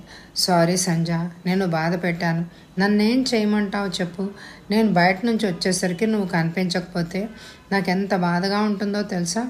అది కాక నేను వచ్చి గంటైనా నువ్వు రాకపోయేసరికి కోపం వచ్చింది. అంటూ సంజను మంచం దగ్గరకు నడిపించుకొని వెళ్ళాడు. సంజ భర్త చేతుల్లో నుంచి తప్పించుకొని గోడవైపు తిరిగి పడుకుంది. ఇంకా నా మీద కోపం తగ్గలేదా సంజ? అంటూ సంజను బలవంతంగా తన వైపుకు తిప్పుకున్నాడు. కోరిక నిండిన మనసుతో సంజ ముఖాన్ని ముద్దలతో నింపేశాడు. సంజ పెనుగులాడిన కొద్దీ రవిలోని కోరిక అధికం అవ్వసాగింది బలవంతంగా సంజతో తన కోరిక తీర్చుకోబోయాడు రవి. ఒకవైపు మనసారా ప్రేమించిన ప్రియుడు మృత్యువుతో పోరాడుతున్నాడు. మరోవైపు తాళి కట్టి శరీరం మీద హక్కును సంపాదించుకున్న భర్త శారీరక సుఖం కోసం పెనుగులాడుతున్నాడు. ఆ సమయంలో సంజ మనసెంత చిత్రహింసకు గురైందో మాటల్లో చెప్పలేం. భగవంతుడా ఇలాంటి శిక్ష మాత్రం పగవాళ్ళకు కూడా వద్దు. ఈ సమయంలో నేను భర్త కోరికను ఎలా తీర్చను? అని అనుకుంటూ కనిపించిన ఆ భగవంతునికి కన్నీటి కథను నివేదించుకుంది సంజ. తన మీద తనకే చెప్పలేని అసహ్యం కలిగింది సంజకు. అతి ప్రయత్నం మీద భర్త నుంచి వేరై మంచం మీద నుంచి లేచి కిటికీ దగ్గరికి వెళ్ళి కుర్చీలో కూర్చుంది. కాలిపోతున్న శరీర వాంఛతో రవి కళ్ళు చింత నిప్పులయ్యాయి. సంజ పట్ల అతని కోపం హద్దు దాటిపోయింది. కోపంతో ఆమె దగ్గరగా వచ్చి మొరటుగా ఆమె ముఖాన్ని తన వైపుకు తిప్పుకున్నాడు. సంజ రోజు రోజుకు చిన్న పిల్లలాగా తయారవుతున్నాం. నీళ్ళు మంచి మార్పు వస్తుందని ఎంతకాలం ఎంతో ఓపికగా ఎదురుచూశాను. ఆ ఆశ కూడా నిరాశ అయింది. కాలేజీలో చదువుకున్నావు. పాతికేళ్ళు నిండబోతున్నాయి. ఇంకా చిన్నపిల్లం అనుకుంటున్నావా? మూడికి ఏ సమయంలో ఏం కావాలో కూడా తెలుసుకోలేనంత అమాయకురాలువా? ఇంతకాలం నువ్వు అమాయకురాలువనే మోసపోయాను. ఇది అమాయకత్వం కాదు అహంకారం. నేను నిన్ను ఎంతగానో గౌరవిస్తున్నానో నన్ను నువ్వు అంత తేలిక భావంతో చూస్తున్నావు. మావయ్య నన్ను చిన్నప్పటి నుంచి ఆదరించి కన్న కొడుకులాగా పెంచారు. ఆయన మీద ఉన్న గౌరవం కొద్దీ నిన్ను అభిమానిస్తున్నాను. లేకపోతే నీ నిర్లక్ష్య వైఖరికి నిన్ను ఏం చేసేవాడినో నాకే తెలియదు. కోపంగా అరిచాడు రవి. ఏమండి ఎందుకు అలా గొంతు చించుకొని అరుస్తారు? ఇప్పుడు నేనేమన్నాను? నాకు మనసు బాగాలేదు. మీరే అన్నారుగా మనసు లేకుండా కోరిక తీర్చుకోవాలనుకోవడం పశువులు చేసే పని అని. సంజ ఎదురు సమాధానాలు చెప్పి నా సహనాన్ని పరీక్షించకు. మీతో వాదించే ఓపిక నాకు లేదు. నాకు తలనొప్పిగా ఉంది. నన్ను విసిగించకండి. విసుగ్గా అంది. నీకు తలనొప్పి లేని రోజు ఎప్పుడు సంజ? ఒకరోజు తలనొప్పి ఇంకొక రోజు కడుపు నొప్పి ఇంకో రోజు ఇంకో నొప్పి. ఇదంతా నువ్వు కావాలని ఆడుతున్న నాటకం. మీరు ఎలా అనుకున్నా నాకు అభ్యంతరం లేదు. మీరు ఏం అనదలుచుకున్నా రేపు ఉదయం అందరు కానీ ఈరోజు నా మనసు బాగాలేదు అంటూ గదిలోంచి బయటకొచ్చి మేడ దిగి హాల్లో ఉన్న సోఫాలో తెల్లవార్లు నిద్ర లేకుండా అలాగే ఏడుస్తూ పడుకుంది సంజ ఉదయం నుంచి హాస్పిటల్కి వెళ్ళి డేవిడ్ని చూసి రావాలని ఎన్నోసార్లు అనుకుంది సంజ. కానీ ఆ టైంలో రవి ఉంటాడని రవి భోజనానికి వచ్చిన సమయంలో తను హాస్పిటల్కి వెళ్ళి రావాలని అనుకుంది. ఎప్పుడు ఒంటి గంట అవుతుందా అని ఉదయం నుంచి ఎదురు చూస్తోంది. ఆ రోజు మామూలుగా రవి హాస్పిటల్కి వెళ్ళాడు. రఘు కన్సల్టింగ్ రూమ్లో లేడు. స్టాఫ్ నర్సును అడిగితే డాక్టర్ గారు హాస్పిటల్కు వచ్చిన దగ్గర నుంచి ఐదో నెంబర్ పేషెంట్ ఉన్న రూమ్లోనే ఉన్నారని చెప్పింది. ఉదయం నుంచి రఘు ఆ రూమ్లోనే ఉన్నాడా? ఏ? ఆ పేషెంట్కు సీరియస్గా ఉందా? అవునండి సీరియస్గానే ఉంది. ఆ పేషెంట్ రఘుకు తెలిసిన వాళ్ళ ఆశ్చర్యంగా అడిగాడు. ఎందుకంటే ఎంత సీరియస్ కేసు అయినా గంటల తరబడి పేషెంట్ దగ్గర కూర్చోరు. ఉదయం నుంచి మిగతా పేషెంట్స్ను కూడా చూడకుండా ఆ పేషెంట్ దగ్గరే రఘు ఉన్నాడంటే ఆ పేషెంట్ రఘుకు తెలిసేమో అని అనుకున్నాడు. రవి మిగతా పేషెంట్స్ను చూడడం మొదలుపెట్టాడు. పేషెంట్స్ని అందరినీ చూడడం పూర్తి చేసేసరికి టైము మధ్యాహ్నం ఒంటి గంట దాటింది. రఘు ఆ పూట కన్సల్టింగ్ రూమ్లోకే రాలేదు.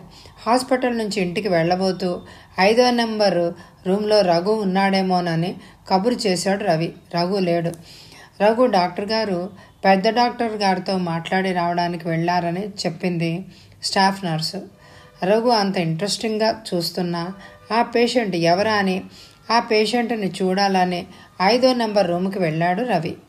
రవి చదువు కారణంగా దాదాపు ఐదు సంవత్సరాలు ఇంట్లో లేకపోవడం వలన జరిగిన సంగతులేవి అతనికి తెలియవు. అసలు సంజ డేవిడ్ని ప్రేమించిన సంగతి కానీ తండ్రి కారణంగా అతన్ని పెళ్ళి చేసుకోలేక తనని పెళ్ళి చేసుకుందని కానీ తెలియదు. ఐదో నెంబర్ రూమ్లోకి వెళ్ళాడు. తైల సంస్కారం లేని జుట్టు. మాసిన గడ్డం.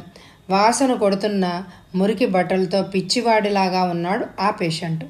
ఈ బికారి విధవ మీద రఘుకు అంత ఇంట్రెస్ట్ ఏమిటి? అని అనుకున్నాడు. ఈ పేషెంట్ కోసమే రఘు పెద్ద డాక్టర్ దగ్గరికి వెళ్ళాడా? అని అనుకున్నాడు. తన అనుమానాన్ని తీర్చుకోవడానికి కాంపౌండర్ని పిలిచి రఘు ఇతని గురించేనా పెద్ద డాక్టర్ గారి దగ్గరికి వెళ్ళారు? అని అడిగాడు. అవును డాక్టర్ గారు వీరు రఘుబాబు గారికి బాగా దగ్గర చుట్టాలనుకుంటాను. పేషెంట్ను ఇక్కడికి తీసుకొచ్చిన దగ్గర నుంచి ఈయన్ని బ్రతికించాలనే చూస్తున్నారు. ఎన్నో ప్రయత్నాలు చేస్తున్నారు. ఈయనకు కావాల్సిన మందులన్నీ డాక్టర్ గారే తెప్పించారు. ఈయన్ని రోజంతా కనిపెట్టుకుని ఉండాలని చాలా జాగ్రత్తగా చూడాలని మాకందరికీ చెప్పారు. ఈయన గురించి సంప్రదించడానికే డాక్టర్ గారు పెద్ద డాక్టర్ గారి దగ్గరికి వెళ్ళారు అని చెప్పాడు వినయంగా కాంపౌండర్. అలాగా? నాకు తెలియని చుట్టాలెవరు? రఘుకు లేరే? ఇతను ఎవరై ఉంటాడు? ఆలోచనగా తనలో తానే అనుకున్నాడు రవి. ఈయన మీకు తెలియకపోవచ్చునేమో డాక్టర్ గారు. ఈయన గారిని చూడటానికి రాత్రి అమ్మగారు కూడా వచ్చారు. ఈయన్ని చూసి ఒకటే ఏడుపు. అమ్మగారి దుఃఖాన్ని చూడలేకపోయాము. వాట్? సంజయ్ ఇక్కడికి వచ్చిందా నమ్మలేక ఆశ్చర్యంగా అడిగాడు రవి. అవును డాక్టర్ గారు. అమ్మగారు రాత్రి పది గంటలకు ఈయనను చూడ్డానికి వచ్చారు. వచ్చిన దగ్గర నుంచి ఒకటే ఏడుపు. దాదాపు రాత్రి ఒంటి గంట వరకు ఇక్కడే ఉన్నారు. అన్నాడు ఎంతో వినయంగా కాంపౌండర్. ఆ మాటతో రవి మనసులో ఏవో అనుమానాలు మరెన్నో ఆలోచనలు తలెత్తాయి. తన భార్య గురించి ఇంకా ఎక్కువ వివరాలు తన కింద పనిచేసే కాంపౌండర్ని అడగడానికి రవికి సభ్యత అడ్డొచ్చింది. ఒకవేళ ఇతను రఘు కుటుంబానికి దగ్గర బంధువై ఉంటాడు అన్నాడు. తన మనసులోని భావాలను కాంపౌండర్ చూడకుండా జాగ్రత్త పడుతూ అక్కడ నుంచి రవి కన్సల్టింగ్ రూమ్లోకి వచ్చాడు. సంజయ్ రాత్రి ఇతన్ని చూడ్డానికి వచ్చిందా? సంజయ్ ఇతని కోసం అంతగా ఎందుకు బాధపడింది? స్నేహితురాలికి సీరియస్గా ఉంటే చూడ్డానికి వెళ్ళానని ఎందుకు అబద్ధం చెప్పింది? సంజయ్కు ఇతనికి ఏమిటి సంబంధం?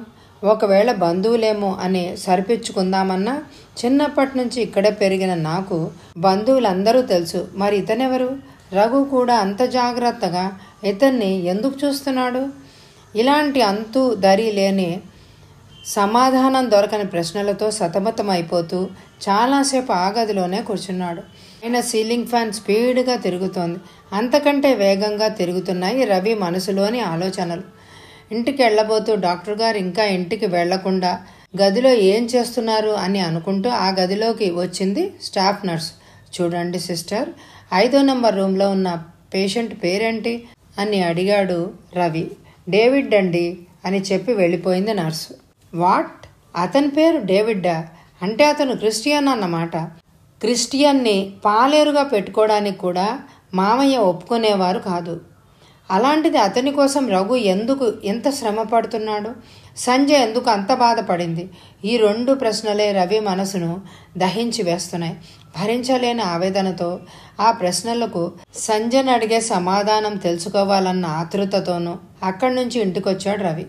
రవి భోజనానికి వస్తే ఆ సమయంలో తను వెళ్ళి డేవిడ్ను చూసి రావాలని ఎదురు చూస్తున్న సంజ భర్త రాక కోసం ఎదురు చూస్తూ వరండాలోనే కూర్చుంది. రవి వరండా దగ్గరకు రాగానే ఏమండి నేను మా ఫ్రెండ్ ఇంటికి వెళ్తున్నాను. టేబుల్ మీద అన్నీ సర్దిపెట్టి ఉన్నాయి. భోంచేయండి నేను అర్ధగంటలో వచ్చేస్తాను అంటూ బయటకు వెళ్ళబోయింది సంజ ఆగు సింహంలాగా అర్జించాడు రవి. రవి ముఖంలోకి చూసిన సంజ అతని ముఖంలో కనిపిస్తున్న మార్పుకు ఆశ్చర్యపోతూ అలాగే నిల్చుంది. సంజ నీతో మాట్లాడాలి. పైకిరా నాతో సాయంత్రం అంతా తీరిగ్గా మాట్లాడుతురు గాని. ముందెళ్ళి భోంచేయండి నేను ఈలోగా వెళ్ళి మా ఫ్రెండ్ని చూసొస్తాను. సంజ పైకి రా. అంటూ సంజకు మాట్లాడేందుకు అవకాశం కూడా ఇవ్వకుండా కోపంగా పైకెళ్ళిపోయాడు రవి. అతను ఎందుకు అలా ఉన్నాడా అని ఆశ్చర్యపోతోంది సంజ పైకి వెళ్ళింది. రవి బట్టలు మార్చుకోకుండా సిగరెట్ వెలిగించి కిటికీలోంచి బయటకు చూస్తూ నిల్చున్నాడు. భర్తను పలకరించే ధైర్యం లేక పక్కలు సర్దుతూ ఉంది సంజ సంజ నువ్వు రాత్రి ఎక్కడికి వెళ్ళావు? సాధ్యమైనంత సౌమ్యంగా అడిగాడు రవి.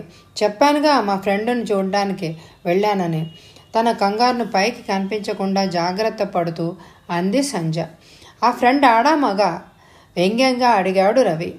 ఆడవాళ్ళకు మగవాళ్ళు స్నేహితులు ఉండకూడదా? నిన్ను చూసిన తర్వాత ఆ మాట నేను అనగలనా? కటువుగా అన్నాడు రవి. నువ్వు రాత్రి వెళ్ళింది మన హాస్పిటల్కేనా? అవును. నీ స్నేహితుడిని చూడ్డానికి అర్ధరాత్రి వెళ్ళావు కదూ? వ్యంగ్యంగా అన్నాడు రవి. అవును. నేను బిఏ చదివాను. క్లాస్మేట్స్ తెలిసిన వాళ్ళు ఉంటారు. కోపాన్ని అదుపులో పెట్టుకుంటూ అంది సంజ ఆ డేవిడ్ నీకు ఎలా పరిచయమో నేను తెలుసుకోవచ్చా? నేను కాలేజీలో చేరిన దగ్గర నుంచి నా క్లాస్మేట్. మంచి స్నేహితుడు. ఎప్పుడో కాలేజీలో క్లాస్మేట్ అయిన అతన్ని చూడ్డానికి అర్ధరాత్రి హాస్పిటల్కి వెళ్ళడం గంటల తరబడి ఏడవడం నాతో అబద్ధం చెప్పడం ఇవన్నీ క్లాస్మేట్ కోసం చేసినవేనా? ఏవండి? ఏంటి మీరు అనేది సంజా నన్ను ఇంకా మోసం చేయాలని ప్రయత్నించకు. నీకు అతనికి మధ్య ఉన్న సంబంధం ఎటువంటిది? మంచి స్నేహితుల మధ్య ఎలాంటి సంబంధం ఉంటుందో మా ఇద్దరి మధ్య ఉన్న సంబంధం అటువంటిదే. అలా అని నువ్వు చెప్తే నన్ను నమ్మమంటావా? కటువుగా అన్నాడు రవి. నిజం చెప్పినా నమ్మకపోతే నేనేం చేయగలను? మిమ్మల్ని నమ్మించాలని ప్రయత్నం చేయడం నా అవివేకమే అవుతుంది. నువ్వు మాటలు నేర్చిన చిలకవు. మాటలతోనూ మనుషులను గారడి చేస్తావు. సంజ నిజం చెప్పు. నీకు అతనికి ఏమిటి సంబంధం? అడిగిన ప్రశ్నే మీరు పదిసార్లు అడిగినా నేను చెప్పే సమాధానం ఒకటే. అతను నాకు మంచి స్నేహితుడు. కాదు మీ ఇద్దరి మధ్య ఉన్న సంబంధాన్ని నేను అర్థం చేసుకోలేనంత మూర్ఖుణ్ణి అని అనుకున్నావా? నువ్వు కాలేజీలో చదివేటప్పుడు వాడిని ప్రేమించావు. కానీ నువ్వు వాడిని పెళ్ళి చేసుకోవడానికి మీ మధ్య కులాలు అడ్డొచ్చాయి. అందుకే నన్ను చేసుకున్నావు. వాణ్ణి మర్చిపోలేకనే నాతో కాపురం చేయలేకపోతున్నావు. నేను సరదాగా బయటకు రమ్మన్నా సినిమాకు రమ్మన్నా రాకపోవడానికి కారణం ఇదే. ఇంతకాలం చాలా తెలివిగా నాటకం ఆడావు. ఈరోజు నీ నాటకం బయటపడింది. వాడిని ప్రేమించిన దానివి నన్నెందుకు పెళ్ళి చేసుకున్నావు? ఛీ! నువ్వింత నీచానికి దిగజారేదానివని నేనెప్పుడు ఊహించలేకపోయాను. అంతవరకు వచ్చిన తర్వాత భర్త తనకు డేవిడ్కు నీచమైన సంబంధం అంటగడుతున్నప్పుడు నిజం చెప్పడమే మంచిదనుకుంది సంజ అందుకే తనకు డేవిడ్కు కాలేజీలో పరిచయం. ఆ పరిచయం ప్రేమగా మారడం వాళ్ళిద్దరు పెళ్ళికి వాళ్ళ నాన్నగారు ఒప్పుకోకపోవడం వరకు జరిగిందంతా చెప్పింది సంజ నువ్వెంతకైనా తగిన దానవు. కటువుగా అన్నాడు రవి. ఏమండి? నా మాంగళ్యం మీద ప్రమాణం చేసి చెప్తున్నాను. మా ఇద్దరి మధ్య ఉన్న అనుబంధం స్నేహానుబంధం మాత్రమేనండి. నన్ను నమ్మండి. కన్నీటితో ప్రాధేయపడుతూ అంది సంజ. సంజ తను ప్రాణ సమానంగా ప్రేమించే భార్య మనసులో తనకుగాక మరొక వ్యక్తికి స్థానం ఉందని తెలిసినప్పుడు ఆ మగవాని మనసెంత చిత్రహింసకు గురవుతుందో నీకు తెలియదు. చిన్నప్పటి నుంచి నిన్ను చూస్తున్నా. నువ్వెంతో అమాయకురాలివి అనుకున్నాను కానీ ఇలా మనుషుల జీవితాలతో ఆడుకునే దానివని అనుకోలేదు. నిన్ను భార్యగా నేను మనసారా నిన్ను ప్రేమించలేకపోయినా పరువు ప్రతిష్టల కోసమైనా మనిద్దరం భార్యాభర్తలుగా నటించాలి. కటువుగా అన్నాడు రవి. ఏమండి? ఇలాంటి మాటలతో నన్ను చిత్రవద చేసి చంపకండి. మిమ్మల్ని మోసం చేయాలన్న దురుద్దేశం నాకే ఉంటే జరిగిందంతా మీకు ఎందుకు చెప్తానండి? సంస్కార హృదయంతో నన్ను అర్థం చేసుకుంటారన్న ఆశతో మీతో జరిగిందంతా చెప్పాను. నా మనసు అర్థం చేసుకోండి. ప్రమాణం చేసి చెప్తున్నాను. ఏడుస్తూ అంది సంజ సంజ గతాన్ని కెలుకుతున్న గుండెల్లో మరింత గాయం చేయకు. నువ్వు ఈ రోజు నుంచి హాస్పిటల్కి వెళ్ళడానికి వీల్లేదు. అది నా పరువు ప్రతిష్టలకు సంబంధించిన విషయం. ఆ బిఖారి వెధవ కోసం నువ్వు ఏడుస్తూ ఉంటే చూసిన వాళ్ళు ఎవరైనా ఏమనుకుంటారు? నిన్ను కోరేది నేను ఒక్కటే దయచేసి నా పరువు ప్రతిష్టలు బజారుకెక్కించకు అంటూ అక్కడి నుంచి వెళ్ళిపోయాడు రవి. పిచ్చిదానిలాగా ఏడుస్తూ అక్కడే కూర్చుండిపోయింది సంజ. ఆ రోజు హాస్పిటల్కి వెళ్ళనే లేదు. ఆ రాత్రి చాలా పొద్దుపోయిన తర్వాత ఇంటికి వచ్చాడు రవి. భోజనం కూడా చేయలేదు. రవి సంజను పలకరించలేదు. సంజ రవిని పలకరించలేదు. ఎవరికి వారు ఆ రాత్రంతా బాధపడుతూ నిద్రపోలేదు. రెండో రోజు హాస్పిటల్కి వెళ్ళడానికి తయారయ్యాడు రఘు. రఘు బయటికి రావడం చూసి రవి కారు బయటకు తీసి స్టీరింగ్ ముందు కూర్చున్నాడు. రఘు కూర్చోగానే కారు స్టార్ట్ చేశాడు రవి. కారు హాస్పిటల్ వైపు పోనీకుండా మరోవైపుకు పోనిస్తున్నాడు. రవి ఎక్కడికి తీసుకెళ్తున్నావు? పది నిమిషాలు నీతో మాట్లాడాలి అంటూ రోడ్డు పక్కగా కారాపాడు. ఏంటి రవి ఇక్కడ కారాపావు? పది నిమిషాల్లో నేను హాస్పిటల్కు తీసుకువెళ్తాను. రఘు నువ్వు డేవిడ్కు ట్రీట్మెంట్ ఇవ్వడానికి వీల్లేదు. అతన్ని ఈరోజే మన హాస్పిటల్ నుంచి పంపించాయి అని అన్నాడు రవి. రవికి డేవిడ్ విషయం తెలిసిపోయిందని అనుకున్నాడు రఘు. రవి నీకేమైనా మతిపోయిందా? నువ్వు డాక్టర్వేనా ఆవేశంలో నువ్వు మానవత్వాన్ని కూడా మర్చిపోతున్నావు. చావు బ్రతుకుల మధ్య ఆపస్మారక దశలో ఉన్న పేషెంట్ను ట్రీట్మెంట్ ఇవ్వకుండా హాస్పిటల్ నుంచి ఎలా పంపించగలం? రవి డాక్టర్స్ పేషెంట్కు ప్రాణాలు పొయ్యాలి కానీ ప్రాణాలు తీయకూడదు. రఘు ఇలాంటి శ్రీరంగ నేతలు నేను చెప్పగలను. ఏదైనా తన దాకా వస్తే గానీ తెలియదు. అతన్ని చూస్తేనే నా మనస్సు ఎంత రగిలిపోతోందో నీకు తెలియదు. అతను హాస్పిటల్లో ఉండడానికి వీల్లేదు. కటువుగా అన్నాడు రవి. రవి ఆ పని నేను చేయలేను. అతను ఇంకా నాలుగు రోజుల కంటే ఎక్కువ బ్రతకడు. అతను ఈరోజే చచ్చిపోవచ్చు. అతని పరిస్థితి అలా ఉంది. ఆఖరి క్షణాల్లో ఉన్న అతని మీద పగ సాధించాలనుకోవడం నీ అవివేకానికి నిదర్శనం. అయినా అతను నీకేం అన్యాయం చేశాడు? ఒక విధంగా నువ్వే అతనికి అన్యాయం చేశావు. ప్రేమించడం నేరం కాదు. అతను అందరిలాగానే సంజను ప్రేమించాడు. అతని దురదృష్టం కొద్దీ సంజయను పెళ్ళి చేసుకోలేకపోయాడు. అందుకు అతని జీవితాన్ని నాశనం చేసుకున్నాడు. అతను నీకేం అన్యాయం చేశాడని? అతని మీద పగ సాధించాలని అనుకుంటున్నావు? రవి నువ్వు చదువుకున్నవాడివి. సంస్కారం కలవాడివి. ఒక బాధ్యత గల డాక్టర్వి. నువ్వు చేయాల్సిన పని ఇదేనా? అనవసరంగా అతని మీద ద్వేషాన్ని పెంచుకొని చచ్చిపోయే ముందు ఆ అభాగ్యునికి మనశ్శాంతి కరువు చేయకు పాపం. చచ్చిపోయేటప్పుడైనా అతన్ని ప్రశాంతంగా చచ్చిపోనేవు రఘు నువ్వు నీ చెల్లెలు ఇంతవరకు నాకు చేసిన అన్యాయం చాలు. అతన్ని పంపిస్తావా లేదా? రవి అనాథను నిన్ను తీసుకొచ్చి ఇంతవాణ్ణి చేశారు మా నాన్నగారు. వాళ్ళు ఏం తప్పు చేశారని నువ్వు ఇలా సాధించాలని అనుకుంటున్నావు? అతను నా పేషెంట్. నేను ట్రీట్మెంట్ ఇవ్వకుండా అతని హాస్పిటల్ నుంచి పంపించేయలేను. రఘు అతను హాస్పిటల్లో ఉన్నన్ని రోజులు నేను హాస్పిటల్కి రాను. రవి హాస్పిటల్ మా నాన్నగారు కట్టించింది. అంటే నాది. నువ్వు ఇష్టమైతే రావచ్చు లేకపోతే మానేయచ్చు. All right. అలాగే అంటూ కార్ స్టార్ట్ చేశాడు రవి. రవి నన్ను హాస్పిటల్ దగ్గరకు తీసుకువెళ్ళు. గంభీరంగా అన్నాడు రఘు. రఘు మొహం చూసి ఏం మాట్లాడలేక కారును హాస్పిటల్ వైపు పోనిచ్చాడు రవి. హాస్పిటల్ ముందు కారు ఆపాడు రవి. కారు దిగి రవితో ఏం మాట్లాడకుండా కన్సల్టింగ్ రూమ్ వైపు వెళ్ళాడు రఘు. రవి హాస్పిటల్కి వెళ్ళకుండానే కార్ స్టార్ట్ చేసుకుని వెళ్ళిపోయాడు. డేవిడ్ ఎలా ఉందో అన్న ఆతురతతో ఇంట్లో నిలవలేకపోయింది సంజ ఎలాగూ తన భర్త మనసులో తన పట్ల అనుమానం కలిగింది. తను ఎంత ప్రయత్నించినా ఆ అనుమానాన్ని భర్త మనసులో నుంచి తొలగించలేదు. ఇంత జరిగిన తర్వాత తన హాస్పిటల్కు వెళ్తే మాత్రం ఏమవుతుంది? కాకపోతే తనంటే ఇష్టం లేకపోతే విడాకులు ఇస్తాడు. ఏం జరిగితే అదే జరుగుతుంది అన్న నిర్లిప్తతతో హాస్పిటల్కు వెళ్ళడానికే మేడ దిగి వరండాలోకి వచ్చింది సంజ సంజ నువ్వు హాస్పిటల్కి వెళ్ళొద్దమ్మా. వదిన నన్ను ఈ సమయంలో డేవిడ్ను చూడకుండా ఎవ్వరూ ఆపలేరు. సంజ డేవిడ్ ఒకటి రెండు రోజుల కంటే ఎక్కువ బ్రతకడని మీ అన్నయ్య చెప్పారు. చూడమ్మా రెండు రోజుల్లో ఈ లోకాన్ని వదిలిపెట్టి వెళ్ళిపోతున్న అతని కోసం నీ నూరేళ్ళ జీవితాన్ని నాశనం చేసుకోవద్దమ్మా. అసలే రవికి నీ మీద అనుమానం కలిగింది. అతను నిన్నటి నుంచి ఇల్లు పట్టకుండా తిరుగుతున్నాడు. ఇప్పుడు నువ్వు హాస్పిటల్కి వెళ్ళామని అతనికి తెలిస్తే కోపంతో అతను మరింత రెచ్చిపోతాడు. నా మాట విను.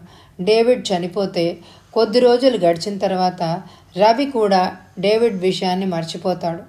డేవిడ్ విషయాన్ని రవి మర్చిపోగలిగాడు అంటే అతని మనసులో నీ మీదున్న కోపం దానంతటా అదే పోతుంది. అనునయంగా అంది గౌరీ. వదినా నువ్వెంత స్వార్థంగా ఆలోచిస్తున్నావు?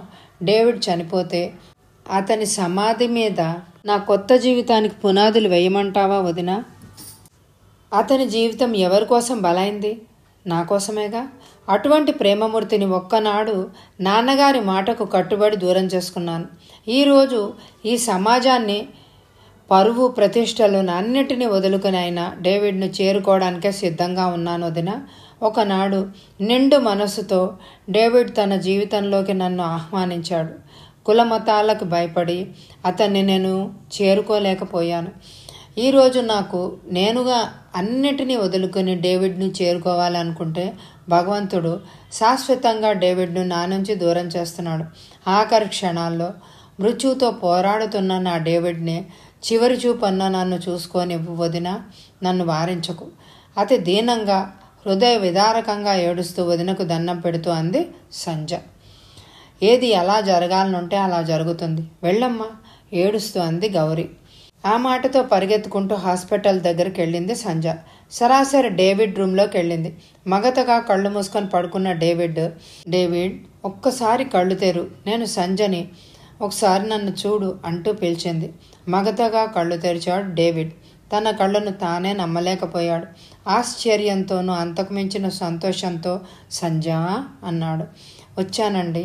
మీకోసం అన్ని బంధాలు తెంచుకొని వచ్చేసానండి అంటూ ఏడుస్తూ అంది సంజ సంజ దేవుడెంత దయామయుడు. నిన్ను చూడకుండానే చచ్చిపోతానేమోనని అనుకున్నాను.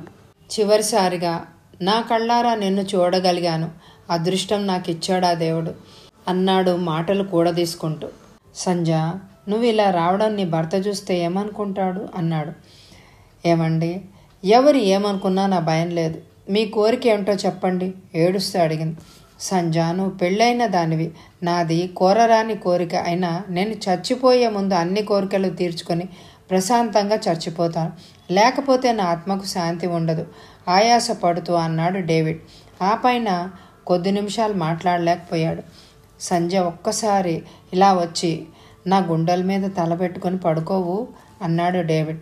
అలాగేనండి అంటూ సంజయ్ డేవిడ్ కాళ్ళ దగ్గర నుంచి లేచి అతని మంచం మీద కూర్చుని అతని గుండెల మీద తల పెట్టుకొని పడుకుంది. సంజా సంజ అంటూ తనలో తానే మాట్లాడుకుంటున్నట్టుగా అనుకుంటూ సంజ తల నిమిరాడు. గది తలుపులు తెరిచే ఉన్నాయి. తమ ఇద్దరిని అలా ఎవరైనా చూస్తే అనే విషయాన్ని కూడా మర్చిపోయారు వాళ్ళు ఇరువురు. అలా పది నిమిషాలు గడిచిపోయాయి. డేవిడ్ అంటూ అతని చేతులు పట్టుకొని పిలిచింది. అప్పటికే డేవిడ్ ప్రాణాలు అనంత వాయువుల్లో కలిసిపోయాయి. అతని తల పక్కకు వాలిపోయింది. డేవిడ్ పిచ్చిదానిలాగా అతన్ని కుదుపుతూ అరిచింది సంజ. అతను చచ్చిపోయాడని తెలుసుకుంది సంజ. తను మనసారా ప్రేమించిన తన ప్రియుడు మృతదేహాన్ని చూడగానే సంజకు డేవిడ్తో ప్రేమ రవితో పెళ్ళి అన్నీ మరొకసారి మనసులో సినిమా రేళ్ళలాగా తిరిగాయి. డేవిడ్ శవాన్ని తడిమి తడిమి చూసింది. డేవిడ్ కళ్ళు తెరిచి తనని చూస్తున్నట్టే అనిపించింది సంజకు. తన ప్రియుడి మరణాన్ని కళ్ళారా చూసిన సంజ ఆ షాక్ తట్టుకోలేకపోయింది.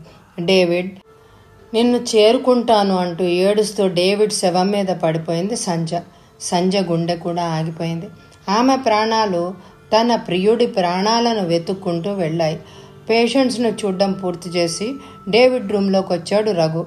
డేవిడ్ మీద ఒరిగిపోయిన చెల్లెల్ని చూసి కంగారుగా అక్కడికి వచ్చి సంజ అంటూ చెల్లెల్ని లేపబోయాడు.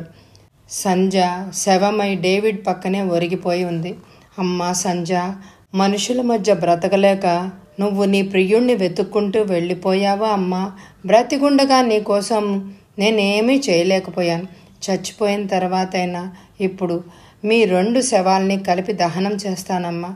అంతకంటే ఈ అన్నయ్య నీకోసం ఏం చేయగలడు? అంటూ పిచ్చిదానిలాగా ఏడుస్తూ శవాల మీద దుప్పటి నిండుగా కప్పాడు రఘు. కథ సమాప్తం. ఈ నవల మీకు నచ్చితే తప్పకుండా లైక్ చేయండి అందరికీ షేర్ చేయండి. ఎవరైనా సబ్స్క్రైబ్ చేసుకోకపోతే తప్పకుండా సబ్స్క్రైబ్ చేసుకోండి. ధన్యవాదాలు ఫ్రెండ్స్.